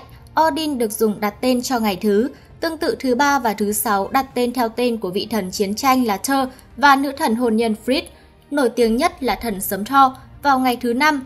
Đối với người Viking điểm đến tốt nhất sau cái qua đời chính là Valhalla được dành cho những chiến binh chiến đấu vô cùng dũng cảm cũng như là hy sinh gan dạ trong trận mạc. Tiếp theo là Hegafield, một nơi khác dành cho những người đã sống một cuộc đời đáng ngưỡng mộ. Trái ngược thì Helheim là nơi mà người Viking không mong muốn, đó là nơi cho người xấu, qua đời vì tuổi già hay trên giường bệnh. Xuất hiện từ thời kỳ đồ đá muộn, thời đại Viking hưng thịnh nhất, kéo dài từ thế kỷ thứ 8 đến thế kỷ 11. Những chuyến viễn trinh và sau đó là chiếm đóng đã biến tộc người này trở thành nỗi kinh hoàng cho rất nhiều quốc gia thuộc nhiều châu lục. Anh, Ireland bị người Viking Đan Mạch tàn phá, cướp bóc, người Viking Na Uy vượt biển tấn công cả Scotland, quần đảo Faroe Island và đảo Greenland. Những quốc gia phía đông như Nga, đế quốc Đông La Mã cũng không chống đỡ nổi người Viking Thụy Điển. Không chỉ chiếm đóng, cướp phá, người Viking còn tham gia đánh thuế, thu phục nô lệ, buôn bán giao thương ở nhiều lãnh thổ thuộc châu Âu, Tây Nam, châu Á và vùng Bắc Đại Tây Dương. Với những chiến binh thiện chiến, sở hữu những chiếc tàu tốc độ cao, có thể đi rất xa cùng khả năng đổ bộ rất nhanh mà không cần cập cảng. Người Viking song buồm lướt sóng tới tận Bắc Phi, phía đông của nước Nga và chinh phạt cả Trung Đông lẫn Constantinopolis. Các bạn chắc hẳn đã quá quen thuộc với câu chuyện Columbus khám phá ra tân thế giới. Từ năm 1492 đến năm 1502, với sự hỗ trợ của Hoàng gia Tây Ban Nha, Columbus đã vượt Đại Tây Dương đến châu Mỹ 4 lần, trở thành nhà hàng hải đầu tiên khám phá ra tân thế giới và điều này cũng khiến cho ông trở thành một trong những nhà hàng hải vĩ đại nhất trên thế giới. Tuy nhiên trên thực tế, Columbus không phải là người đầu tiên khám phá ra lục địa châu Mỹ. Theo nghiên cứu của các nhà sử học, rất lâu trước Columbus, những người từ cựu thế giới đã khám phá ra châu Mỹ qua các chuyến hải hành, chỉ vì những lý do kỹ thuật mà những chuyến đi này đã không được duy trì và ghi lại một cách thuyết phục.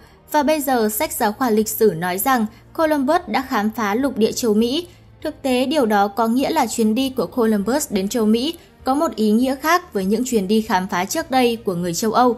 Columbus lần đầu tiên vượt Đại Tây Dương từ vùng nước ôn đới chứ không phải vùng nước lạnh, đồng thời sử dụng công nghệ tương đối phức tạp để đảm bảo việc tiếp tục thực dân hóa, phá vỡ hoàn toàn sự cô lập giữa tân thế giới và cựu thế giới ở châu Mỹ.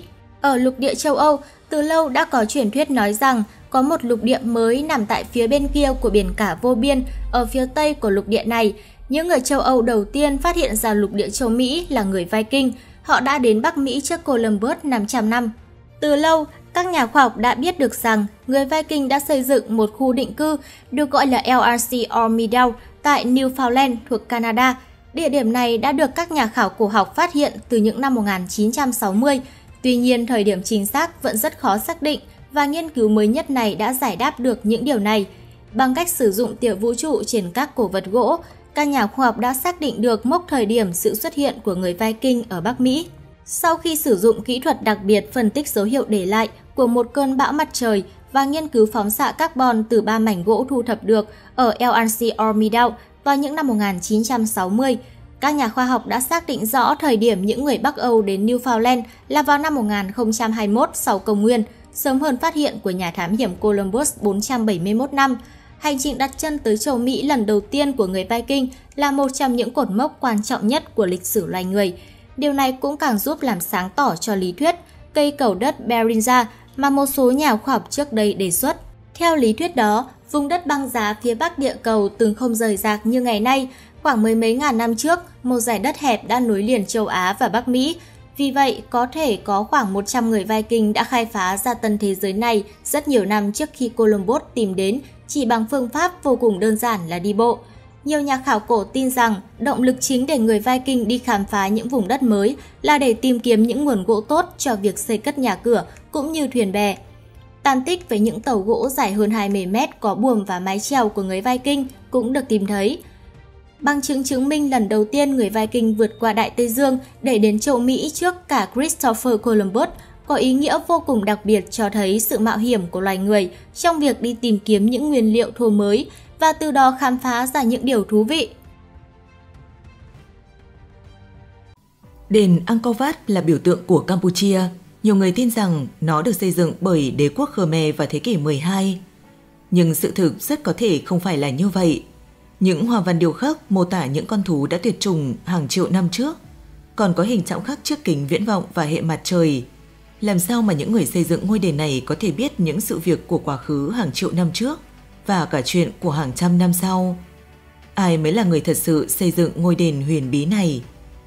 Nếu những người Ai Cập rất tự hào về các kim tự tháp Ai Cập trên cao nguyên Giza, thì những người dân Campuchia cũng tự hào không kém về quần thể di tích Angkor, trong đó có đền Angkor Wat. Thậm chí đây còn được coi là biểu tượng của Campuchia và được in hình trên lá cờ của nước này. Angkor là quần thể di tích của Campuchia ở phía tây bắc biển Hồ, thuộc tỉnh Siem Reap được UNESCO ghi nhận là quần thể di tích tôn giáo lớn nhất thế giới, với hơn 1.000 ngôi đền với quy mô khác nhau. Angkor bao gồm hai cụm quần thể cách nhau 1,7 km là Angkor Wat và Angkor Thom. Angkor Wat là một cụm các công trình tôn giáo cực lớn với diện tích lên đến 162,6 ha, tức 1,626 triệu mét vuông. Còn Angkor Thom là di tích thủ đô lâu đời và lớn nhất của đế chế Khmer, với diện tích lên đến hơn 9 km vuông. Theo nghĩa hiện đại, Angkor Wat nghĩa là thành phố của những ngôi đền. Tổ hợp kiến trúc này chủ yếu được xây dựng từ đá sa thạch, là sự kết hợp của hai nét cơ bản của kiến trúc Khmer, kiến trúc đền núi cùng với những dãy hành lang dài và nhỏ hẹp. Angkor Wat nằm phía trong một con kênh và lớp tường bao quanh dài 3,6 km.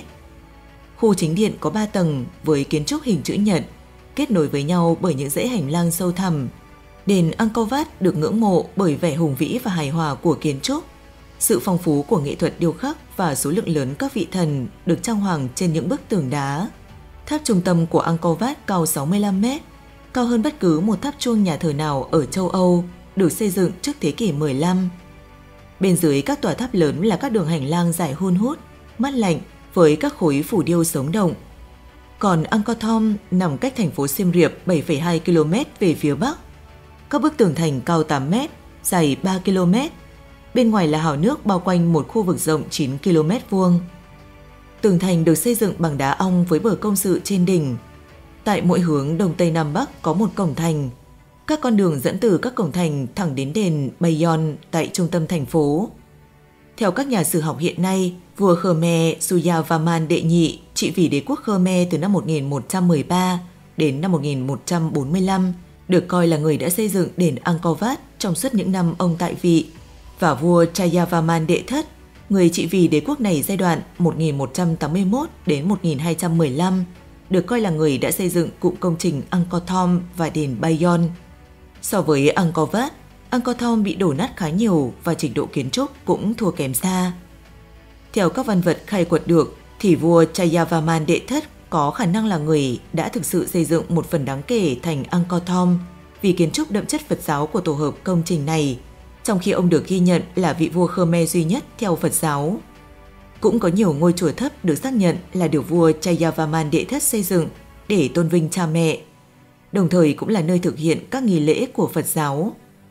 Tuy nhiên, lý do vua Suyavaman đệ nhị được coi là đã xây dựng Angkor Wat có lẽ chỉ vì người ta tìm thấy bức phủ điêu khắc hình ông với Angkor Wat được tìm thấy trong quần thể di tích này sau khi nó được khám phá vào năm 1860.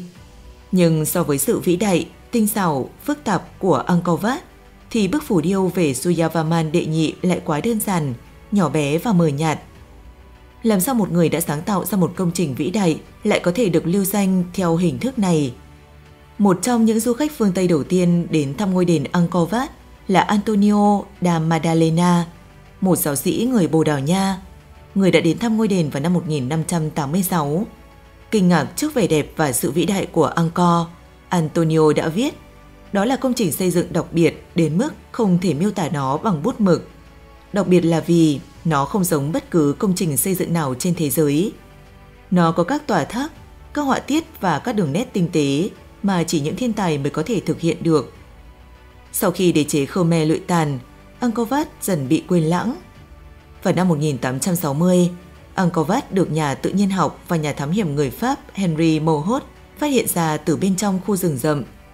Nói về đền Angkor Wat, Mohot viết, một trong những ngôi đền này, đối thủ của Solomon và được xây dựng bởi một số Michelangelo cổ đại, có thể chiếm một vị trí danh dự bên cạnh những tòa nhà đẹp nhất của chúng ta. Nó vĩ đại hơn bất cứ thứ gì mà Hy Lạp hay La Mã để lại cho chúng ta và thể hiện một sự tương phản đáng buồn với tình trạng man dợ mà quốc gia này hiện đang chìm đắm. Mồ hốt, giống như những du khách phương Tây ban đầu khác, cảm thấy khó tin rằng người Khmer có thể đã xây dựng ngôi đền và nghĩ rằng niên đại của nó vào khoảng cùng thời đại với La Mã cổ đại. Lịch sử thực sự của Angkor Wat được ghép lại với nhau từ các bằng chứng về phong cách và đồ vật tích lũy được trong quá trình dọn dẹp và phục hồi sau đó. Không có nơi ở hay nhà ở thông thường hoặc các dấu hiệu định cư khác, bao gồm dụng cụ nấu ăn, vũ khí hoặc quần áo thường được tìm thấy ở các di chỉ Angkor Wat để chứng minh cho việc người Khmer đã xây dựng nó vào thế kỷ 13. Thay vào đó, chỉ có bằng chứng của chính các di tích. Cần phải biết rằng Thời trị vì của Suyavaman đệ nhị là khoảng thời gian đế quốc Khmer đã trên con đường lụi tàn. Thậm chí ông còn được cho là thua trận và chết trong trận chiến khi cố gắng xâm chiếm Đại Việt nước ta vào năm 1245. Vào năm 1250, vương quốc Champa cũng đã chiếm đóng Khmer trong một thời gian ngắn. Vậy, rất khó để Suyavaman đệ nhị có thể xây dựng Angkor Wat như các nhà sử học vẫn nhìn nhận. Lịch sử Việt Nam có ghi chép rằng để có kinh phí xây dựng lăng Khải Định với diện tích rất khiêm tốn, 5.674 m2. Năm 1920, vua Khải Định đã phải tăng thuế điền 30% trên cả nước và lấy số tiền đó để làm lăng. Để xây dựng Tử Cấm Thành ở Bắc Kinh có diện tích chưa đến một nửa so với Angkor Wat, người Trung Quốc vào thế kỷ 15 khi đó cũng cần sử dụng đến 1 triệu công nhân, trong đó có hơn 100.000 thợ thủ công xây dựng liên tục trong 14 năm. Rất khó có thể hình dung rằng trong thế kỷ 12, người Khmer lại có tiềm lực ngang bằng hoặc hơn so với Trung Quốc ở thế kỷ 15 để có thể xây dựng được đền Angkor Wat vĩ đại. Như vậy, có cơ sở để khẳng định rằng đền Angkor Wat không được xây dựng bởi người Khmer những năm 1100 như người ta vẫn nhìn nhận. Praven Mohan, một vlogger và nhà khảo cổ nghiệp sư người Ấn Độ, đã mang đến những bằng chứng không thể chối cãi rằng Angkor Wat thực sự không được xây dựng bởi người Campuchia 900 năm trước. Ông Praven Mohan tính toán rằng để xây dựng Angkor Wat có diện tích 1,6 triệu mét vuông, các nhà xây dựng đã sử dụng ít nhất 10 triệu mét khối đá. Giả thuyết vua Khmer Suyavaman đệ nhị là người đã xây dựng Angkor Wat trong 37 năm. Giả sử những người công nhân liên tục làm việc từ sáng đến tối trong 12 giờ đồng hồ, thì tổng thời gian xây dựng trong 37 năm là 9 triệu 723.600 phút. Vậy, khối lượng đá để những người thợ xây cần để khai thác, vận chuyển, xây dựng xong trong một phút là khoảng 1 tấn. Mỏ đá tại Phnom Kulen cách Angkor Wat 80 km được coi là nơi cung cấp đá chính cho công trình. Có thể dễ dàng nhận ra rằng việc khai thác vận chuyển đá qua quãng đường 80 km, gia công, gọt đẽo, lắp ghép một tấn đá trong vòng một phút để xây lên Angkor Wat là điều không thể làm được với các kỹ thuật thô sơ của Campuchia 900 năm trước. Kể cả với công nghệ hiện nay, giả sử vua Suyavaman đệ nhị có huy động được 1.000 nhóm thợ để có thể làm việc tại công trường và khu mỏ đá đồng thời. Khi đó thời gian để làm tất cả các công việc được tạm tính là sẽ tăng từ 1 phút thành 1.000 phút, tương đương 17 giờ, thì khả năng hoàn thành tất cả các công việc gồm khai thác, vận chuyển, gia công, gọt đẽo, lắp ghép một tấn đá trong vòng 17 giờ cũng không khả thi với trình độ công nghệ thô sơ của Campuchia 900 năm trước. Một điều khác rất dễ nhận ra là hình tượng thần được tạc trên các cột đá từ thời vua Suyavaman đệ nhị rất đẹp, nhẵn nhụi.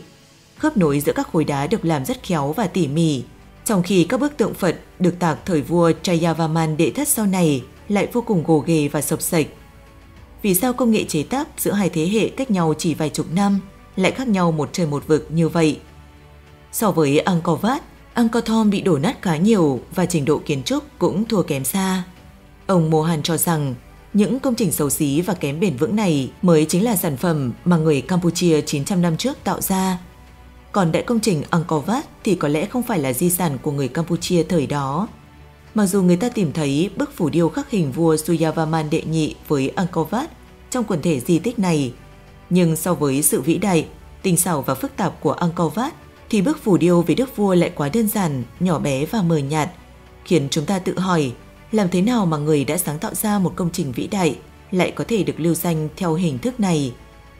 Ngoài ra, trên bức tường đá tại Angkor Wat, ông Praven Mohan đã phát hiện ra hình chạm khắc một con voi bốn sừng. Đây là loài thú có thật trong lịch sử và đã bị tuyệt chủng 2 triệu năm trước. Một bộ xương hóa thạch của loài thú này được tìm thấy ở Sulawesi, Indonesia và đang được trưng bày tại Bảo tàng Quốc gia nước này. Ở một trụ đá tròn, ông Braven phát hiện ra hình chạm khắc của một con thú khác với cái đuôi lúc nào cũng nằm ngang và cái đầu kỳ dị, gọi là linh cầu răng hay Enodon. Theo các nhà khoa học thì những con linh cầu này đã tuyệt chủng 26 triệu năm trước. Vậy, vào 900 năm trước, khi ngành khảo cổ học còn chưa phát triển, làm thế nào mà những người thợ điều khắc có thể nghĩ ra được những con thú đã tuyệt chủng này? Vậy ai là chủ nhân thực sự của Angkor Wat? Vài chục năm gần đây, các nhà khoa học đã phát hiện rằng có nhiều công trình cổ đại nổi tiếng trên trái đất đều nằm trên một đường thẳng, còn gọi là đường lây, lây lai, chạy vòng quanh trái đất.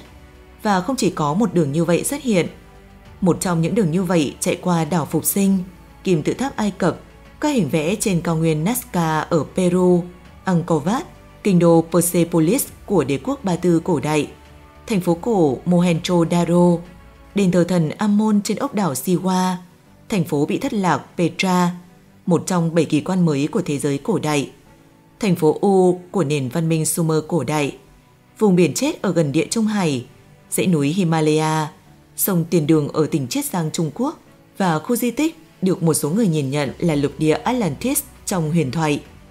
Điều đáng kinh ngạc là đường tròn bí ẩn này đã liên kết các địa danh này trong một khoảng sai số không vượt quá 1 phần 10 của một vĩ độ, với tâm vòng tròn đặt ở miền đông nam bang Alaska, Mỹ. Ngày nay, nhiều người gọi những đường lây này là kinh mạch của trái đất vì nó chạy qua những công trình cổ đại có kiến trúc phi thường và vô cùng bí ẩn. Các công trình nằm trên đường lây có chạy qua Angkor Wat được cho là những công trình đặc biệt và khó có thể được tạo dựng bởi người cổ đại trong nền văn minh 5.000 năm lần này của chúng ta. Ví dụ như hình vẽ trên cao nguyên Nazca ở Peru, các tượng đá trên đảo Phục Sinh, thành phố Ur của người Sumer. Các nhà khoa học đã phát hiện rằng các kim tự tháp và tượng nhân sư trên cao nguyên Giza Ai Cập có dấu hiệu bị ngập trong nước biển hàng nghìn năm với các biểu hiện sói mòn của nước biển, dẫn đến giả thuyết rằng các công trình này hẳn phải được xây dựng lâu hơn 2.500 năm trước công nguyên rất nhiều. Ngoài ra, so với ba đại kim tự tháp trên cao nguyên Giza có chiều cao hơn 100 mét và kiến trúc rất bền vững, các kim tự tháp khác ở Ai Cập thấp hơn nhiều, có kiến trúc xấu hơn, rất không bền vững và cũng không có dấu hiệu bị ngập trong nước biển. Điều này đã dẫn đến cách lý giải rằng Bà Đại Kim Tự Tháp được xây dựng bởi nền văn minh tiền sử, có trước nền văn minh 5.000 năm lần này của nhân loại chúng ta. Còn các kim tự tháp nhỏ hơn thực sự được người Ai Cập trong nền văn minh lần này của chúng ta mô phỏng và xây theo. Điều này đã gây lẫn lộn cho người đời sau về xuất xứ thực sự của các kim tự tháp. Và rất có thể Angkor Wat đã được xây dựng bởi những người thuộc nền văn minh tiền sử, không phải bởi đế quốc Khmer vào thế kỷ thứ 13. Nhưng liệu có chứng cứ đáng tin nào cho nhận định này không? Câu trả lời là có. Vào năm 2007, một nhóm các nhà nghiên cứu quốc tế sử dụng ảnh vệ tinh và các kỹ thuật hiện đại khác đã kết luận rằng quần thể Angkor là trung tâm của một thành phố tiền công nghiệp lớn nhất trên thế giới. Thành phố này có một hệ thống cơ sở hạ tầng phức tạp, kết nối một khu đô thị rộng từ 1.000 đến 3.000 km vuông tới những ngôi đền nổi tiếng ở trung tâm của thành phố. Thành phố này được coi là một thành phố thủy lực vì có một mạng lưới quản lý nước phức tạp được sử dụng để ổn định, lưu trữ và phân tán nước một cách có hệ thống nhằm phục vụ sản xuất và sinh sống của lượng dân số từ 750.000 đến 1 triệu người. Nếu thành phố này thực sự tồn tại vào những năm 1100 và bị lụi tàn sau khi đế quốc Khmer bị xóa sổ vào năm 1431 và nó đủ sức xây dựng được Angkor Wat thì văn minh của người Khmer hẳn sẽ được lưu truyền đến ngày nay. Và khi đó, chắc chắn Khmer là nước hùng cường và văn minh nhất thế giới nhưng rõ ràng lịch sử thế giới của chúng ta không biết đến điều này. Như vậy, chỉ có thể khẳng định rằng thành phố tiền công nghiệp có chứa Angkor Wat là một thành phố tiền sử. Hay ta có thể nhận định rằng Angkor Wat là một công trình xây dựng bởi người tiền sử, những người xuất hiện trước nền văn minh 5.000 năm lần này của chúng ta. Rất có thể, một phần của Angkor Thom cũng là các công trình tiền sử. Việc các vị vua Khmer xây dựng các công trình mới của Angkor Thom có chất lượng và độ bền kém hơn – đã khiến cho người đời sau không thể phân biệt được đâu là sự thật. Điều này cũng tương tự như trường hợp kim tự tháp Ai Cập. Lịch sử nhân loại chứa đựng bao điều bí ẩn và hoàn toàn vượt ra khỏi trí tưởng tượng của con người hiện đại. Có lẽ chúng ta cần thoát khỏi lối tư duy cố hữu, những định kiến và những điều được học trong sách vở. Có như vậy, ta mới có thể nhận thức và lý giải một cách rõ ràng và minh xác về nguồn gốc thực sự của những công trình như Angkor Wat.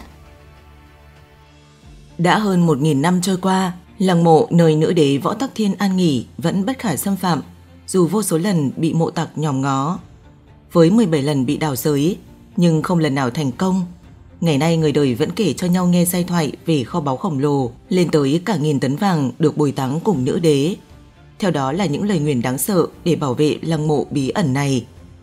Vậy, lăng mộ của Võ Tắc Thiên có gì đặc biệt khiến không ai có thể xâm phạm lời nguyền ghê rợn nào khiến không ai còn dám tới phá giấc ngủ của vị nữ đế. Từ thời xa xưa, người Trung Quốc đã quan niệm rằng cái chết cũng quan trọng như sự sống.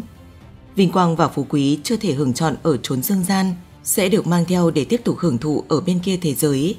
Vì vậy, các lăng mộ của hoàng gia luôn có quy mô hoành tráng. Lễ tang được tổ chức long trọng cùng với vô vàn các báu vật được chôn cất theo. Bởi thế mà những lăng mộ này đã trở thành mục tiêu của nhiều người nhòm ngó đến. Tuy nhiên, có những nơi con người tò mò nhưng không thể chạm đến. Nơi an nghỉ của Võ Tắc Thiên là một trong số đó. Khi tới nay cũng chưa có ai đủ bản lĩnh để khám phá. Cản Lăng là một trong số ít lăng mộ còn nguyên vẹn, nằm tại tỉnh Thiểm Tây, khu vực Tây Bắc Trung Quốc. Đây cũng là lăng mộ duy nhất lịch sử Trung Quốc, hợp táng cùng lúc hai vị hoàng đế và cũng là nơi cho đến ngày nay còn tồn tại nhiều bí ẩn, khiến giới khoa học phải đau đầu.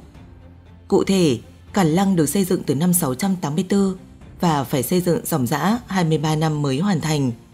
Thời điểm xây lăng cũng là lúc triều đình thuộc đỉnh cao thịnh trị, quốc lực dồi dào nên quy mô của Càn Lăng rất lớn, được ví như lịch đại chư hoàng lăng chi quan, tức lăng mộ giữ vị trí số 1 trong các lăng của hoàng đế mọi thời đại. Mô phỏng theo thành Tràng An, kinh đô của nhà Đường. Kết cấu của cả Lăng bao gồm hoàng thành, cung thành và ngoại quách. Đường trục chính Nam Bắc của lăng mộ dài tới 4,9 km.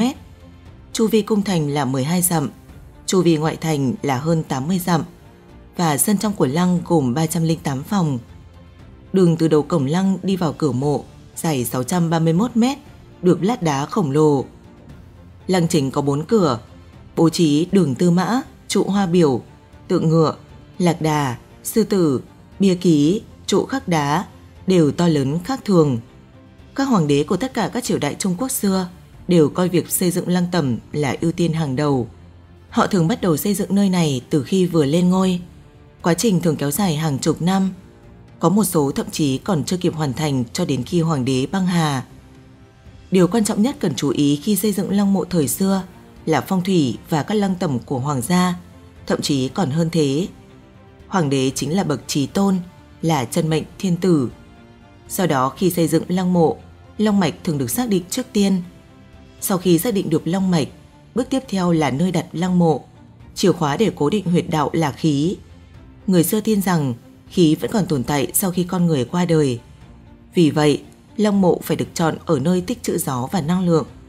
Được ôm trọn từ phía sau bởi những ngọn núi và dòng nước uốn khúc chảy ở phía trước. Đây là nơi tuyệt vời để thu thập năng lượng. Thêm vào đó, hình dáng của rồng thường uốn lượn và giống như một ngọn núi.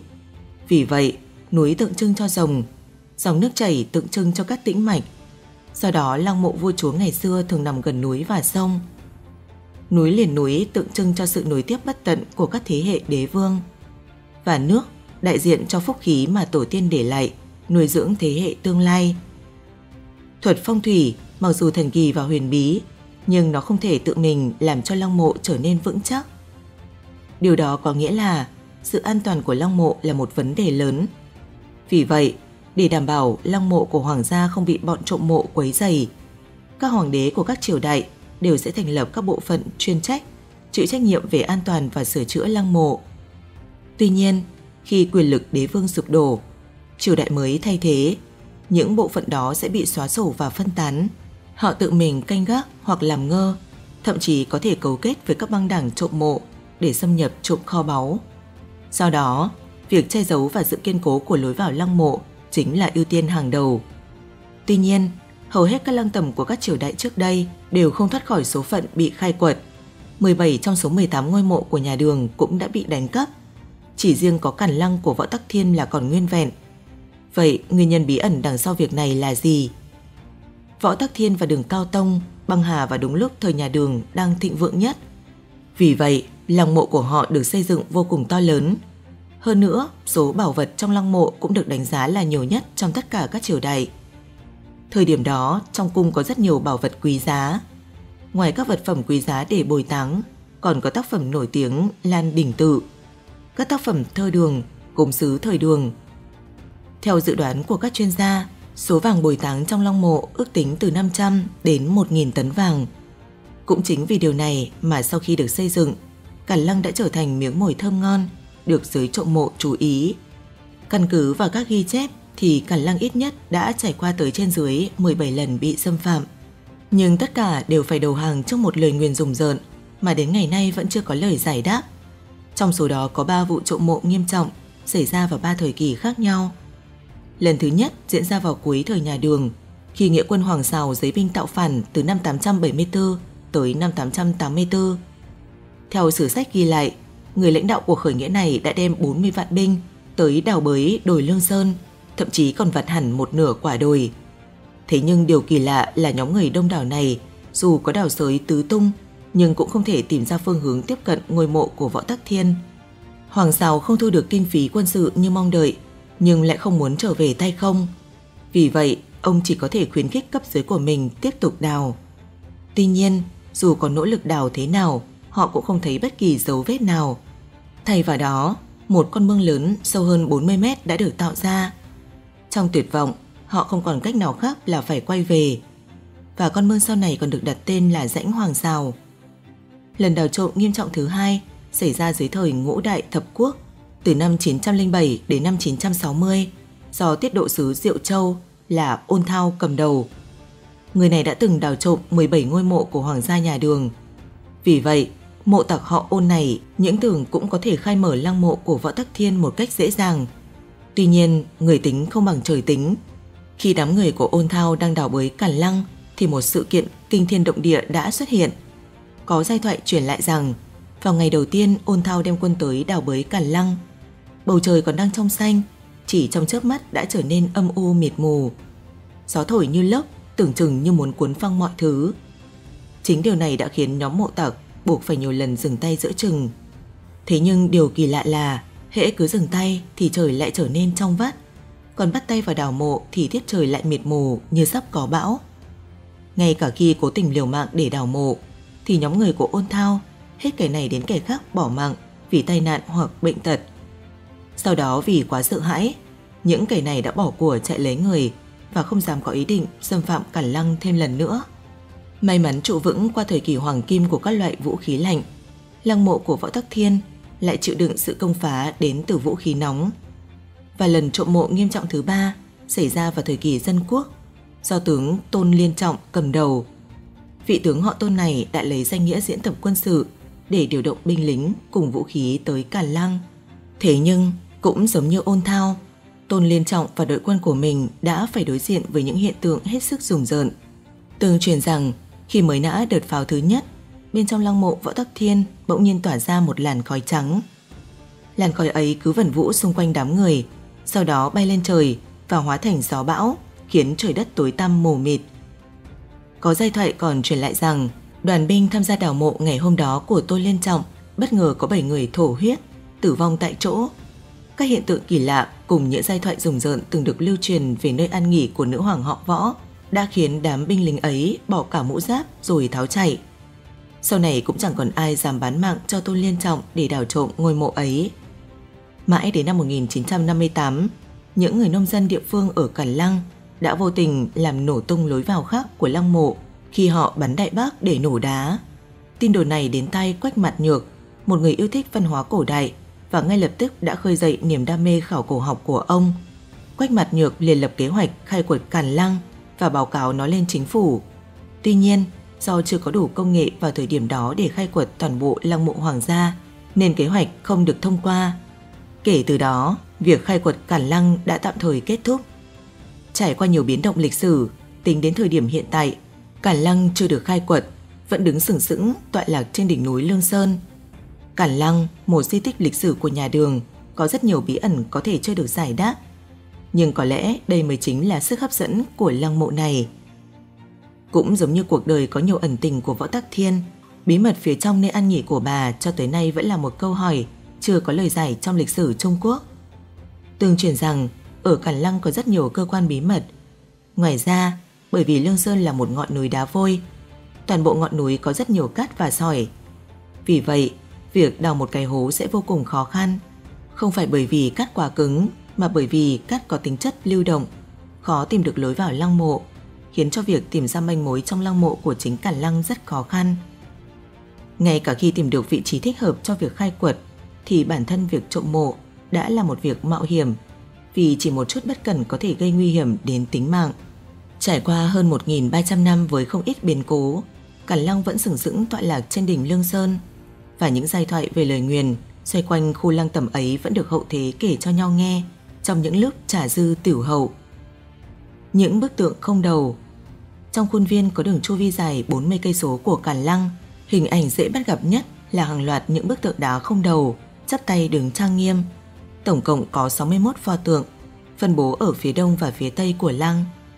Theo sách cũ ghi lại, thì đó là tượng trưng của các thủ lĩnh dân tộc thiểu số ở biên cương tham dự lễ tang lý trị hồi bấy giờ. Phía sau các pho tượng này đều có khắc chữ, nhưng này đã mờ nhạt. Điều kỳ lạ là đầu của 61 pho tượng đá này đều mất và còn nguyên cả vết chém. Đến nay, nguyên nhân lý giải những bức tượng bị mất đầu vẫn còn là bí ẩn trong giới sử học Trung Quốc. Có ý kiến cho rằng trong cuộc nổi dậy của An Thạch, đạo quân nghĩ rằng những bức tượng này là một sự sỉ nhục với họ nên đã phá hủy chúng. Cũng có người tin rằng một dịch bệnh đã xảy ra vào thời nhà Minh. Người dân cho rằng chính những bức tượng này đã gây ra nên mới phá hủy chúng. Mãi sau đó, một người dân sống trên núi Lương Sơn đang đi cuốc đất mới phát hiện một vật cứng. Đào lên thì thấy đầu người điêu khắc bằng đá. Sau đó chính quyền kết luận đây chính là phần đầu trong số 61 bức tượng tại Càn Lăng. Các nhà địa chất cho biết vào năm thứ 35 của triều đại nhà Minh 1556 từng có một trận động đất dữ dội mạnh từ 8 tới 11 độ Richter xảy ra tại tỉnh Thiểm Tây. Chính vì thế, Cản Lăng cũng không tránh khỏi bị ảnh hưởng. Do cấu trúc không vững chắc, phần đầu của những bức tượng trên mới vỡ ra và lan xuống dưới, bị chôn vùi trong đất cát. Cho đến nay, đây là lời giải thích hợp lý nhất về 61 bức tượng không đầu bên ngoài lăng mộ Võ Tắc Thiên. Người duy nhất biết lối vào Càn Lăng. Càn Lăng chứa một kho báu khổng lồ, nhưng chỉ có duy nhất một người biết lối vào, đó là ông Ngô, một người đàn ông 68 tuổi. Theo lời kể, tổ tiên của ông là người canh giữ lăng mộ. Thời xưa, mỗi một hoàng lăng đều sẽ có người canh giữ. Nhiệm vụ của họ là từ đời này sang đời khác, canh giữ và bảo vệ, không để hoàng lăng bị khai quật hoặc bị trộm. Hơn 1.000 năm qua, nhiệm vụ canh giữ cản lăng đã chuyển qua nhiều đời và hiện tại ông Ngô là người canh giữ. Ông sống trong một ngôi làng ở gần Cản Lăng. Theo lời ông Ngô kể, đến nay ông vẫn giữ thói quen, ngày ngày đi tuần quanh lăng mộ. Điều khác biệt duy nhất chỉ là công cụ được thay từ đèn dầu thành đèn pin, kèm theo một cây gậy tự chế mà thôi. Ông lão nhấn mạnh rằng lối vào Cản Lăng chỉ được truyền miệng từ thế hệ này sang thế hệ khác, nên cho đến nay cả làng chỉ còn mình ông biết lối vào lăng mộ. Ngoài ra, ông Ngô luôn tin tưởng vào câu nói của tổ tiên truyền lại, không bao giờ được phép động vào càn lăng, nếu không người canh giữ lăng mộ sẽ gặp phải tai ương. Vì vậy, cho dù đám thanh niên trong làng muốn tự ý đào mộ lên, cũng sẽ bị ông lão ngăn chặn ngay lập tức.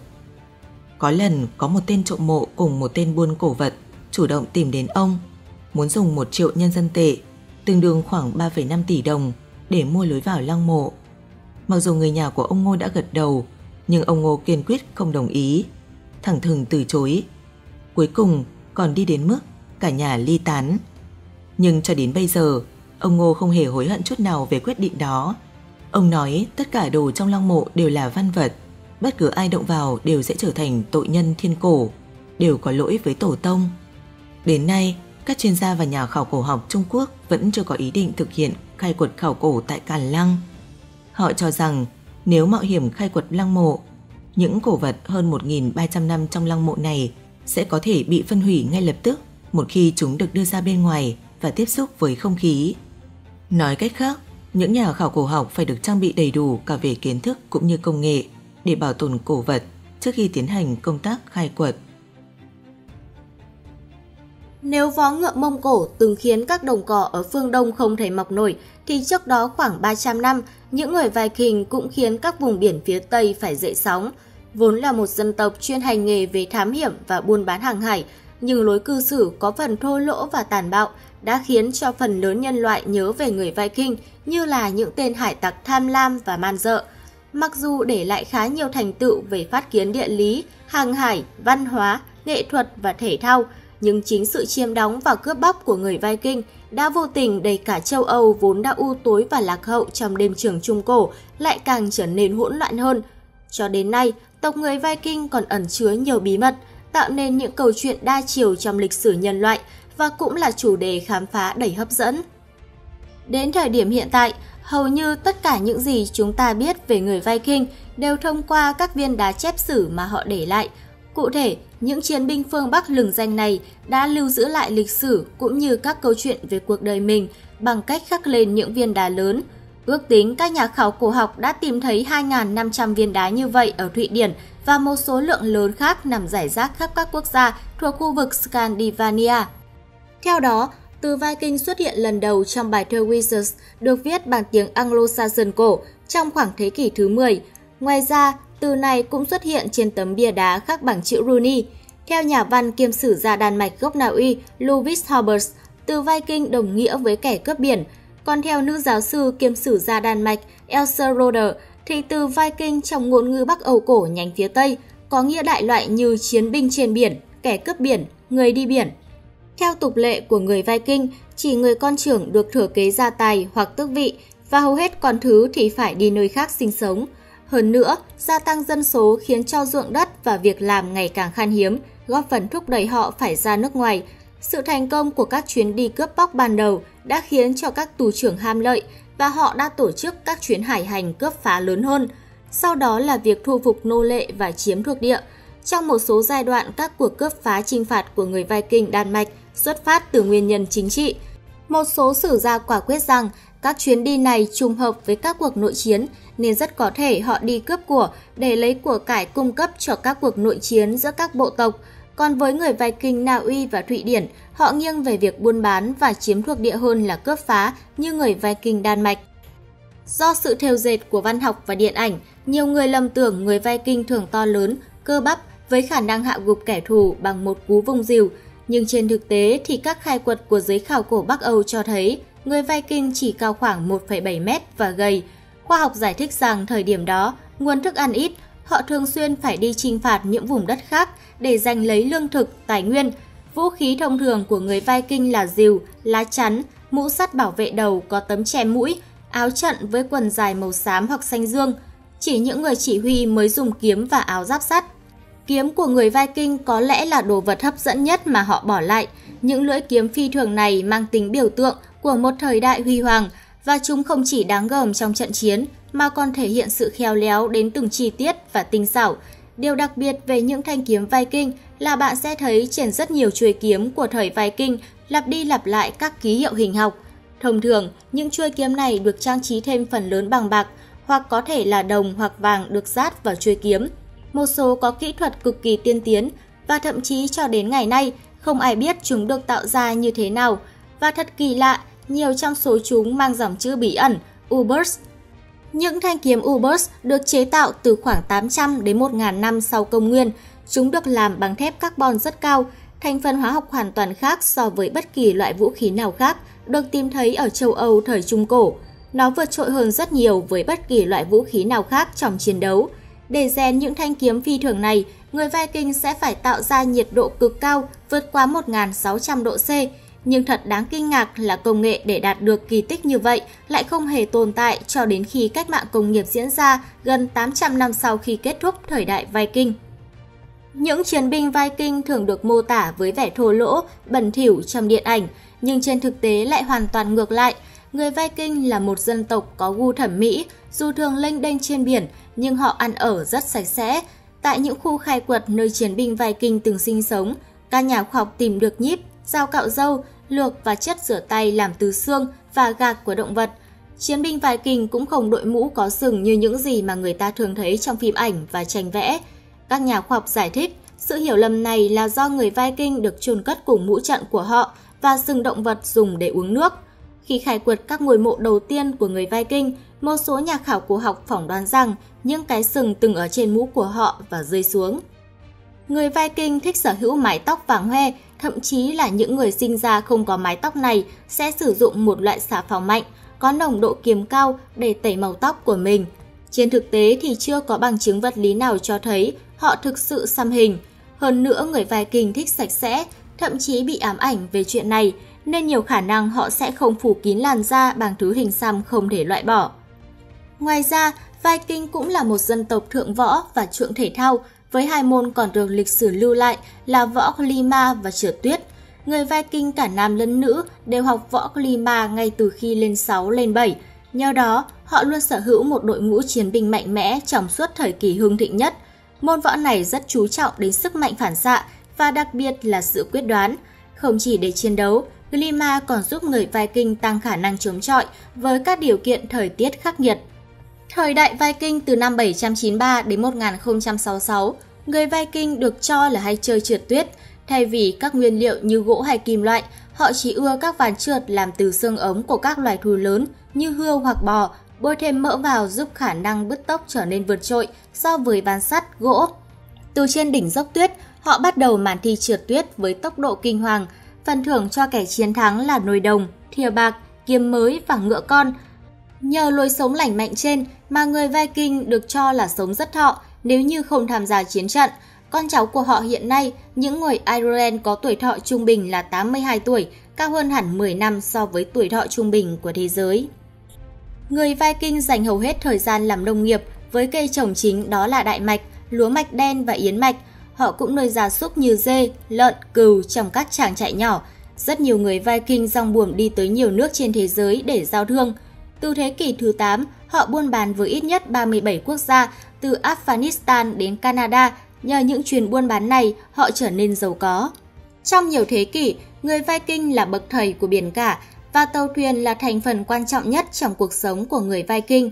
Họ rất giỏi trong việc xây dựng chúng, công nghệ đóng tàu của họ tiến bộ hơn rất nhiều so với bất kỳ ai khác. Người Viking sử dụng chúng để thể hiện sức mạnh, họ có thể vận chuyển chiến binh trên quãng đường dài một cách nhanh chóng, có thể cưỡi ngựa vượt sông, băng qua đại dương và thực hiện những chuyến thám hiểm dài ngày sẽ đưa bạn đến những vùng đất xa xôi.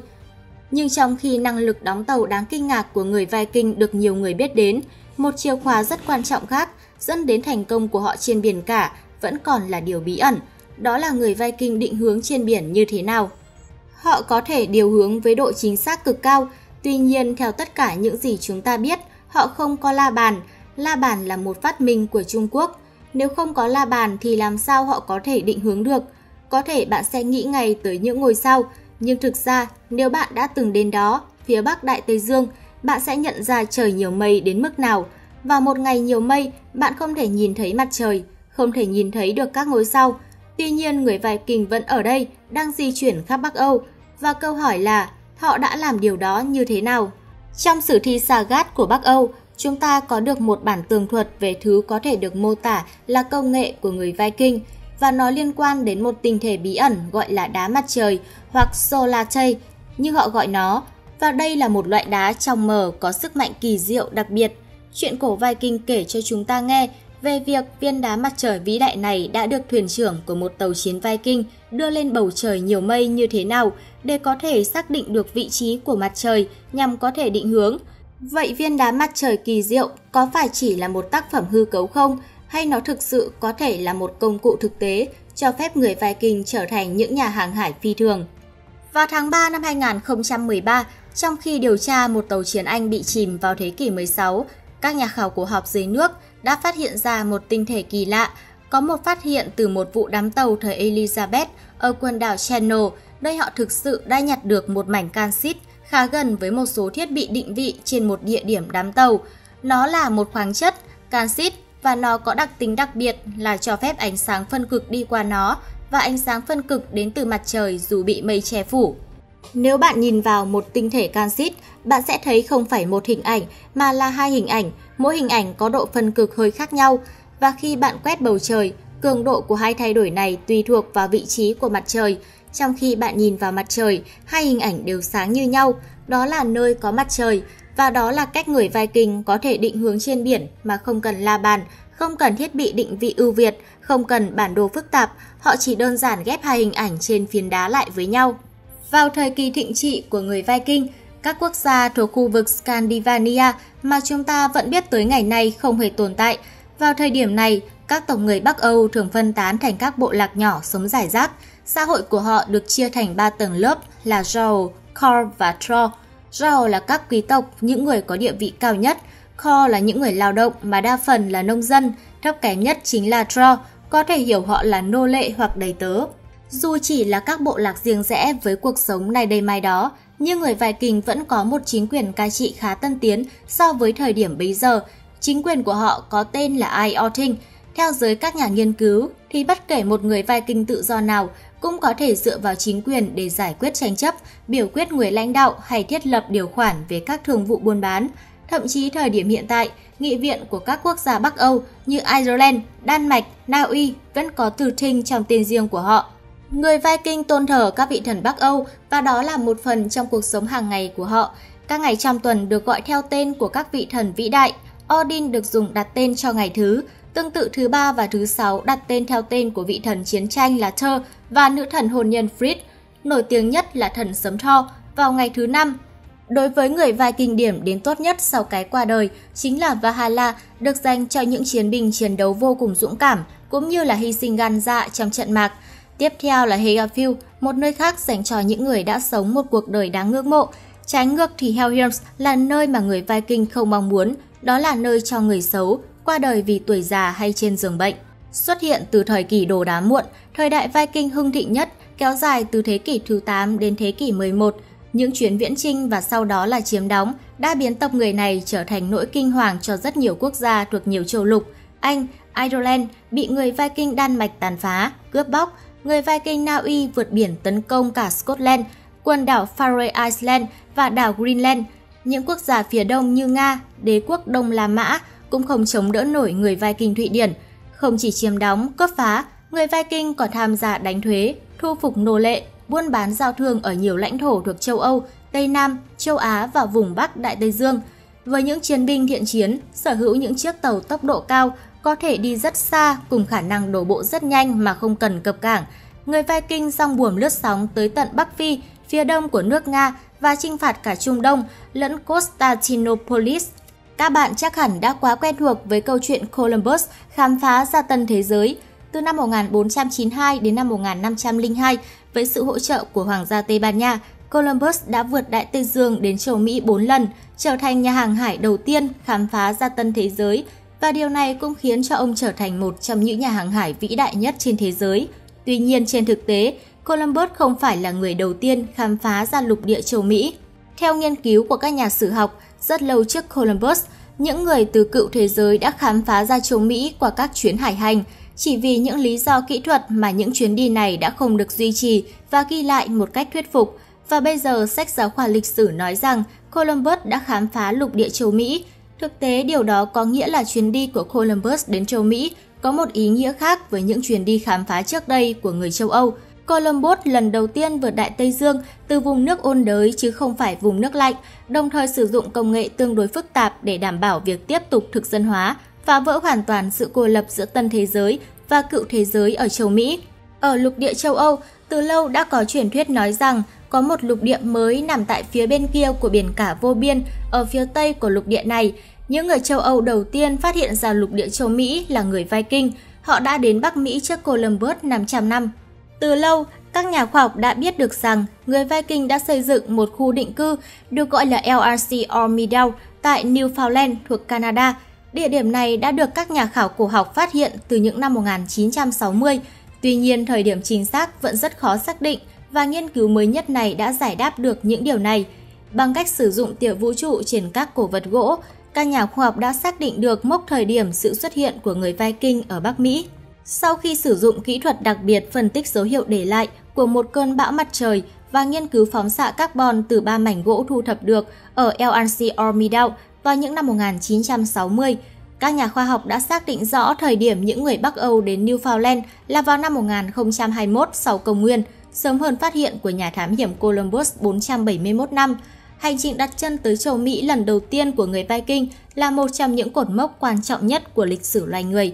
Điều này cũng càng giúp làm sáng tỏ cho lý thuyết cây cầu đất Beringia mà một số nhà khoa học trước đây đề xuất. Theo lý thuyết đó, vùng đất băng giá phía bắc địa cầu từng không rời rạc như ngày nay. Khoảng mười mấy ngàn năm trước, một giải đất hẹp đã nối liền châu Á và Bắc Mỹ. Vì vậy, có thể có khoảng 100 người Viking đã khai phá ra tân thế giới này rất nhiều năm trước khi Columbus tìm đến chỉ bằng phương pháp vô cùng đơn giản là đi bộ. Nhiều nhà khảo cổ tin rằng, động lực chính để người Viking đi khám phá những vùng đất mới là để tìm kiếm những nguồn gỗ tốt cho việc xây cất nhà cửa cũng như thuyền bè. Tàn tích về những tàu gỗ dài hơn 20 mét có buồm và mái chèo của người Viking cũng được tìm thấy. Bằng chứng chứng minh lần đầu tiên người Viking vượt qua Đại Tây Dương để đến châu Mỹ trước cả Christopher Columbus có ý nghĩa vô cùng đặc biệt cho thấy sự mạo hiểm của loài người trong việc đi tìm kiếm những nguyên liệu thô mới và từ đó khám phá ra những điều thú vị. Đền Angkor Wat là biểu tượng của Campuchia. Nhiều người tin rằng nó được xây dựng bởi đế quốc Khmer vào thế kỷ 12. Nhưng sự thực rất có thể không phải là như vậy. Những hoa văn điêu khắc mô tả những con thú đã tuyệt chủng hàng triệu năm trước, còn có hình trọng khắc trước kính viễn vọng và hệ mặt trời. Làm sao mà những người xây dựng ngôi đền này có thể biết những sự việc của quá khứ hàng triệu năm trước và cả chuyện của hàng trăm năm sau? Ai mới là người thật sự xây dựng ngôi đền huyền bí này? Nếu những người Ai Cập rất tự hào về các kim tự tháp Ai Cập trên cao nguyên Giza, thì những người dân Campuchia cũng tự hào không kém về quần thể di tích Angkor, trong đó có đền Angkor Wat Thậm chí đây còn được coi là biểu tượng của Campuchia và được in hình trên lá cờ của nước này. Angkor là quần thể di tích của Campuchia ở phía tây bắc biển Hồ, thuộc tỉnh Siem Reap, được UNESCO ghi nhận là quần thể di tích tôn giáo lớn nhất thế giới, với hơn 1.000 ngôi đền với quy mô khác nhau. Angkor bao gồm hai cụm quần thể cách nhau 1,7 km là Angkor Wat và Angkor Thom – Angkor Wat là một cụm các công trình tôn giáo cực lớn với diện tích lên đến 162,6 ha, tức 1,626 triệu mét vuông. Còn Angkor Thom là di tích thủ đô lâu đời và lớn nhất của đế chế Khmer, với diện tích lên đến hơn 9 km vuông. Theo nghĩa hiện đại, Angkor Wat nghĩa là thành phố của những ngôi đền. Tổ hợp kiến trúc này chủ yếu được xây dựng từ đá sa thạch, là sự kết hợp của hai nét cơ bản của kiến trúc Khmer – kiến trúc đền núi cùng với những dãy hành lang dài và nhỏ hẹp. Angkor Wat nằm phía trong một con kênh và lớp tường bao quanh dài 3,6 km. Khu chính điện có 3 tầng với kiến trúc hình chữ nhật, kết nối với nhau bởi những dãy hành lang sâu thẳm. Đền Angkor Wat được ngưỡng mộ bởi vẻ hùng vĩ và hài hòa của kiến trúc, sự phong phú của nghệ thuật điêu khắc và số lượng lớn các vị thần được trang hoàng trên những bức tường đá. Tháp trung tâm của Angkor Wat cao 65 mét, cao hơn bất cứ một tháp chuông nhà thờ nào ở châu Âu được xây dựng trước thế kỷ 15. Bên dưới các tòa tháp lớn là các đường hành lang dài hun hút, mát lạnh với các khối phủ điêu sống động. Còn Angkor Thom nằm cách thành phố Siem Reap 7,2 km về phía bắc. Các bức tường thành cao 8 m, dài 3 km. Bên ngoài là hào nước bao quanh một khu vực rộng 9 km vuông. Tường thành được xây dựng bằng đá ong với bờ công sự trên đỉnh Tại mỗi hướng đông tây nam bắc có một cổng thành. Các con đường dẫn từ các cổng thành thẳng đến đền Bayon tại trung tâm thành phố. Theo các nhà sử học hiện nay, vua Khmer Suyavaman đệ nhị trị vì đế quốc Khmer từ năm 1113 đến năm 1145, được coi là người đã xây dựng đền Angkor Wat trong suốt những năm ông tại vị, và vua Chayavaman đệ thất, người trị vì đế quốc này giai đoạn 1181 đến 1215, được coi là người đã xây dựng cụm công trình Angkor Thom và đền Bayon. So với Angkor Wat, Angkor Thom bị đổ nát khá nhiều và trình độ kiến trúc cũng thua kém xa. Theo các văn vật khai quật được, thì vua Chayavaman đệ thất có khả năng là người đã thực sự xây dựng một phần đáng kể thành Angkor Thom vì kiến trúc đậm chất Phật giáo của tổ hợp công trình này, trong khi ông được ghi nhận là vị vua Khmer duy nhất theo Phật giáo. Cũng có nhiều ngôi chùa thấp được xác nhận là được vua Chayavaman đệ thất xây dựng để tôn vinh cha mẹ, đồng thời cũng là nơi thực hiện các nghi lễ của Phật giáo. Tuy nhiên, lý do vua Suyavaman đệ nhị được coi là đã xây dựng Angkor Wat có lẽ chỉ vì người ta tìm thấy bức phủ điêu khắc hình ông với Angkor Wat được tìm thấy trong quần thể di tích này sau khi nó được khám phá vào năm 1860. Nhưng so với sự vĩ đại, tinh xảo, phức tạp của Angkor Wat thì bức phủ điêu về Suyavaman đệ nhị lại quá đơn giản, nhỏ bé và mờ nhạt. Làm sao một người đã sáng tạo ra một công trình vĩ đại lại có thể được lưu danh theo hình thức này? Một trong những du khách phương Tây đầu tiên đến thăm ngôi đền Angkor Wat là Antonio da Maddalena, một giáo sĩ người Bồ Đào Nha, người đã đến thăm ngôi đền vào năm 1586. Kinh ngạc trước vẻ đẹp và sự vĩ đại của Angkor, Antonio đã viết Đó là công trình xây dựng đặc biệt đến mức không thể miêu tả nó bằng bút mực. Đặc biệt là vì nó không giống bất cứ công trình xây dựng nào trên thế giới. Nó có các tòa tháp, các họa tiết và các đường nét tinh tế mà chỉ những thiên tài mới có thể thực hiện được. Sau khi đế chế Khmer lụi tàn, Angkor Wat dần bị quên lãng.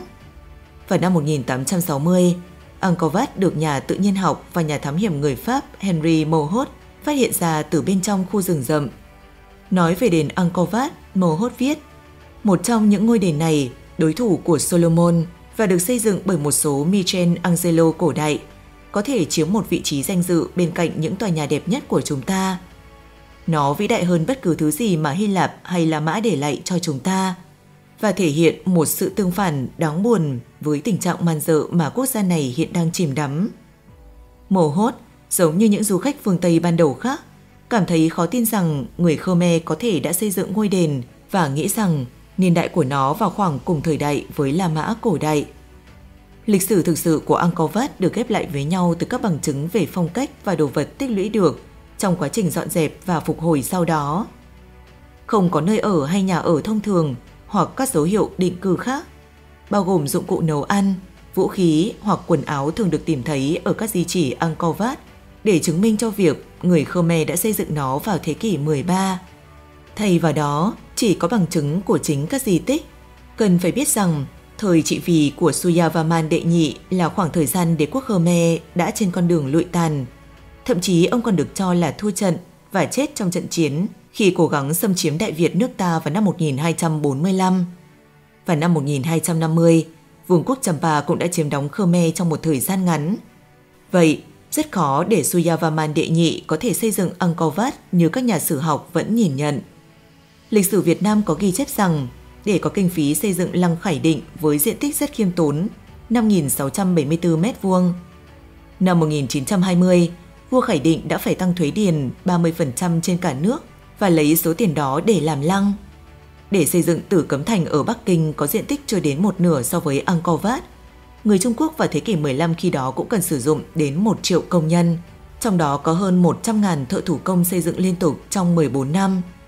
Rất khó có thể hình dung rằng trong thế kỷ 12, người Khmer lại có tiềm lực ngang bằng hoặc hơn so với Trung Quốc ở thế kỷ 15 để có thể xây dựng được đền Angkor Wat vĩ đại. Như vậy, có cơ sở để khẳng định rằng đền Angkor Wat không được xây dựng bởi người Khmer những năm 1100 như người ta vẫn nhìn nhận. Praven Mohan, một vlogger và nhà khảo cổ nghiệp dư người Ấn Độ, đã mang đến những bằng chứng không thể chối cãi rằng Angkor Wat thực sự không được xây dựng bởi người Campuchia 900 năm trước. Ông Praven Mohan tính toán rằng để xây dựng Angkor Wat có diện tích 1,6 triệu mét vuông, các nhà xây dựng đã sử dụng ít nhất 10 triệu mét khối đá. Giả thuyết vua Khmer Suyavaman đệ nhị là người đã xây dựng Angkor Wat trong 37 năm. Giả sử những người công nhân liên tục làm việc từ sáng đến tối trong 12 giờ đồng hồ, thì tổng thời gian xây dựng trong 37 năm là 9 triệu 723.600 phút. Vậy, khối lượng đá để những người thợ xây cần để khai thác, vận chuyển, xây dựng xong trong một phút là khoảng 1 tấn. Mỏ đá tại Phnom Kulen cách Angkor Wat 80 km được coi là nơi cung cấp đá chính cho công trình. Có thể dễ dàng nhận ra rằng việc khai thác vận chuyển đá qua quãng đường 80 km, gia công, gọt đẽo, lắp ghép một tấn đá trong vòng một phút để xây lên Angkor Wat là điều không thể làm được với các kỹ thuật thô sơ của Campuchia 900 năm trước.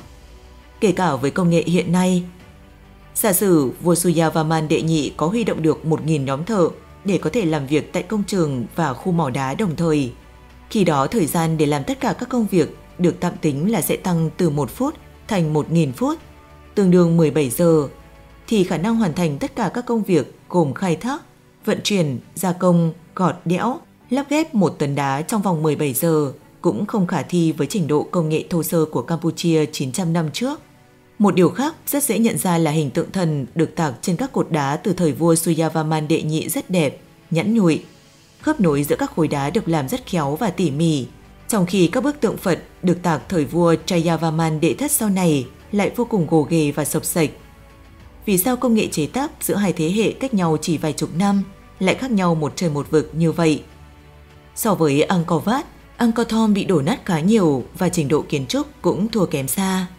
Ông Mohan cho rằng Những công trình xấu xí và kém bền vững này mới chính là sản phẩm mà người Campuchia 900 năm trước tạo ra. Còn đại công trình Angkor Wat thì có lẽ không phải là di sản của người Campuchia thời đó. Mặc dù người ta tìm thấy bức phủ điêu khắc hình vua Suyavaman đệ nhị với Angkor Wat trong quần thể di tích này, nhưng so với sự vĩ đại, tinh xảo và phức tạp của Angkor Wat thì bức phủ điêu về đức vua lại quá đơn giản, nhỏ bé và mờ nhạt, khiến chúng ta tự hỏi làm thế nào mà người đã sáng tạo ra một công trình vĩ đại lại có thể được lưu danh theo hình thức này. Ngoài ra, trên bức tường đá tại Angkor Wat, ông Praven Mohan đã phát hiện ra hình trọng khắc một con voi bốn sừng. Đây là loài thú có thật trong lịch sử và đã bị tuyệt chủng 2 triệu năm trước. Một bộ xương hóa thạch của loài thú này được tìm thấy ở Sulawesi, Indonesia và đang được trưng bày tại Bảo tàng Quốc gia nước này. Ở một trụ đá tròn, ông Braven phát hiện ra hình trọng khắc của một con thú khác với cái đuôi lúc nào cũng nằm ngang và cái đầu kỳ dị, gọi là linh cầu răng hay Enodon. Theo các nhà khoa học thì những con linh cầu này đã tuyệt chủng 26 triệu năm trước. Vậy, vào 900 năm trước, khi ngành khảo cổ học còn chưa phát triển, làm thế nào mà những người thợ điều khắc có thể nghĩ ra được những con thú đã tuyệt chủng này? Vậy ai là chủ nhân thực sự của Angkor Wat? Vài chục năm gần đây, các nhà khoa học đã phát hiện rằng có nhiều công trình cổ đại nổi tiếng trên trái đất đều nằm trên một đường thẳng, còn gọi là đường lây, lây lai, chạy vòng quanh trái đất. Và không chỉ có một đường như vậy xuất hiện. Một trong những đường như vậy chạy qua đảo Phục Sinh, kim tự tháp Ai Cập, các hình vẽ trên cao nguyên Nazca ở Peru, Angkor Wat, kinh đô Persepolis của đế quốc Ba Tư cổ đại, thành phố cổ Mohenjo-daro, đền thờ thần Amon trên ốc đảo Siwa, thành phố bị thất lạc Petra, một trong bảy kỳ quan mới của thế giới cổ đại, thành phố U của nền văn minh Sumer cổ đại, vùng biển chết ở gần địa Trung Hải, dãy núi Himalaya, sông Tiền Đường ở tỉnh Chiết Giang Trung Quốc và khu di tích được một số người nhìn nhận là lục địa Atlantis trong huyền thoại. Điều đáng kinh ngạc là đường tròn bí ẩn này đã liên kết các địa danh này trong một khoảng sai số không vượt quá 1 phần 10 của một vĩ độ, với tâm vòng tròn đặt ở miền đông nam bang Alaska, Mỹ. Ngày nay, nhiều người gọi những đường lây này là kinh mạch của trái đất vì nó chạy qua những công trình cổ đại có kiến trúc phi thường và vô cùng bí ẩn. Các công trình nằm trên đường lây có chạy qua Angkor Wat được cho là những công trình đặc biệt và khó có thể được tạo dựng bởi người cổ đại trong nền văn minh 5.000 năm lần này của chúng ta. Ví dụ như hình vẽ trên cao nguyên Nazca ở Peru, các tượng đá trên đảo Phục Sinh, thành phố Ur của người Sumer. Các nhà khoa học đã phát hiện rằng các kim tự tháp và tượng nhân sư trên cao nguyên Giza Ai Cập có dấu hiệu bị ngập trong nước biển hàng nghìn năm với các biểu hiện sói mòn của nước biển, dẫn đến giả thuyết rằng các công trình này hẳn phải được xây dựng lâu hơn 2.500 năm trước công nguyên rất nhiều. Ngoài ra, so với ba đại kim tự tháp trên cao nguyên Giza có chiều cao hơn 100 mét và kiến trúc rất bền vững. Các kim tự tháp khác ở Ai Cập thấp hơn nhiều, có kiến trúc xấu hơn, rất không bền vững và cũng không có dấu hiệu bị ngập trong nước biển. Điều này đã dẫn đến cách lý giải rằng bà đại kim tự tháp được xây dựng bởi nền văn minh tiền sử, có trước nền văn minh 5.000 năm lần này của nhân loại chúng ta. Còn các kim tự tháp nhỏ hơn thực sự được người Ai Cập trong nền văn minh lần này của chúng ta mô phỏng và xây theo. Điều này đã gây lẫn lộn cho người đời sau về xuất xứ thực sự của các kim tự tháp. Và rất có thể Angkor Wat đã được xây dựng bởi những người thuộc nền văn minh tiền sử, không phải bởi đế quốc Khmer vào thế kỷ thứ 13. Nhưng liệu có chứng cứ đáng tin nào cho nhận định này không? Câu trả lời là có. Vào năm 2007, một nhóm các nhà nghiên cứu quốc tế sử dụng ảnh vệ tinh và các kỹ thuật hiện đại khác đã kết luận rằng quần thể Angkor là trung tâm của một thành phố tiền công nghiệp lớn nhất trên thế giới.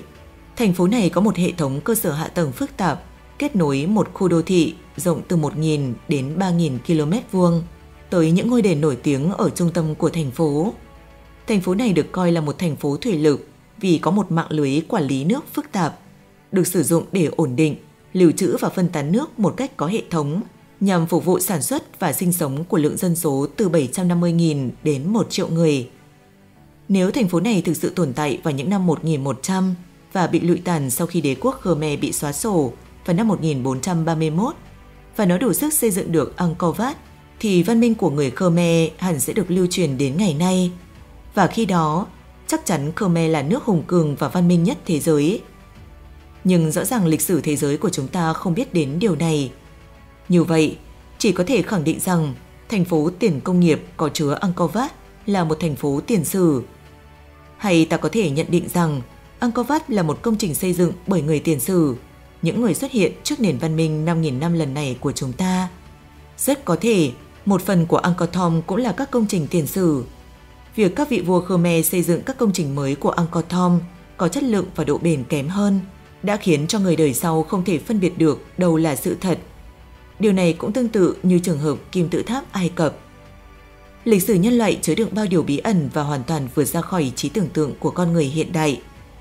Có lẽ chúng ta cần thoát khỏi lối tư duy cố hữu, những định kiến và những điều được học trong sách vở. Có như vậy, ta mới có thể nhận thức và lý giải một cách rõ ràng và minh xác về nguồn gốc thực sự của những công trình như Angkor Wat.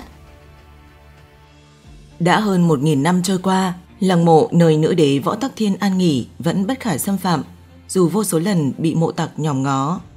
Với 17 lần bị đào giới, nhưng không lần nào thành công. Ngày nay người đời vẫn kể cho nhau nghe giai thoại về kho báu khổng lồ lên tới cả nghìn tấn vàng được bồi táng cùng nữ đế. Theo đó là những lời nguyền đáng sợ để bảo vệ lăng mộ bí ẩn này.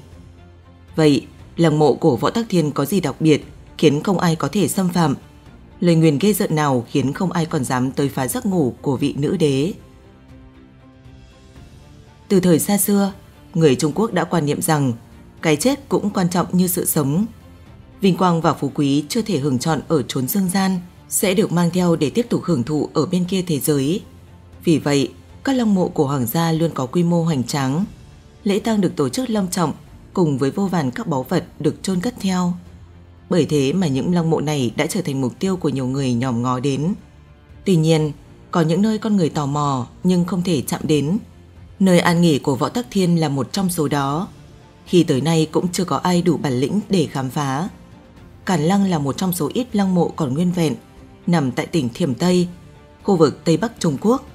Đây cũng là lăng mộ duy nhất lịch sử Trung Quốc, hợp táng cùng lúc hai vị hoàng đế và cũng là nơi cho đến ngày nay còn tồn tại nhiều bí ẩn khiến giới khoa học phải đau đầu. Cụ thể, Cản Lăng được xây dựng từ năm 684 và phải xây dựng dòng dã 23 năm mới hoàn thành. Thời điểm xây lăng cũng là lúc triều đình thuộc đỉnh cao thịnh trị, quốc lực dồi dào nên quy mô của cản Lăng rất lớn, được ví như lịch đại chư hoàng lăng chi quan, tức lăng mộ giữ vị trí số 1 trong các lăng của hoàng đế mọi thời đại.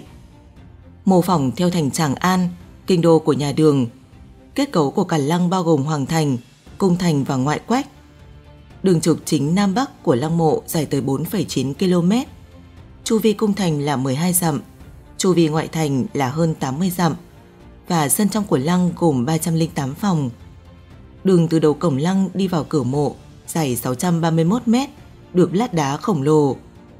Lăng chính có bốn cửa, bố trí đường tư mã, trụ hoa biểu, tượng ngựa, lạc đà, sư tử, bia ký, trụ khắc đá đều to lớn khác thường. Các hoàng đế của tất cả các triều đại Trung Quốc xưa đều coi việc xây dựng lăng tẩm là ưu tiên hàng đầu. Họ thường bắt đầu xây dựng nơi này từ khi vừa lên ngôi. Quá trình thường kéo dài hàng chục năm.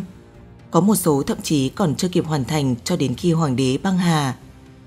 Điều quan trọng nhất cần chú ý khi xây dựng lăng mộ thời xưa là phong thủy và các lăng tẩm của hoàng gia, thậm chí còn hơn thế hoàng đế chính là bậc trí tôn, là chân mệnh thiên tử. Sau đó khi xây dựng lăng mộ, long mạch thường được xác định trước tiên. Sau khi xác định được long mạch, bước tiếp theo là nơi đặt lăng mộ. Chìa khóa để cố định huyệt đạo là khí. Người xưa tin rằng khí vẫn còn tồn tại sau khi con người qua đời. Vì vậy, lăng mộ phải được chọn ở nơi tích trữ gió và năng lượng.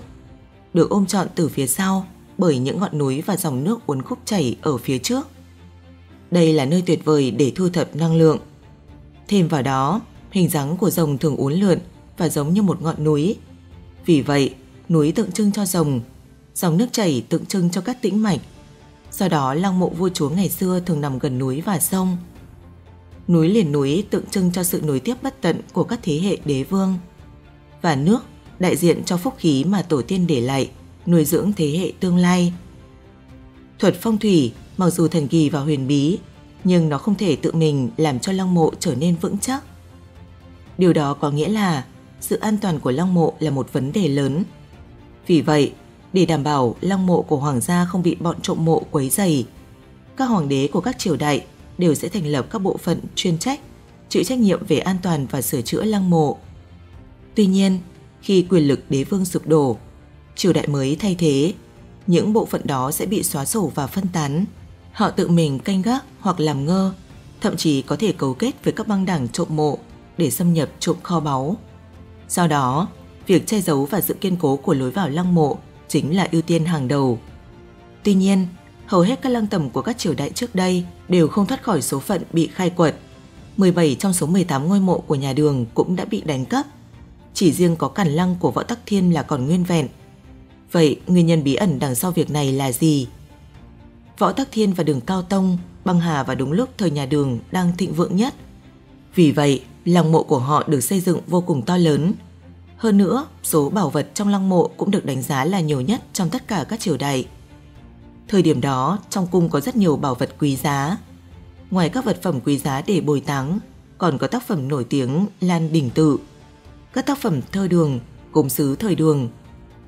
Theo dự đoán của các chuyên gia, số vàng bồi táng trong long mộ ước tính từ 500 đến 1.000 tấn vàng. Cũng chính vì điều này mà sau khi được xây dựng, Cản Lăng đã trở thành miếng mồi thơm ngon, được giới trộm mộ chú ý. Căn cứ vào các ghi chép thì Cản Lăng ít nhất đã trải qua tới trên dưới 17 lần bị xâm phạm. Nhưng tất cả đều phải đầu hàng trước một lời nguyền rùng rợn mà đến ngày nay vẫn chưa có lời giải đáp. Trong số đó có 3 vụ trộm mộ nghiêm trọng xảy ra vào 3 thời kỳ khác nhau.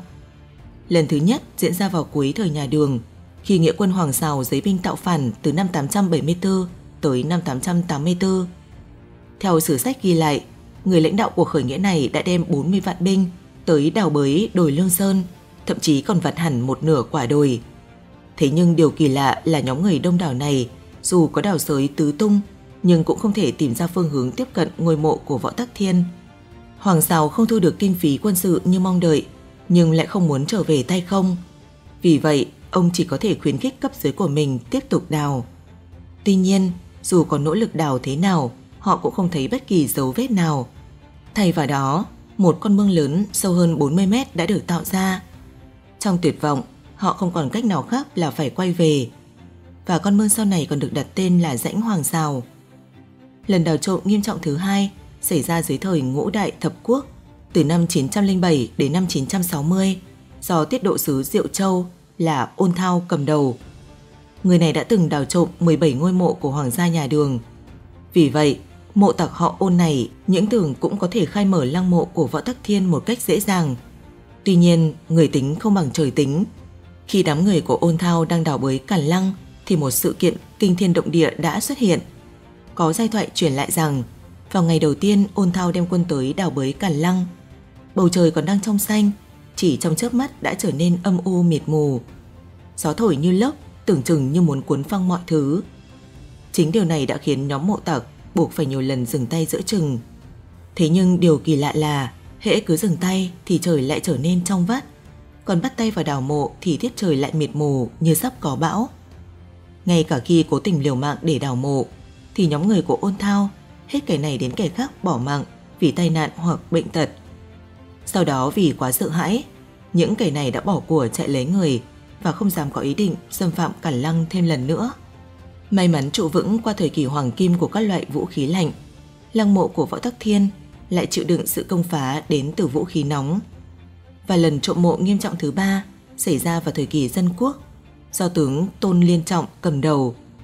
Vị tướng họ Tôn này đã lấy danh nghĩa diễn tập quân sự để điều động binh lính cùng vũ khí tới Càn Lăng. Thế nhưng cũng giống như ôn thao, Tôn Liên Trọng và đội quân của mình đã phải đối diện với những hiện tượng hết sức rùng rợn. Tương truyền rằng khi mới nã đợt pháo thứ nhất, bên trong lăng mộ Võ Tắc Thiên bỗng nhiên tỏa ra một làn khói trắng. Làn khói ấy cứ vẩn vũ xung quanh đám người, sau đó bay lên trời và hóa thành gió bão, khiến trời đất tối tăm mù mịt. Có giai thoại còn truyền lại rằng đoàn binh tham gia đào mộ ngày hôm đó của Tôn Liên Trọng bất ngờ có 7 người thổ huyết, tử vong tại chỗ các hiện tượng kỳ lạ cùng những giai thoại rùng rợn từng được lưu truyền về nơi an nghỉ của nữ hoàng họ võ đã khiến đám binh lính ấy bỏ cả mũ giáp rồi tháo chạy. Sau này cũng chẳng còn ai dám bán mạng cho Tôn Liên Trọng để đào trộm ngôi mộ ấy. Mãi đến năm 1958, những người nông dân địa phương ở Cản Lăng đã vô tình làm nổ tung lối vào khác của lăng mộ khi họ bắn đại bác để nổ đá. Tin đồn này đến tay Quách Mặt Nhược, một người yêu thích văn hóa cổ đại và ngay lập tức đã khơi dậy niềm đam mê khảo cổ học của ông. Quách Mặt Nhược liền lập kế hoạch khai quật Càn Lăng và báo cáo nó lên chính phủ. Tuy nhiên, do chưa có đủ công nghệ vào thời điểm đó để khai quật toàn bộ lăng mộ hoàng gia, nên kế hoạch không được thông qua. Kể từ đó, việc khai quật Càn Lăng đã tạm thời kết thúc. Trải qua nhiều biến động lịch sử, tính đến thời điểm hiện tại, cản Lăng chưa được khai quật, vẫn đứng sừng sững tọa lạc trên đỉnh núi Lương Sơn. Cản Lăng, một di tích lịch sử của nhà Đường, có rất nhiều bí ẩn có thể chưa được giải đáp. Nhưng có lẽ đây mới chính là sức hấp dẫn của lăng mộ này. Cũng giống như cuộc đời có nhiều ẩn tình của Võ Tắc Thiên, bí mật phía trong nơi ăn nghỉ của bà cho tới nay vẫn là một câu hỏi chưa có lời giải trong lịch sử Trung Quốc. Tương truyền rằng ở Cản Lăng có rất nhiều cơ quan bí mật. Ngoài ra, bởi vì Lương Sơn là một ngọn núi đá vôi, toàn bộ ngọn núi có rất nhiều cát và sỏi. Vì vậy, việc đào một cái hố sẽ vô cùng khó khăn. Không phải bởi vì cát quá cứng, mà bởi vì cát có tính chất lưu động, khó tìm được lối vào lăng mộ, khiến cho việc tìm ra manh mối trong lăng mộ của chính Cản Lăng rất khó khăn. Ngay cả khi tìm được vị trí thích hợp cho việc khai quật, thì bản thân việc trộm mộ đã là một việc mạo hiểm vì chỉ một chút bất cẩn có thể gây nguy hiểm đến tính mạng. Trải qua hơn 1.300 năm với không ít biến cố, Cản Lăng vẫn sừng sững tọa lạc trên đỉnh Lương Sơn và những giai thoại về lời nguyền xoay quanh khu lăng tẩm ấy vẫn được hậu thế kể cho nhau nghe trong những lúc trả dư tiểu hậu. Những bức tượng không đầu Trong khuôn viên có đường chu vi dài 40 cây số của cản Lăng, hình ảnh dễ bắt gặp nhất là hàng loạt những bức tượng đá không đầu, chắp tay đứng trang nghiêm. Tổng cộng có 61 pho tượng, phân bố ở phía đông và phía tây của lăng. Theo sách cũ ghi lại, thì đó là tượng trưng của các thủ lĩnh dân tộc thiểu số ở biên cương tham dự lễ tang lý trị hồi bấy giờ. Phía sau các pho tượng này đều có khắc chữ, nhưng này đã mờ nhạt. Điều kỳ lạ là đầu của 61 pho tượng đá này đều mất và còn nguyên cả vết chém. Đến nay, nguyên nhân lý giải những bức tượng bị mất đầu